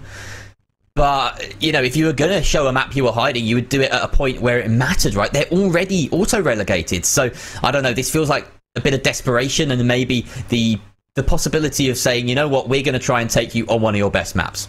Come at me. Could be looking to go out with a bang, could be hiding, or could just be playing into Coalesce's hands. Whatever it is, we are going to find out right now as we throw this one over to our casters, Whippet and Gibson. Guys, enjoy. Thank you so much, Ollie, Novi, and Gerry. Well, this is it. 18 playdays. This is the final game of Play Day 18. The final chance for Coalesce to stamp that ticket into the next round and Whippet as we move into bank. Are Coalesce going to be able to cash that check and make their way to the playoffs? I think they've been given they've been handed the golden ticket. This is a map they've looked brilliant on, as Gerry touched on. They beat Heroic here, and they were the first team to get over that hill. Tenstar Victus, they done it after, and Hero- or were the first to do it. Riddle. This is not going to be an easy day in the office, and everyone from MNM probably saw those map bans come out and went, "Oh, seriously? You went to bank? Oh, it's going to have to be a real heroic one, of course." I do want a little bit of MNM luck. You see the jersey in the background. I can't hide. I love the Oregon, I love the players, but I also love Coalesce. So I'm in two minds with this one. But may the best team get that playoff spot. MNM have left it all in the hands of Coalesce, and now it's time for them to grab that ticket. We go to bank. And for every single viewer at home, the number that matters is the number six. Rainbow six and six rounds for Coalesce. That is all they need to get any overtime whatsoever. Will give them some more time inside NPL as they will progress into those playoffs. For Riddle, though, Whippet, this is a very big game for them. Yes, in the grand scale of things, you're relegated. You're not going to get any further up the table. You're too far away from SSP to make any sort of a difference. But in that first two columns, there are two zeros. No wins, no overtime wins. They want to change that as well. So, the, for the pride of the players' riddle, I know they really want to get this one.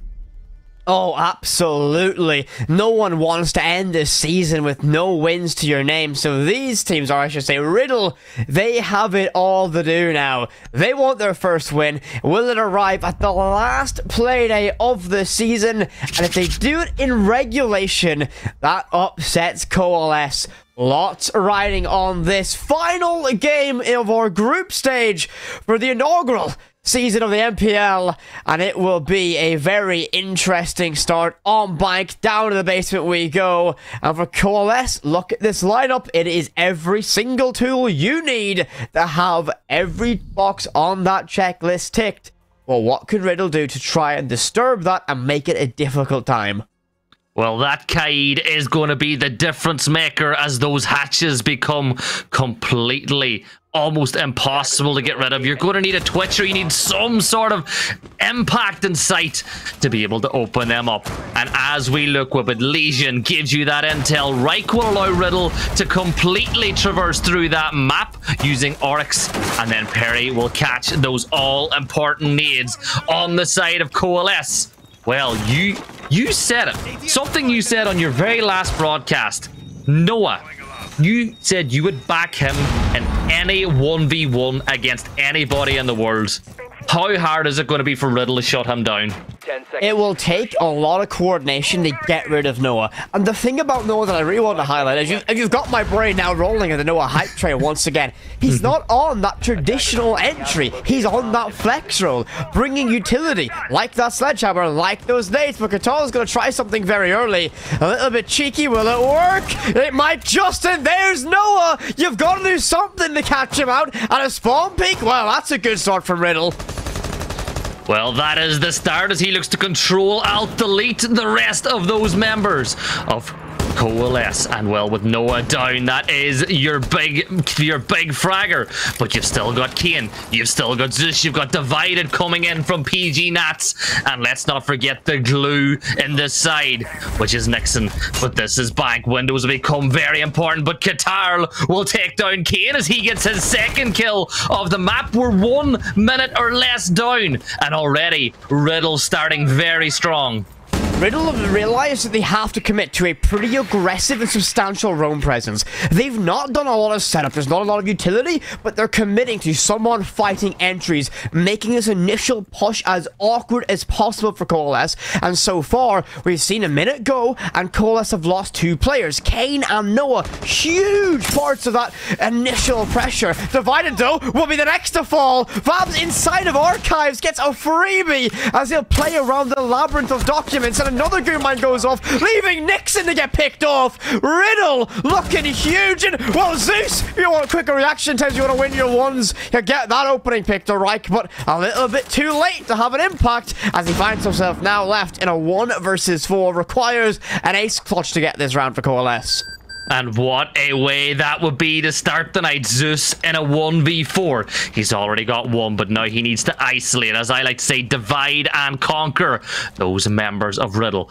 Pushing in now, you see those silhouettes off in the distance. The player has no clue where those defenders are. So Zeus will just start making his way through. If he proves through that rotate, he will make a lot of noise. Vabs is peeking around the side. Zeus is going to peek, and he's going to get that one down. So the 1v5 is now down to a 1v3, and slowly but surely, Whippet, the odds are increasing. But the clock is against them. Slowly increasing Gibson, but don't give me hope. Don't give me any energy. He's going to be met by an onslaught of rounds up above him on that hatch. And there's Perry emerges from the dining room to claim that soul. Riddle start off strong, get themselves the opening round here on Bank.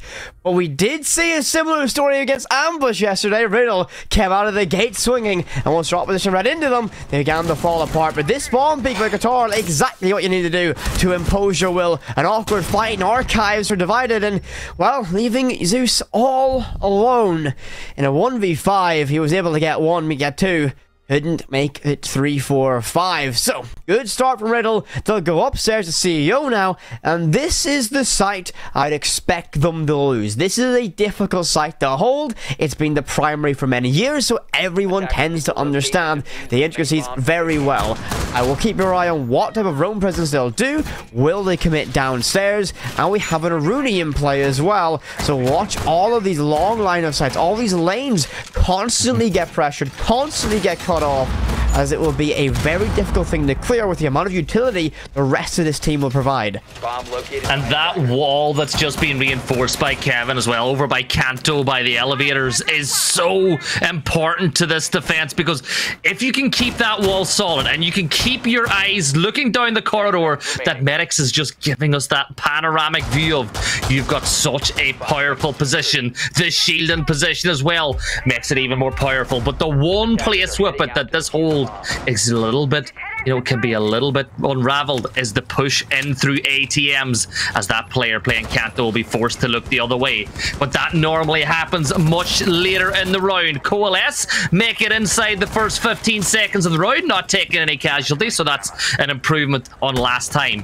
But Whippets, Coalesce, how is your metal? How is your nerve? This this is essentially one of the biggest games these players have ever played.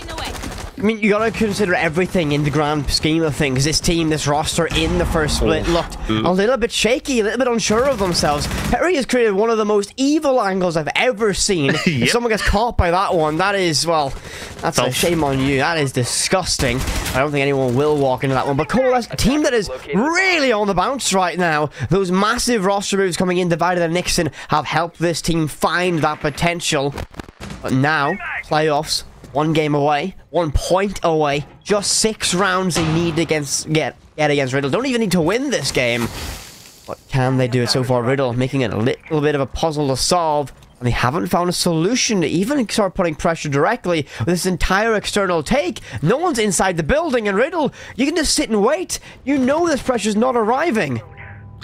It is slow from Coalesce, but this is a best of one, best of one bedlam, as we would like to say. The LMG is going to work now through those windows from Banana Hallway, and all of those defenders fall back. Look at that meeting right now. Well, they're having a little meeting of their own, and will they be met with force as they push through the window? Those Kiba barriers coming in clutches. They do some work, and Zeus this time finds the open and kill on to Perry. And now, will they put it to work? Divided, sneaking in through, but that Melusi is going to pop on off, and that'll give away the position. So pre-fires again. Kane sneaking up the stairs. Divided is going to take down Vabs. And is Kane going to find the next one? Well, he spots him out. Divided will flush it and Whippet in this 5v2. Coalesce have a chance to pull it back. We'll make it a four versus one now. Reich will find one of his own, but Yusuf will do even more damage. Guitar now slain. Reich very much cornered. He's got no way out. Nixon shuts it down. And Coalesce get themselves level. And that is what we expect from this side. No early spawn peak. No early bedlam on the roam clear. Simple, clean, perfect execution. That's what Coalesce are known for in this second split. And that's what we saw. Riddle now find themselves level and now got a little bit of a taste of why maybe you didn't want to bring Coalesce to bank. This game is going to be a roller coaster of emotions for three teams MNM, Coalesce, and Riddle. And they all want to just ride it. Riddle, of course, they want their first win and Whippet. You know, not to say that there's a result that would suit most of the sides, but if Riddle could get their first win in overtime, Coalesce go through, Riddle get the win. However, if Riddle just win this in regulation, we say goodbye, good night to Coalesce and MNM. Will they somehow will make their way through after what's been a disappointing second split?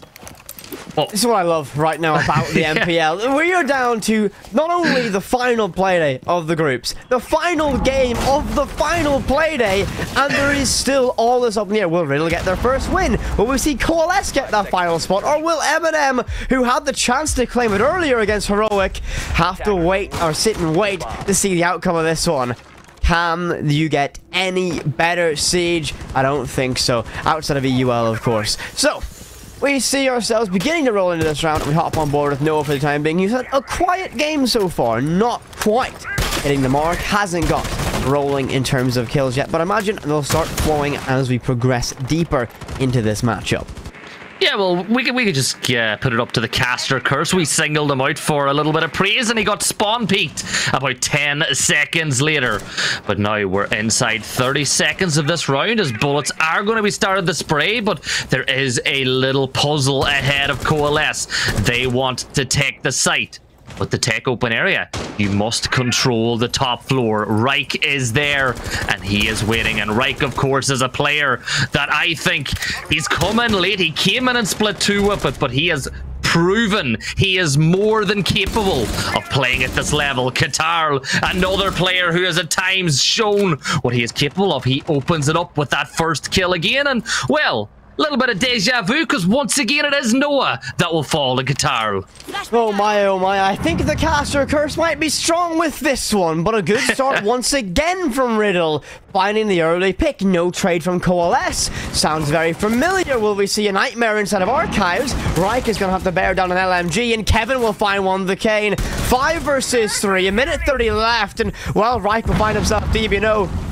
No think of the defense side to get him back in the fight, but they're gonna play around his body and try and bait for the extra pick. And Nixon will get caught out doing so. Kevin finds a second in the round, and things are looking very dangerous for Coalesce in our third round. Riddle in fantastic form, but can they close it out? Can they close it out? Indeed, they've got the numerical advantage, but Divided has the LMG. Zeus is going to find one, but he gets traded instantly, leaving it all down to Divided. And well, there you have it. Another round win for Riddle. As we go back to 2 1. We said this is a roller coaster, and Whippet. It is. We have gone up and down and up again. And well, who is going to be at the summit by the end of this climb? every round Riddle get themselves closer and closer to this one. You can just imagine all the boys from MNM Academy are cheering them on with everything they've got, giving them every bit of power and will that they can summon through their screens and TeamSpeak. Coalesce. When they don't get the time to set up that perfect pinpoint execution and they get pressured, you start to see some cracks. Qatar has found that several times by getting that pick to Noah so far. And this isn't to single anyone out, but losing someone so early and someone who is as influential in the later round as Noah is a massive blow for a team like Coalesce. So, when you look at how they want to change this to get more pressure on your attacking side, you've got to try and get your entries to be a little bit more effective. Otherwise, Riddle might start to get a lot of rounds. You don't really want to be on the back foot considering the stakes of this matchup is. Attackers have discovered. You definitely don't. This is in or out, all or nothing for Coalesce. And believe you me, they understand that situation. They're going to one of their favourite maps in Bank. And so far, will Riddle have hit back hard? Maybe Riddle should have played Bank a little bit more this season and they would have had more joy. But it is all down to this next three minutes, which we'll see which side gets a little extension on lead. Will Coalesce pull it back to 2-2? Will Riddle get two, lead, two rounds in the lead? Well, I am getting flashbacks to old school Siege right now with this push whipping straight in through tunnel. Monty leading the way. Is this is this 2020? It seemingly is. It looks like we've went through a time machine, but they've committed so much to this Rome presence that there's nothing even looking towards this push. Kevin will have some information, but the beepers and that Banshee will go off, so now they know. But this Rome presence is to deny this exactly. They're waiting on someone to wall Son in and try and set this plant up. With that hatch open, they can put direct pressure on. Nixon can stand menacingly and provide some cover, but they all have this set up very well. Riddle are just waiting to pull that trigger. They have everything loaded for that retake. They do, but Zeus is going to put down that Osa shield, which will provide another line of sight for when Perry eventually gets tempted to push. Nixon is going to push that aggressive button. He's pushing F. He's in sight. The diffuser goes down. And then a 5v5. Make that 5v4. Noah gets off the mark. Coalesce in position. Kane's going to take out Qatar. 35 seconds on the clock. And Will Whippet time is against them. The numbers are against them. And it is flawless. Oh my god, my voice. It is flawless inside this round as I lose my voice the same way that Riddle lost the round. I mean, we give it a second or third take, whatever it takes. Yeah. That that's what we need to get that play by play out, Gibson. But very well done by Coalesce. Now, even though Riddle had the strategy set up to try and stop exactly that. They just didn't pull the trigger. The plant goes down. and A lot of that's going to be, of course, down to Nixon on the reverse plant with the shield on his back, meaning it's very difficult to deny that without smokes, smokes toxic canisters or a nitro cell. They had no real way, no real answer to it. And when that case went down, they all panicked just a little bit, and it led to a flawless round from Coalesce. And I will say that is a pretty fitting way to describe it. It was perfect. Every single moment of it. We went to old school. We went back to 2020 like we spoke about.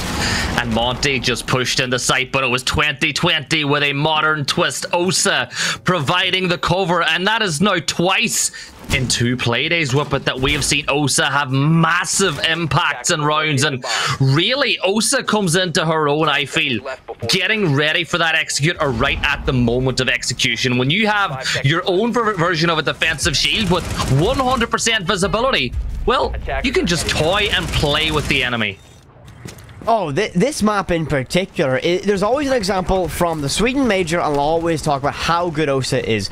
Or it could have been SI, I, I can't quite remember, it's been so long. But it was actually Damwon Kia on this exact map used Osa to devastating effect, setting up crossfires. It took a lot of coordination to do, but essentially put them in always win situations. And that's how good Osa is at locking down these positions. And when Bank's full of long line of sights, it is a very useful operator to have in your back pocket. Nixon will do one, a very similar thing once again. Will walk straight into security and he'll scout out what he's facing with. Now, this time Riddle have some protection. They have some people ready to fight for it. But looks like Coalesce have read into that and they're going to try and set up a top-down clear. But that's going to be a bit of a problem. Kevin's found one on the Nixon early. And that is the Monty down, but I saw what they were trying to achieve. They were trying to bait the attack, or bait the defense with that attack coming through dirt with the rest of the players pushing in. Qatar finds another one. He is having a really impressive day so far as he moves now onto 5 and 2. Divided on the top floor. Kane will take down Perry though, as we're inside the minute. We're almost at that minute and a half mark. Divided, tossing more utility. Coalesce, they don't have the numbers, but they still have the diffuser. Vabs makes it a little bit more difficult as he just pixels away the head of Kane. Noah will get a trade almost instantaneously though. One minute and 30 seconds left. And it's a 3v2. Are Riddle going to pull another round on defense? Reich is in a very good position, backed up with Vabs as well. They have a crossfire to cover each other. They know someone's in there. They know Noah's in a very close. Nope, he's he's gone. He's run away now. Caster Curse strikes once again, but they're in a very good position to cause instant chaos. Reich can swing without the metal detectors going off and reading into it, and he's got his trade there. I have a feeling Noah might just run into that blockade the moment he considers or even thinks about dropping this hatch, and that might be the only way Coalesce have to win this round. They now know Vabs is there. They now know at least one player is here. The drone just got took out. And nade sent deep, a caught by the ADS. And with 45 seconds left to go, Coalesce left with very few options other than send it on in. And divided, he's just gonna burn away. And that will be a final cut with a trade of Vabs. Coalesce suffer yet another round loss. Riddle looking very strong on the defense here on Bank. Oh, this is so much like last night from Riddle. They're so good in the early rounds, but can they convert that into that win that not only them, but MNM are just praying for? It is so fun to be in a game where there's three dogs in the race in the last one of the night. And well, this is the last defense that we're going to see from Riddle as well. And we're going to staff an open area. And once again, this is a site where having control of that top floor is key to any execute that you're going to try to attempt. And Whippet. looking at the setup that they've gone for. Well, Zeus is a little bit sick of the antics that Qatar has been putting down. Oh, well, never mind. He's going to change to Hibana. I thought we were going to get to see Jackal, but, you know, this is the thing with the fact that operators can change their attack on the fly now during the drone phase. It makes it a little bit easier.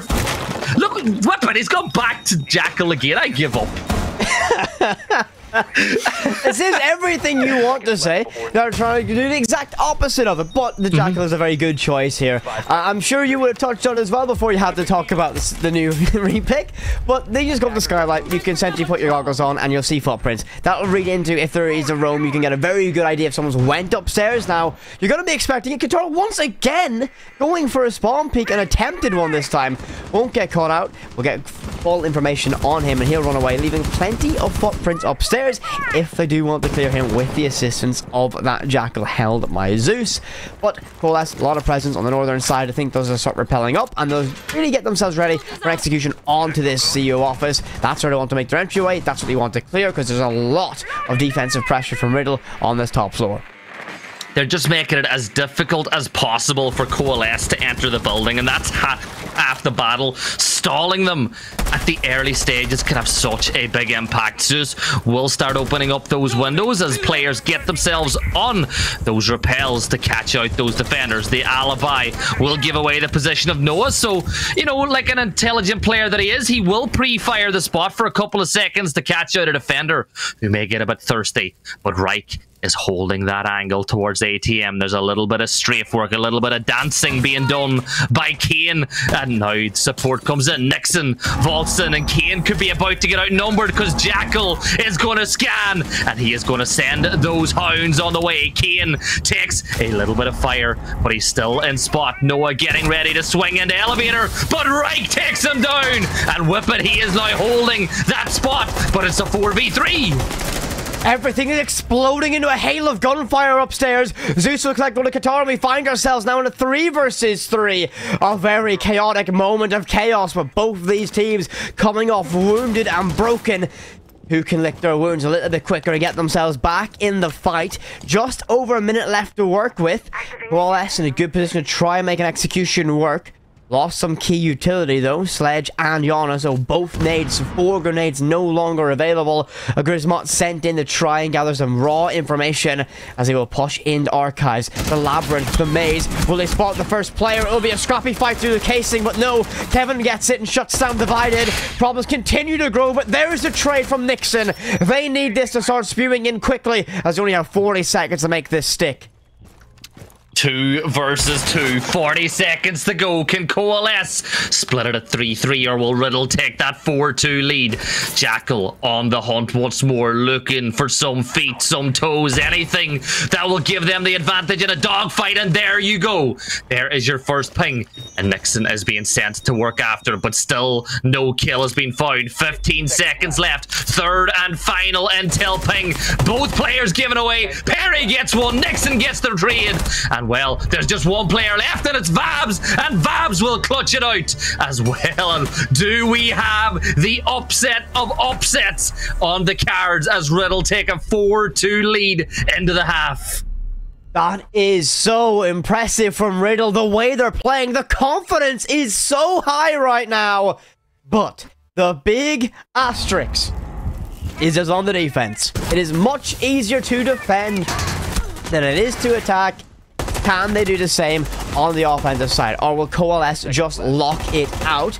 Difficult to tell right now, but that is a very impressive start. Very impressive opening half here. And you know, everyone from the camp of MNM Academy are cheering. They are sitting with bated breath as every round for Riddle is another step closer to their ticket to playoffs. I, I, just can't get over how good Riddle have looked in this one. This is statistically the worst team in NPL. Putting probably one of the most improved teams in NPL to the sword. If you take Tenstars, 9 and 0, second split out of it, well, Coalesce, they are right up there with the form teams right now, and Will Riddle is putting them to the sword. We spoke about which of these teams could cash the check to get the win. Well, as of right now, Coalesce's check is starting to bounce. It is. They've walked in. It's been declined. Everyone in the line in the bank behind them is looking concerned as to what's going on here. Coalesce, show us a sign of life. And on the defense, you might just have that opportunity. Riddle, though. Questions to be asked here on the offensive side. It will take just a little bit more cohesion, a little bit more strategy to break down Coalesce, or at least on paper it will. Confidence a key factor. Momentum another one as well, and Riddle seemingly have all of that on their side. Can they get even more pressure? Can they put Coalesce in a worse position? Already starting to clear towards his blue stairs. The ADS is getting burnt away. And now that nade will arrive clearing the shield. Divider will toss that. They haven't burnt the shield yet. Finally they do. A second one for good measure catches just a little bit of damage onto him. But he'll creep forward with that shotgun and burn away a second smoke canister. As I'd imagine he'll be likely to make a mistake or a retreat as that hatch is now being cracked open above him.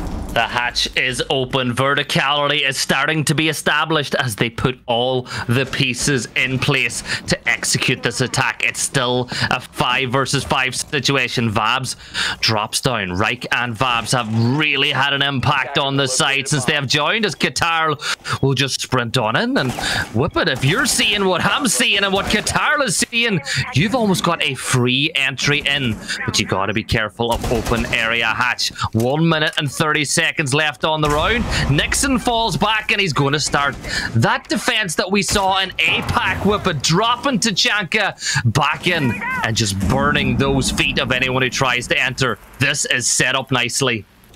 That will be a very good strategy. They need to keep Tachanka alive. Nixon is a very key part of this strategy. Zeus will be live droning for the Jaeger of Noah upstairs, trying to have that flank impact. Just now, a minute left in this round. And there's Riken. That's Nixon. That's your Shumikha launcher. That's your incendiary. You're now relying on the Yokai drones, your primary plant denial. And that's not going to be too easy. No one in a good position. He might just catch one to Hibana, and that's the case. It's gone cold. And now Noah has the keys to the round with the diffuser down, and he can cause even more damage. As Zeus will collect one on the right. Noah finds the second, and Coalesce have found their stride. They have got absolutely no answer in this round for the work that Coalesce have been put down. Vabs still opening things up. The Jackal goes there. Vabs absolutely annihilates Noah, though, eventually. Bringing us back to a 2v2. Look at the HPs. Kane and Vabs are full. Zeus and Kevin, they are low. And now it is time to execute, but with a C4 in the hands of Kane. He throws it, he blows it, and that is now a 2v1. But the diffuser goes down. Vabs dips back into cover. It's a one versus two for the round win. Riddle desperately looking to go a three rounds ahead. Three fire around the corner, and that will be the kill from Kane. And Coalesce, well, it was close, but they pull a round back. Defenders win. Very, very critical round to get back from Coalesce. Really want to give credit to that roam presence of Noah. That case going cold right there on Perry. That really made Riddle work for what they got. Good recovery to get to this position. They started trying to get the case down, but ultimately, two versus one. Well, after that C4 denied the cover, they had no real solution for it. Absolutely well played there. I am on the edge of my seat, Whippet, and I don't even have skin in the game. I'm just a caster. But this has got me so excited because this has been one. Not only has this been one of the best games of the night, I'm going to say this has been one of the tensest games of the season so far, considering what's on the line. We are going to open area, though, for this second defensive attempt from Coalesce. This round in the bag will see them draw level at four rounds apiece. As it stands, Whippet, Coalesce are three rounds away from the playoffs. I- I'm honestly sitting here almost holding my breath. It is this is the matchup we wanted it to be. When you look at this and you see, okay, cool, that's a team on the rise, on the resurgence, versus Riddle already on relegated. Who would have seen this scoreline? Who would have seen this intensity as it all boils over as the final play day of our group stage begins to draw to a close? Still, no decided spot or no decided team for that final spot in playoffs. Coalesce or MNM still all hangs in the balance of this matchup on Riddle. It's all down to them realistically. Riddle in a brilliant position. They've got a one round lead. And this is getting very close to their first win, but Coalesce just one behind there on defense. Riddle have to do all the work. You have to dismantle the defense that's been put in front of you. Qatar is just looking to spot that intel. Look where the defenders are. Whippet this. These are the tense moments of the round. This is where Riddle are doing their best to work out where they're at their strongest, where they're at their weakest, and where you can identify any situation to get a, a 2vx, a 3vx, something to give yourself that lead in the numbers game. They've got a ping. And will Nixon fall back? Yes, he does. He drops it back in towards Trump. And with a minute and 50 left on this round, it's a, a lot of action with no kills yet. A lot of posturing and jockeying mm-hmm. from app control right now from Riddle. They'll get met by that first toxic canister sent off as Divider will eat a little bit of punishment for his efforts. Minute 35, no opening picks, and no solid control either. They'll finally get something though. Noah left in deep, you know. They don't know this, they don't have any live information. And if he gets recovered off of this, you're really gonna have to ask questions. The Iana clone gets some information. Noah's gonna try and drop the hatch, but it will be a numbers game. Oh. Second nade the already. That's gonna get sent straight to the back of side as he has a yellow ping on the player all the way by Kanto. Vitor will pick up that one. Noah will get a second trade off on the Vabs. Four versus four as Noah's been recovered. The res has come in, but those two defenders, Nixon and Noah, well, a sneeze would take them down again or flush them out. Qatar, LePerry, Kevin and Reich on the hunt. This is a massive opportunity for them to take another round. They got the diffuser down last time. But it was two, or it was not enough with the 2v1. Kevin putting down those cameras and whoop. This is the big part. Vabs straight onto the camera. We see this too often where the, the player who is dead does not sit on cameras, does not give intel. This is better by Riddle. Even if they don't win this round, it's a positive step from what we've seen over the rest of NPL. They can certainly still win this round though, but they have to make it a little bit sharpish. 20 seconds remain.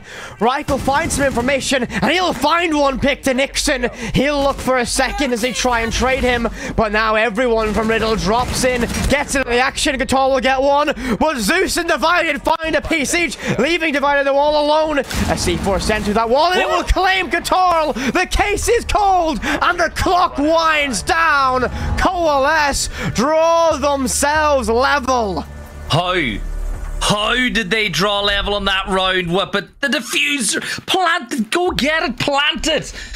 Oh, this is the time they're taking a tactical timeout and they need it because Riddle should have a 5-3 lead right now and MNM they are kicking themselves. They're watching this game. They know that the coalesce. They're just building rounds. They're building momentum. As it stands, two rounds away. And Whippet. Looking at how many rounds we're going to get to play, there is every chance now that coalesce can just squeeze two more rounds out of this one. Both teams look like they can certainly make mistakes that they can capitalize on. That's what Riddle might be hoping for, but that really should have been around for them. The case going cold, just unfortunate, and the C4 used to rotate through that Casimir, getting a pick as well. You've got a feel for that one. They wouldn't have known that at the time. But when they look back at this VOD, that one will just hurt a little bit. Sting, perhaps. But Riddle, much better from them. Very strong performance. Still some questions to be asked, but right now, you need to keep the pressure on. you need to keep fighting Coalesce, otherwise, this could get into a very tricky position fast if they let the next two rounds slip. 4 4 Whippet. 4 4 after 8 rounds. This is on a knife edge. And if I look back, I think Riddle They had a two round lead. Coalesce have just chipped away at it. They've eked away at it. They're starting to build that bank balance, but will they have enough in their account at the end of the day to cash it in and make their way through to the playoffs? Well, we're very close to finding out. We're going to the ground floor once more and what but you know, we, we mainly focus on the shooty shooty gunny gunny part of this game when you and I cast together, but what I love about these two ground floor sites, the setup is identical for both normally. You, you play top floor, you open up a couple of lines, uh, ro- uh, line sight and rotates in through. If you can play one of these sites, you can defend the other as well. Okay, I'm gonna I'm gonna put a little asterisk on it. They're Ooh. not they're not exactly the same in terms of setup. You're gonna want to have a lot more focus on really holding upstairs because the verticality will clear this site, and you don't really want to play too much in open area because that rotation leaves you very exposed once that area falls. I think they'll have a little bit of pressure there, or some mobility around that position, but open area might give them a very direct avenue if Riddle can spot that one out. We see one blue silhouette of Coalesce down below might be a problem later on if they stumble in towards it as Vabs tries to peer down marble stairs to catch someone napping, but no one has decided to. They're sleeping back down on the staircase yet. Not yet, but maybe soon. It's still a little bit bright outside to be going for that nap, but Vabs begins the drone work and they spot out Nixon, playing just by the top of those banana stairs. Vabs looking through that skylight. Sometimes, if you get lucky, you can get a freebie, and he's going to full send it as he repels down into main lobby. And this is a big boy play, and we'll see how it works out. Not very often, often what we see players going on repel in main lobby. Not not too not too common at this level. Maybe Gibson, if you uh, maybe if you joined Orelo, you'll see a little bit of that one. But it's going to be interesting. If you get caught by this one, you are going to be unhappy. But Nixon will go fishing, and so will Katarl. An instantaneous trade, one for one. Nade landed perfectly. That repel, to no one's surprise, didn't work out at all. Very audible, very readable. Zeus will hear that shield, that Osa shield getting placed very nearby. He will look to try and contest or be aware that his angle is now held. That will be Kevin. Case in hand, and looks like Riddle. Very direct push. Lots of lobby pressure for now, and they haven't cleared upstairs that well. Well, the fastest way to any destination is in a straight line, and it looks like Riddle are preparing to do that. Katarl still looking for those roamers. There's only one left on the top floor, as the rest of Coalesce have dropped into sight. Noah gets the ping, spots out Finka, who was checking out her toes, and he sprays down towards the Iana as well. Katarl taking a lot of damage, but Noah is going to go prone in behind the, the meeting desk, and there's another player pushing up through Trump. Kevin's going to trade it out. It's a 3v3 with 30 seconds left. And are we going to see that 20 second meta coming into full force? Riddle don't want to be here. They don't want to have. They don't want that to push with 20 seconds left. But that's the only option they've got left, and they only got two doorways to do it as well. They'll stack up. They'll get ready. But coalesce. They're evenly prepared. Divided gets one to Perry, and Riddle now find themselves fighting a losing battle. Zeus will get one more. Divided claims Katarl. Coalesce now find themselves in the lead on Bank and one round away from booking their ticket to the playoffs. That was another roller coaster round again, though. Coalesce, as you said, one round from making it to the playoffs. They are a side that have improved ma- massively since split number one. The changes have worked out perfectly. And Riddle, well, they have only got one or two more shots to get their first win. It is 5 4. It is bank. It is playday 18. It is the final game of the season. And our coalesce about to put the final nail in the coffin of MNM and their hopes of making the playoffs. It all comes down to a one round situation. MNM Academy, you are sitting with bated breath. Every second that now passes, you may go closer to not making it to that coveted playoff spot. Once again, Coalesce will do a very si- the exact same strategy again for their basement defense, denying or relying on that plant denial if Riddle opt to try and get that case down with both an Echo as a Chonka and a Smoke in play, as well as Goyo, will not be a very fun time indeed. Lots of utility to clear. Coalesce poised to get themselves that ticket to playoffs? Well, that ticket is being printed right now, but is there enough ink? We will find out. Well, within the next six to seven minutes, because Coalesce have two attempts at the minimum to secure their spot into that next round. Riddle, two rounds now. They need to win back to back, and Noah's going to find the opener onto Guitar, and that is the first hammer onto that nail. There's a couple more to go, four more swings, and we will see Riddle out, and we will see Coalesce through to those playoffs. Zeus doing the drone work. And what I love about Coalesce Whippet is when they get that open and pick, they all reposition themselves, they all move, and it makes it so difficult for Riddle to play the trade game. Riddle need to find something. They need to find that trade, but as you say, Coalesce are just making it so difficult to do so. Haste recovered by Perry. Reich will try and be the tip of the spear to find something, find an answer. But for Coalesce, they will play this very safe at this stage. They now know they have the keys. They have themselves a very good shot right here, right now, at locking it out. All they must do is play the time. Play that clock and look at the utility they have available to try and stop a plant in the dying embers of this matchup. That's what they will rely on. That's what they want to do. And divided might cause a little bit of chaos. But that's Zeus. That's Jericho. That got caught out early. Vabs get burnt away as the Shumikha launcher sends some up high. Nixon will get very aggressive, push forward now, and Riddle beginning to feel the pinch of Coalesce. Well, that is the opener. That gets it back to a 4-4 and just leaves that, that door a little bit more ajar for that Riddle win. But you pointed it out. Time is the enemy. Coalesce are the enemy.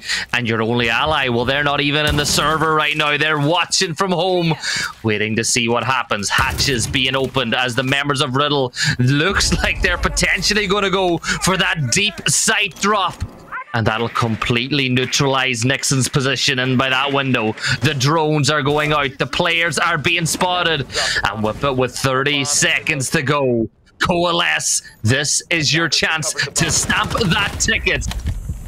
Uh, they might just be able to do that quickly. As that's going to be Noah looks to get aggressive on the main stairs but thinks better of it. Rather to stay alive and passive and fight another day. 20 seconds and Riddle once again. The clock will be their nemesis. The Divider will take a beating. In drops Reich but slain with the SMG-11 and it will be a flurry but a 2 versus 2 Perry will have to recover that case but Kane shuts it down. MNM's hopes right on Vabs. What can he do? Nothing. Shut down. Nixon sends his team to playoffs and to match point on bank. And how fitting is it that Nixon is the player to get the kill, to get them the match point they needed to qualify for the playoffs? The redemption arc of Coalesce is complete as they. That was the main part of this game getting the six rounds. The game is, is whatever happens from this point on, Coalesce do not care. They're in seventh heaven. They're in the playoffs. They've met their objective. And we can breathe. Oh, I mean, it's already time to, to start saying commiserations at mm-hmm. Academy. Unfortunate that it wasn't in their hands this evening. But that is Coalesce punched in. They outperformed MNM on today. So, congratulations to them, but they still have one more round to find against Riddle. And Riddle getting themselves closer to the very first, this time would be overtime with victory. It'll be a very difficult task indeed. I'm sure they'll want to close out the season on somewhat of a high. Couldn't send Coalesce home. Let's see if they can get that victory. Well, victory hunting is the challenge now. Coalesce, will they ease things off? Are they happy with what they have? Or do they want to just completely finish off the regular season in style with a big W beside their name? Riddle can you get this round? There's two match points now for Coalesce. One round from Riddle here will guarantee that we'll play everything in regulation. But there's just a very anticlimactic feel now. Coalesce have met their targets. Riddle are going to hop up on those windows and, you know, LMGs on bank windows. It's absolutely terrifying, Whippet. yeah, they can dispense a whole lot of hate down range and just try and keep people at bay. Those box magazines are sometimes they feel like they're endless whenever you're on the receiving end of one of those spray downs. Put lots of pressure on Coalesce knowing they don't want to be too keen to invo invoke the wrath of the window players. Vabs has been excellent so far as well. He'll queue up outside of stock, but looks like it's going to be a very direct push outside from Riddle. Met by these prone angle holes. They haven't got solid information yet. They know one player's in Janitor. Smoke counts are tossed out to delay this Posh Vabs will send an aid to chase it. It will clear the shield, but not the player. Noah will continue to exist, and he will brawl up close and personal, and the cover is there. Divided pops up and claims Vab's soul. Riddle find themselves taking an early casualty. Minute 45 left to work. One minute and 45 seconds. Could it be the last one minute and 45 of NPL's inaugural season? Nixon is prone just on the top of gold stairs. He's going to hear the barbed wire. He shoots out the drone, revealing his position. Perry gets himself locked horns with Noah, but Noah swings and takes down Perry and Katarl. It's a 5v2. This is a coalesce game. But Reich might have something else to say about it. He finds Nixon from behind. That LMG ensures the fact that he does not have to reload, but he will have to re-engage every single member of Coalesce. It is a one versus four. Reich chasing the ace just to bring this to the final game of regulation. And Whippet all of this work, and it's not even sight. This is just top floor. That is a struggle with these large extended roams. You commit everything to it, and you don't even get a single foot close to site itself.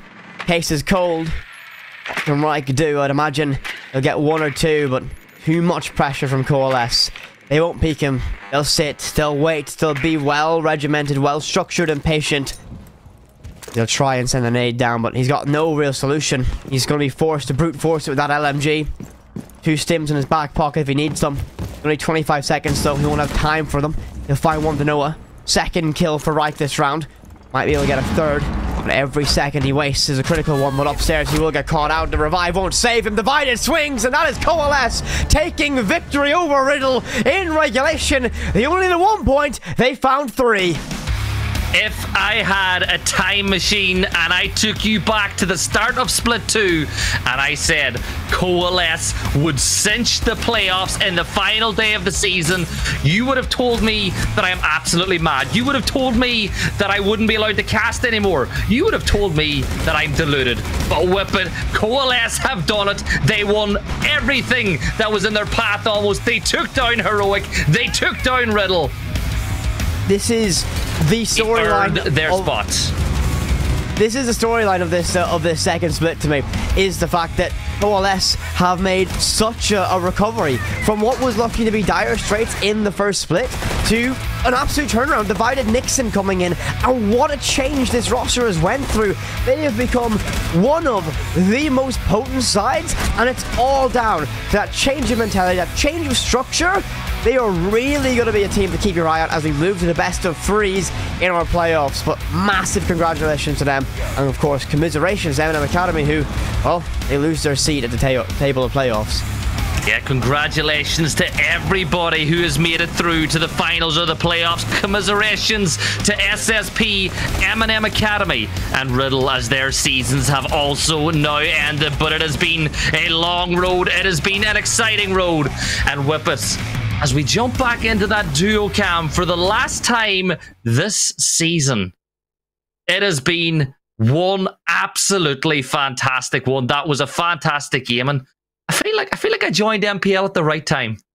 You certainly did. You got that chance. You got your debut just as everything heated up as we got to our fantastic conclusion. But that is the last playday of this group stage. And what a way to conclude it. The final ticket punch to our playoffs. It goes to Coalesce. And realistically, I don't think there's a more deserving team to get to the playoffs just off the effort they put into getting better. And the thing is, it was a massive team effort to really, really get themselves back up because it was looking pretty poor in the opening split for them. It really was, but you saw them over the you saw them over the the Challenger League quals. They were very good then too. They they knocked out a couple of very good teams on their way. But look, we're getting ahead of ourselves. We're speaking about CL again. We've got playoffs ahead, and we've got a couple of folks back on the desk who really want to bite their teeth into that one. So let's throw it back.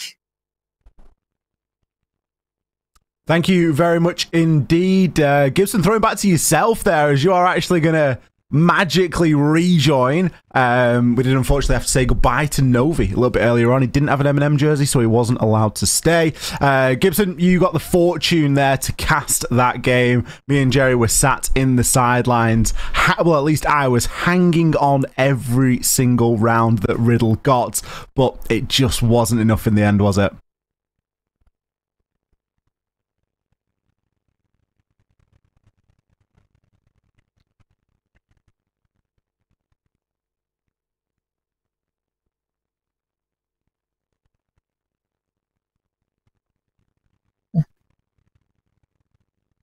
Um, limp We'll go to. Gerry. Yeah, I let's think go. Gibson's Let's go. Let's go to Gerry. Maybe Gib- Gibson's used his mic quota for the day. I think that must be what it is. Yeah, yeah Um, decided he doesn't get to talk anymore. Um, We were yeah. watching that game, Gerry, and there, there was a lot of oh, I need to go and rewatch that. I need to, you know, and we were going back and scrubbing the scrubbing Mm. the VOD to get some sort of live action replays for ourselves. Um, not maybe the exciting game that we wanted to end on, but Riddle showed a little bit of promise, didn't they?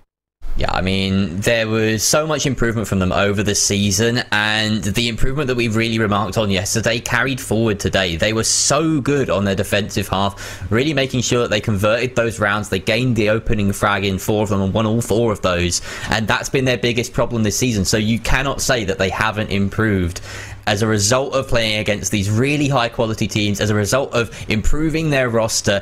And it's just a shame that, you know, from yesterday to tomorrow, the same problems persisted as well. You know, they couldn't close out any of those uh, crucial attacks. Unfortunately, Coalesce just a little bit too tough on the defense. But it is a season that, despite not picking up a win, I feel as though Riddle can be proud of for having improved and having learned and having gotten that experience. And all of these players, whether they stay or depart, will have very promising careers going forward. I would I would wager.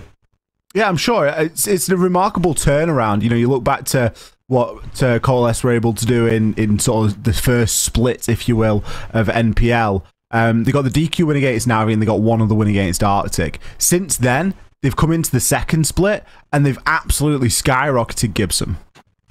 They did. Stocks were on the rise. Not, you know, quite the opposite of cryptocurrency. I think they're, uh, you know, you know, we talk about things that are related, but they're they're not really they're not really related. Well, crypto dropped and Coalesce's stocks went on the rise, and you gotta give a lot of love to those two boys coming in from PG Nats because they brought structure. And as Whippet would talk to a lot, Gerry, I know that you've said it a good few times as well. Noah was one of the best one-on-one gunners in all of NPL, and to see him get the structure put around him for him to succeed, well, everyone's going to love it except for MNM. Yeah, and he finished this game top of the leaderboard, twelve and nine. Like mm-hmm. that's that just says a lot, right? He he's he is that player that they want to enable, and it's it's made a big difference having that structure around him, like you say. You've got to give it to Katal as well. Honestly, that may be one of his best performances of the season. Three and one on the opening kills to deaths, and and he, he you know bless him, it just didn't work around him. So uh, yeah, Riddle just fighting till the end. Even though nothing mattered, even though nothing mattered about this game, you have to respect the fight that they put up. You really do. Uh, we've got an interview lined up with KMB. I can talk a little bit more about the fight that they come up against in the server. Uh, KMB, welcome to the NPL broadcast. You look pretty pleased with yourself, and so you should be. You've locked in playoffs now. Yes, feels good. We had one mission. We made it. Now it's next step. Next step, absolutely. You've got to always be looking forward to that next leap and that next uh, next part of the uh, the game that you want to try and conquer. Um, in terms of going into tonight, I know that there was uh, maybe a little bit of excitement when MNM lost against Heroic earlier on. It made your path to the playoffs a little bit smoother. Did that relieve any pressure on this final game? Our coach forced us to not uh, have any social media songs. We didn't know until we ended the game. we Wow. played it that way. So uh, The way- I I, mean, that's a really good way to play it. Definitely. That's, Otherwise, you get in your um, own head. You know, like yeah, they get the point or two, and then all of a sudden, fuck, we're at overtime. Oh, not. Um, uh, we're at overtime. um, yeah, you understand. But yeah, it, it felt felt good in the end, knowing that you made playoffs at least. I mean that that takes. Um, I mean, I'm a nightmare for, for a quick scroll on social every now and then. So that takes a lot of Yeah. uh, a lot of dedication there to to not spoil it for yourselves and just to keep yourselves in the zone. But it clearly paid off. Um, speaking on on Coalesce's sort of performance as a whole, if we look back now um, over the course of the entire NPL, obviously the first half of NPL, you guys didn't really have the, the, the best of times, but since then, it's just you've just grown from strength to strength. Do you want to talk a little bit about that journey and what it's been like? I mean, with our old roster, we were, I don't know, scream heroes. We didn't really take things too serious. I think that was the biggest issue. Then all of a sudden we realized, okay, these teams are maybe a bit better, or we are a bit worse than we think. So we had to put in more work, and we brought in the players that are hardworking. So I think it just spiraled from there, to be fair. Like it shows, it doesn't matter if you're good or bad. If you work harder, you will be better than you were before. So I think hard work is a, a big shout out to. Well, you've certainly It's a big a lot of shout hard out. work Yeah, in. yeah. It- it is, it is, and it's but it's but it's all putting that hard work in as well, and, and that's one of the things that's really shone with you with your team is that it, it's evident that everybody's putting that work in. So uh, it is great to see. We're, we're going to definitely see you come the playoffs time now that you have guaranteed it. Uh, for the meantime, have you got anyone anything that you want to say to any of the fans at home watching? thank you for everyone supporting. Um, means a lot. It's been a rough journey, but you see, great things can happen. So let's keep going this way. Well, you got there in the end. Congratulations, Kane. uh, go and celebrate and uh, enjoy the rest of your evening. I will do, man. Thank you. Thanks. Bye bye. There we go. We got a little bit of whooping and hollering at the start there. pretty, uh, pretty reserved to not actually check the socials, Gerry. I think you'd have a hard time with that. You're, I reckon you're like a me. secret scroller. Oh, I'm I'm a I'm barely a secret scroller. I'm a self-obsessed confessed scroller. Um, but yeah, that that takes some doing. It's a great mentality to have gone in with. I mean, that that's that's a good a good idea coming out from from the coaches there. So so yeah, good good move, and, and it it may have made the difference. You know, just focusing on your own game, making sure that you just win because you know that that's all you can do realistically with it potentially out of your hands. There's no reason to fret over it. So, yeah, big big shout out to, to the way that Coalesce have taken that. I think that that really does show the commitment that they have now in that team. Absolutely. Well, don't go anywhere because we do have the debrief coming up. Um, Ian might not be here, but we do still have a debrief. Before we jump into that, let's recap the end of the day standings and we can give a quick rundown here, Gibson, of exactly how today played out. So today played out exactly the way that you would want it to for building the tension. Tenstar kicked off the day, giving them as themselves a chance at top spot. So that made the second game even more interesting because a heroic win sealed top spot for them, knocking Tenstar back into second place, but M&M Academy, even more importantly, taking that loss, well, it put it all down to the last game of the night. Viperio, with their 7-2 win, once again putting a rubber stamp on the fact that they are one of the best teams in Europe right now, and one worth keeping an eye on. And then game number four, game of the day, Riddle put Coalesce to the sword, but a big parry and a big strike back saw Coalesce just ease their way into the playoffs. And, you know, as we look at the stats, I don't think there's anyone else either you could have given MVP to other than Grubby. He was phenomenal. I can't believe it's taken this long for him to get an MVP, honestly. um, it's surprising as well. You think about 86 as a team and the MVPs that have come out, they've, they've only been given one, and it's to Hungry. So many times in the first split, Astro was like a big shout for MVP, but someone else just beat him to it. And now, at least as a team, they have two for their names. And yeah, this guy deserves one. Astro also deserves one in my books, but you know, you can't get everything. Let's have a look at the standings. Obviously, the games did mean something tonight, right up until the bitter end, and let's get it all locked in now. Heroic. They secure that top spot. Tenstar did hold it very briefly at the start of the night, but Heroic snatched it back just as fast. Tenstar sitting in second, Viperio in third, Victus fourth, Ambush have made it through into fifth, and Coalesce snuck through right at the bitter end, getting that one up over MNM. A fantastic result for them, and one that, you know, all the focus was on that tonight, really, Gibson.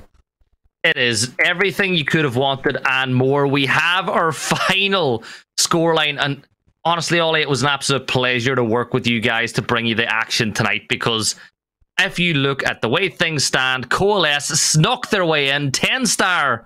Well, they come second, but look at the round difference. You know, it, it just it just left their screen, but they finished with the exact same round difference as Heroic, which goes to show NPL is the most competitive national league in Europe right now, in my opinion. And I wouldn't be surprised if we have three, four, or even five teams from this region competing in CL. You know what? There's something I want to bring up here because this game. So, so you know, Riddle. You can you can go and you can say, oh, what did they do this season? They got one overtime win back in the first split, and it was against MNM Academy. That point that they took off MNM Academy, who were I think at one point like six two up in that game. Mm-hmm. That's what's mattered. That is what has mattered the most when it comes to these playoff spots, and Coalesce can thank Riddle for that. So yeah, huge, huge deal. A look back Coalesce it. thanking Riddle twice, given that Maybe, there yeah, was that maybe. win condition and then the game here tonight. Riddle are just uh, secretly out there to get MNM Academy in uh, every single which way. Uh, we're going to hit a very short break, after which we will be back with the debrief. We've got an extremely special VIP guest here tonight, so don't go anywhere. We'll be back in just a few.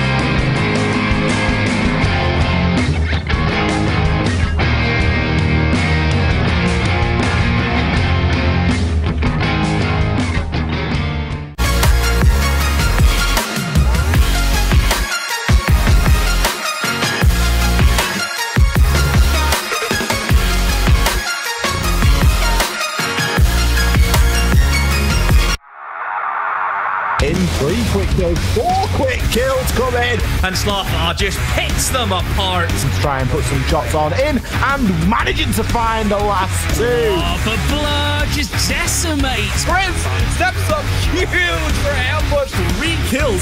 All E1 DCs. What?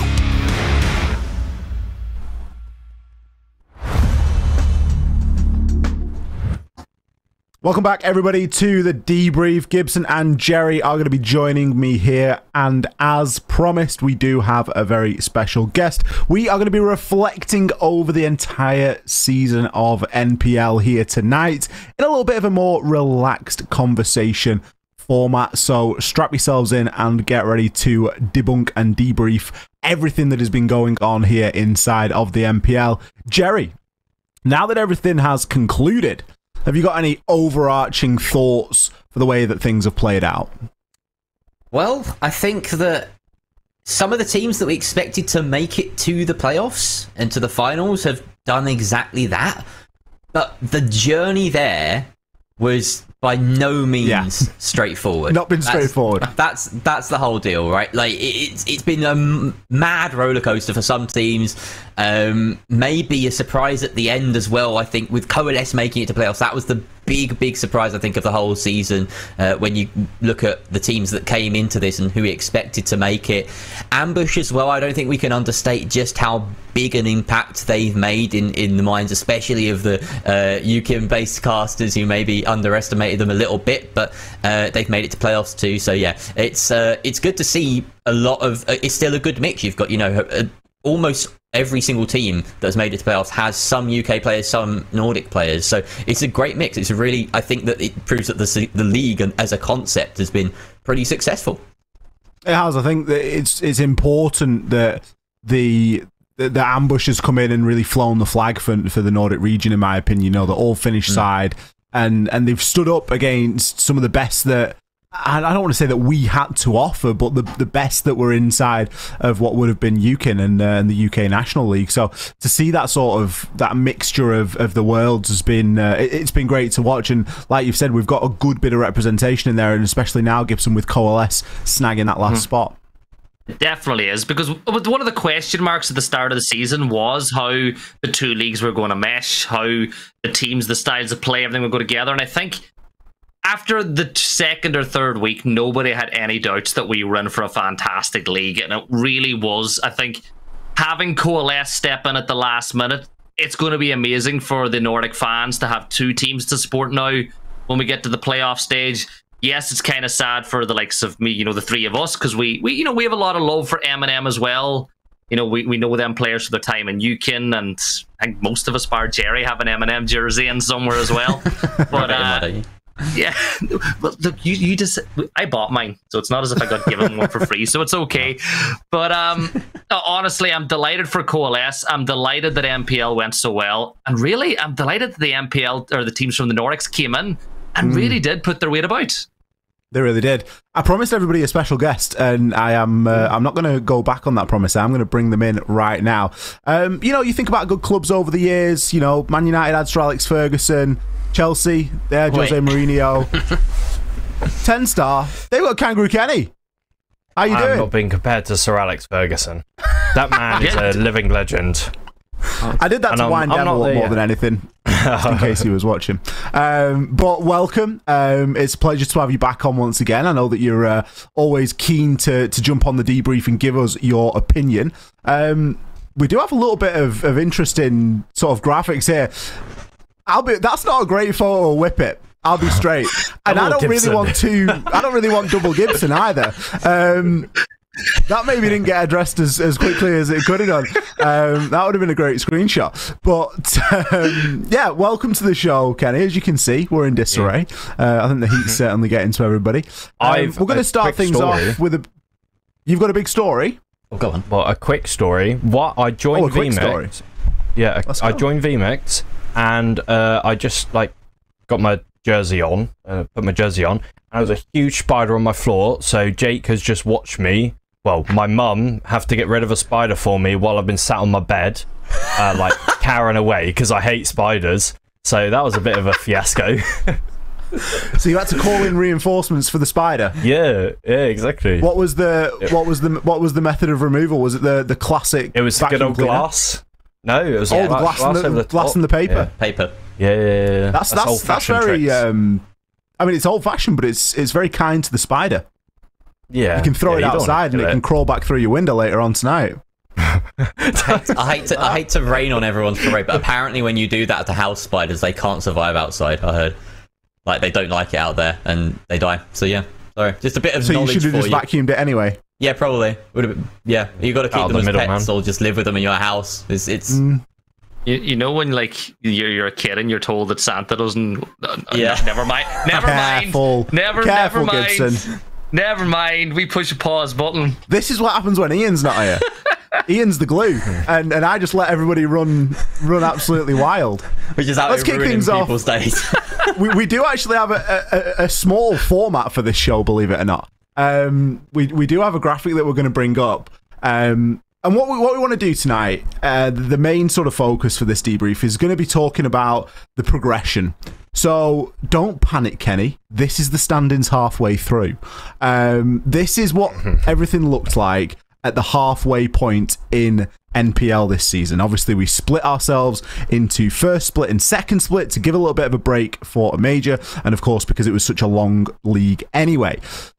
There's been a lot of change since the first half has concluded. Um, I'm going to come to Gerry first.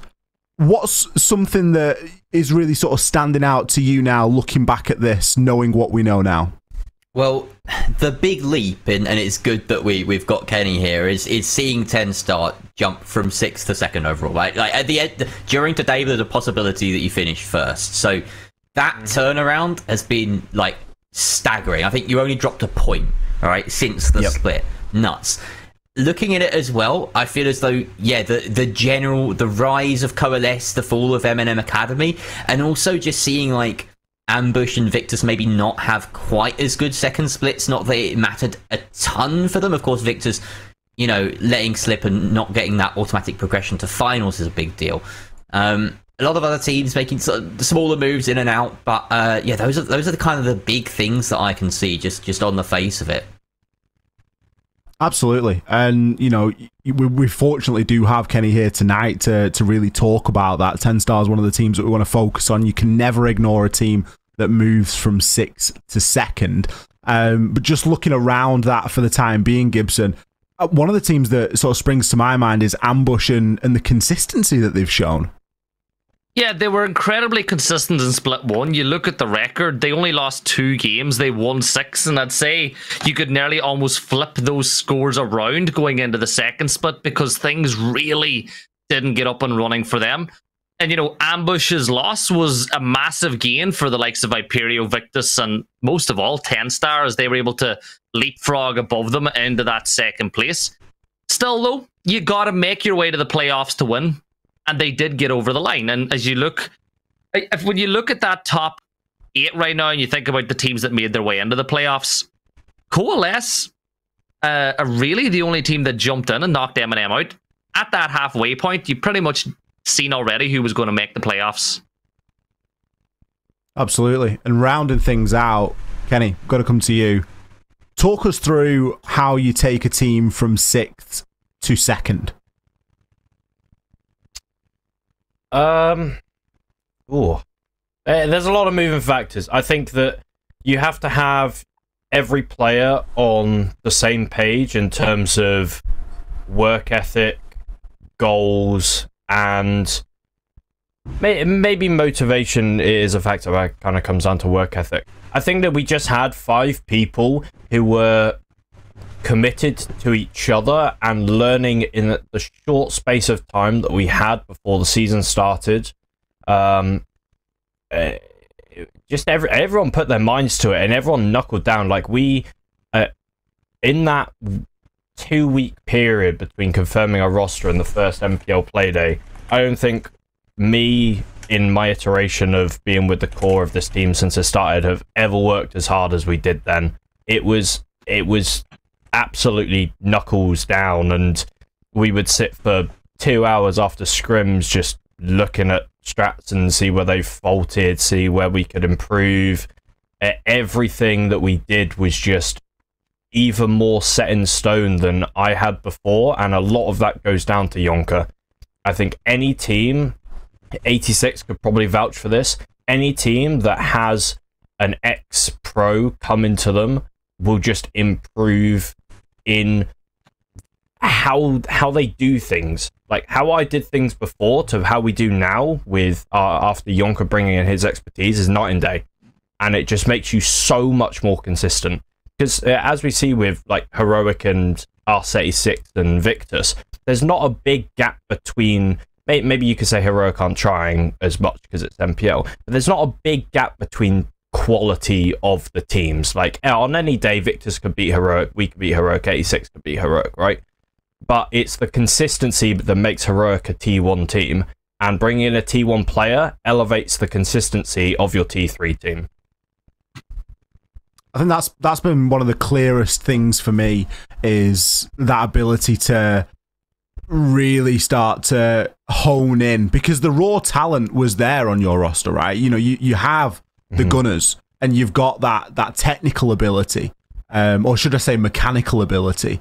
And then it's about honing that and pointing it in the right direction because a a lot of the teams have great, fantastic players inside of NPL, whether it be, um, you know, fraggers, support players, people that can hop on drones, whatever it might be. But it's about knowing when to use that, knowing and, and knowing how to use it. Um, and we do see that the, the the teams that benefit from a, a more experienced head coming in, um, that's that's seen a little bit more of the game at, at different levels and for for a longer period of time, really does have uh, quite a clear impact. Um, and I think that you guys have, have certainly benefited from that as well as others.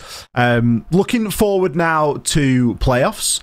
Um, obviously, we know who is going to be locked on in. Um, we have Viperio and Coalesce facing off against one another. Victus facing off against Ambush. Um, Gerry, you were really pleased to find out that all these are best of three as well. Oh yeah, I think everyone was. It just makes it so much more kind of competitively integrityful. Integral? What's the word I'm looking for? There is more competitive integrity to it. Integral, I guess. Um, it just means, yeah, you, you, you can justify saying, okay, if 86 beat Coalesce and a best of one, it's like, oh, okay, maybe it's map dependent, maybe it's like a best of one. Best of three, there's no doubt, right? You've got the better side is going to win. The better side on the day for certain will win that game. And the same goes for Victus Ambush. So just making sure that we absolutely have the best teams, especially after a double round robin, getting to the end of this NPL and fighting for those two Challenger League spots and fighting to win NPL as well. It's it's so satisfying. It's so rewarding. It really is, and I, I think that you know we we can't underestimate the importance of a best of three. Um, Kenny, from your point of view as a as a coach, you know we all know that best of ones are unpredictable. Teams don't feel cheated in a best of three. You know they know that they've got a really good amount of time to to play well and to you know make mistakes, come back from it. That's got to be huge going into these games. Yeah, I think best of threes really sort the the good teams from the average teams because in well, whenever I do my prep for every team, you'd be surprised. It, it- you, I don't know how deep you guys go into the map bans from from every team, but the amount of times I go into a prep for a team and they have three perma bans is unbelievable. Mm-hmm. And in a best of three, you can only ban two maps before you pick. Um, before, when we had a uh, map pool of seven, you could only ban one map before the picks happened. And that really exploited teams. And I think that's what we exploited a lot in Rainbow Rumble when, when we went through the best of three system there. That we played every map, so we could win the ban phase no matter what. It's slightly harder now that both teams have two bans before the picks, but you'll definitely see. Um, I think Ambush really have to expand their map pool, map pool Yeah. because I mean I don't want to throw them under the bus. They have four perma bans. They played the whole season with the same four bans. The argument So- there is that they we know that they came in with that mentality and they've said in interviews, you know, why why show more than four maps when it's best of ones you can just ban the same four maps. You can make sure you're you're always playing the same three or four maps, whatever, in the best of ones and then get to the playoffs and have that in your back pocket. So I can understand their mentality for certain. Um, uh, whether you know, it could just be a mind game. Mind game. Maybe they maybe they only scrim on four maps. Who knows? But I would I would bet otherwise personally. I think looking at how the landscape of the game changes over the course of a, a season as long as NPL, you know, you think back to what we started with and and where we are now. We, you know, we didn't have Azami at the start. There's things that have crept in, you know, through the course of time, and I, I don't think that hiding maps is it's certainly to hide. You know that number of maps to only have four maps that you uh, sorry to only have five maps that you play on um, is is fairly substantial. So I'm, I'm not entirely sure on the benefit of it. Um, obviously, we'll have to see and, and see what ambush throw out there. Gibson, have you got any favourites coming into these playoffs? I'm gonna I'm gonna push for early early predictions. Um, I think when you look at the form of these teams, it's hard to look past Viperio and Victus being the two that make it all the way through. I'd put Coalesce in as maybe the dark horses to get through, but I think Viperio and Victus are a little bit better than Coalesce and Ambush. And with the way Ambush have playing have been playing lately, and I know that the you know people don't like people saying this sort of thing, but I think at the moment with the way they're playing, they're probably the weakest out of the four. So yeah, I'm gonna I'm gonna pin uh, pin my predictions to Victus and Viperio making it to the finals. I think that a lot of people will, just because they're the they're the names that stand out, right? But at the same time, you think best of three, pretty long slog if you go through the losers bracket. You know, you're going to be playing a good amount of siege there, and there's there's always that potential for for a little bit of an upset. Um, there, of course, are other avenues to get yourself into into Challenger League as well, and that's something, Kenny, that you're going to be familiar with at the moment. Mm-hmm. Yeah. Challenger League Open quals. Uh, there's three iterations of them. We just had the, the first one this previous weekend gone. Um, it's Did you get 50 NPL. points? Was it? F- Yeah, they we did. got 50. Was it 50? Yeah. So you so you guys are looking pretty good in the open quals then. Yeah. Uh, however, I, I think as I said in my interview, like NPL takes priority. So if so, if 86 qualify through CL through uh, qualify suit to CL through NPL, bloody hell, a lot of uh, L's going on there. Um, then good heavens uh, then their 100 points in the open quals means nothing and they're just eradicated from the list so it's it's a fallback option and i think that i think the way that i look at cl quals it's just best of three practice in a tournament format like the format that we have here is going to be potentially for the losers they'll play two games in one day and then potentially the uh, the loser that goes to the upper final. No, ignore me. Technically, there's three best of threes in two days, which is what we played on Saturday and Sunday with the best of ones on, on the Friday. And it can be quite Yeah. fatiguing. So it's a really good uh, practice of endurance for a team because not many teams have that tournament style that they can play because all you play is just best of one officials.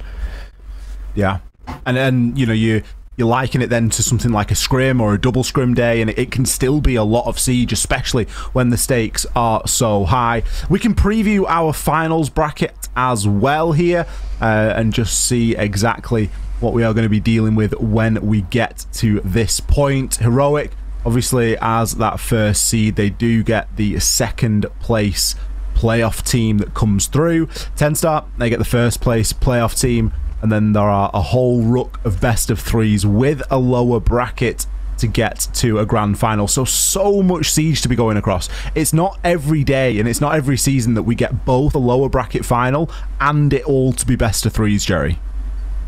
Yeah, it's uh, it's it's lucky. It's it's good for us. It's it's healthy for the league. Um, like I say, it's it's robust and it does put Tenstar, for instance, in this brilliant situation for for the the finals, where of course with heroic in play, you've got two chances at a best of three to come within the top three, which would be enough for Challenger League, right? So so you just need to win one best of three. If you lose the first one, you get a second chance in the in the lower bracket. So that is a massive, massive deal. And it's a massive deal for the, the two teams that make it through to playoffs as well, because only one of them won't make it to CL. It's it's a, massive, massive prize. And then of course you got to think about this league itself and the fact that you know heroic they they may have their eyes on other things and and we know that it, there's a lot of teams like you say kenny that can actually put them to the test and, and have put them to the test this season and have won against them so it's absolutely not a foregone conclusion that they win at the end as a lot of people might think so uh, yeah the, the standard in this league is really high and best of threes make that even more exciting especially with that grand final being best of five at the very end you gotta love you gotta love a good best of five Everyone loves a best of five. Apart from the casters when it's unlimited overtime and we go to a million rounds. But we will cross that bridge, I'm sure, when we come to it. I love how the landscape of, of NPL has changed. Obviously, we've transitioned. We've gone from UKIN and Nordics to one combined Super League. And, you know, we think back and we think about teams like Chaos, for example, inside of the Nordics. We think about the whole Navi, MNM, and all the great teams that we've had. Um, you know, Koana, Heroic, whichever sort of iteration you want to look at inside of the national leagues. And now we've got a situation where we've still got Heroic. They obviously want to get a win before you know they sort of not see it out, but they, they want to get a win inside of a national league because it was just dominated by Navi for, for just so long, and there was always that sort of battle. Um, and we look now, MNM, they're fielding their academy team in here. It's promoting all this growth, and we've still got you know four, five compet- super competitive teams that can to, can be really competing um, when it comes into this playoff. So I, I just think the growth is uh, is incredible. We're going to go round now and ask, um, and this is Gerry's idea, by the way, before anyone thinks it's mine. We're going to ask for game of the uh, entire season. Which I can't even remember much of the games that have happened tonight. I would have to go back and make notes and stuff to, to really figure this out. Um, Kenny looks like he's already deep, deep diving into a spreadsheet. Um, Yeah, Gibson, I'm gonna. yeah, he is. You can see it. Whenever someone's face lights up, it's because the spreadsheet's getting opened. Either that or it's liquid. um, I've I've given everyone enough time now um, to come up with something. Gerry, I'm going to come to you first because it was your idea. So I Yep. hope you've at least got one prepped. I, I'm glad you came to me first because I feel like there's uh, a potential that other people wanted to take this, but I'm taking it and I'm making up a rule that you have to choose a different one. So, uh, Tenstar versus heroic uh, in the first split, the bank game, the first time that heroic bled a singular Gibson's point. gone. Um, I knew you would.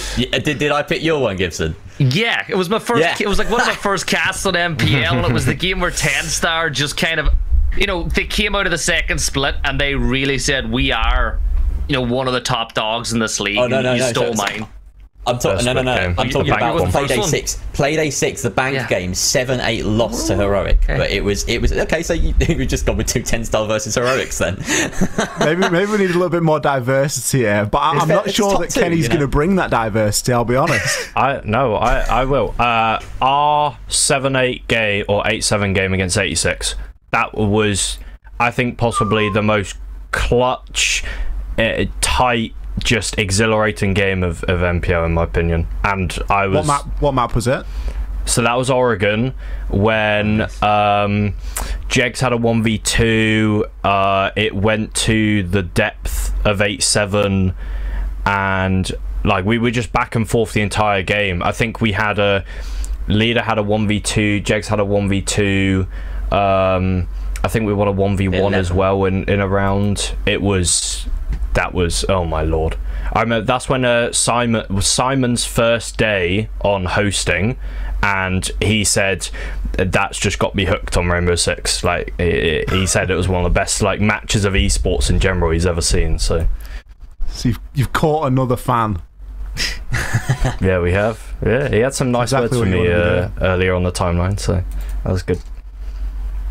Well, um, we've we've gone right. We, we haven't really got anything to back that up, to be honest. I'm not going to give a game because I, this wasn't my idea. It was it was very clearly Gerry's idea.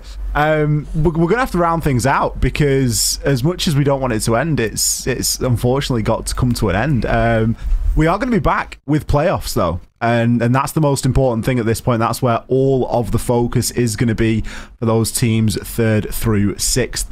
Um, they are going to be hyper focused now on those playoffs and making sure that they are as prepped as they can be for the playoffs. 30th and the 31st of July. They are the dates that you need to be keeping an eye out for. Obviously, check the socials. Um, it will be, I'm sure, getting posted over on the Rainbow Six UK Twitter. Um, and you should go and follow that anyway to keep up with everything that's going on inside of Siege and inside of NPL. But for tonight, Gerry, Gibson, Kenny, that is going to do it. Thank you all very much for joining me. Kenny, thanks for hopping on at short notice. Uh, and of course, Gibson and Gerry, it's been a pleasure. We are going to uh, piece it now, but we will be back for the playoffs. So uh, mark it in your uh, in your calendars, and I'm sure that we will see you there. Take care, and we'll see you soon.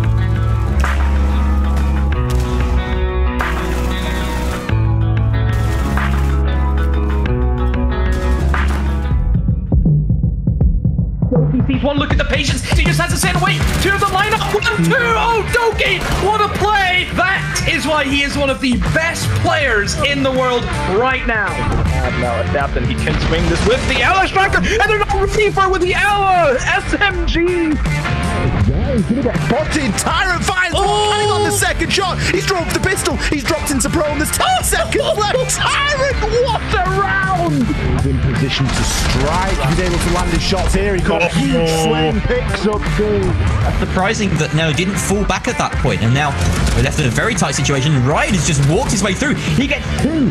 Unica is going to take a little bit of damage as well, but oh, with his back against Unica, Rothka's going to go down, but instantly traded. Aroldi with a double there. That's huge.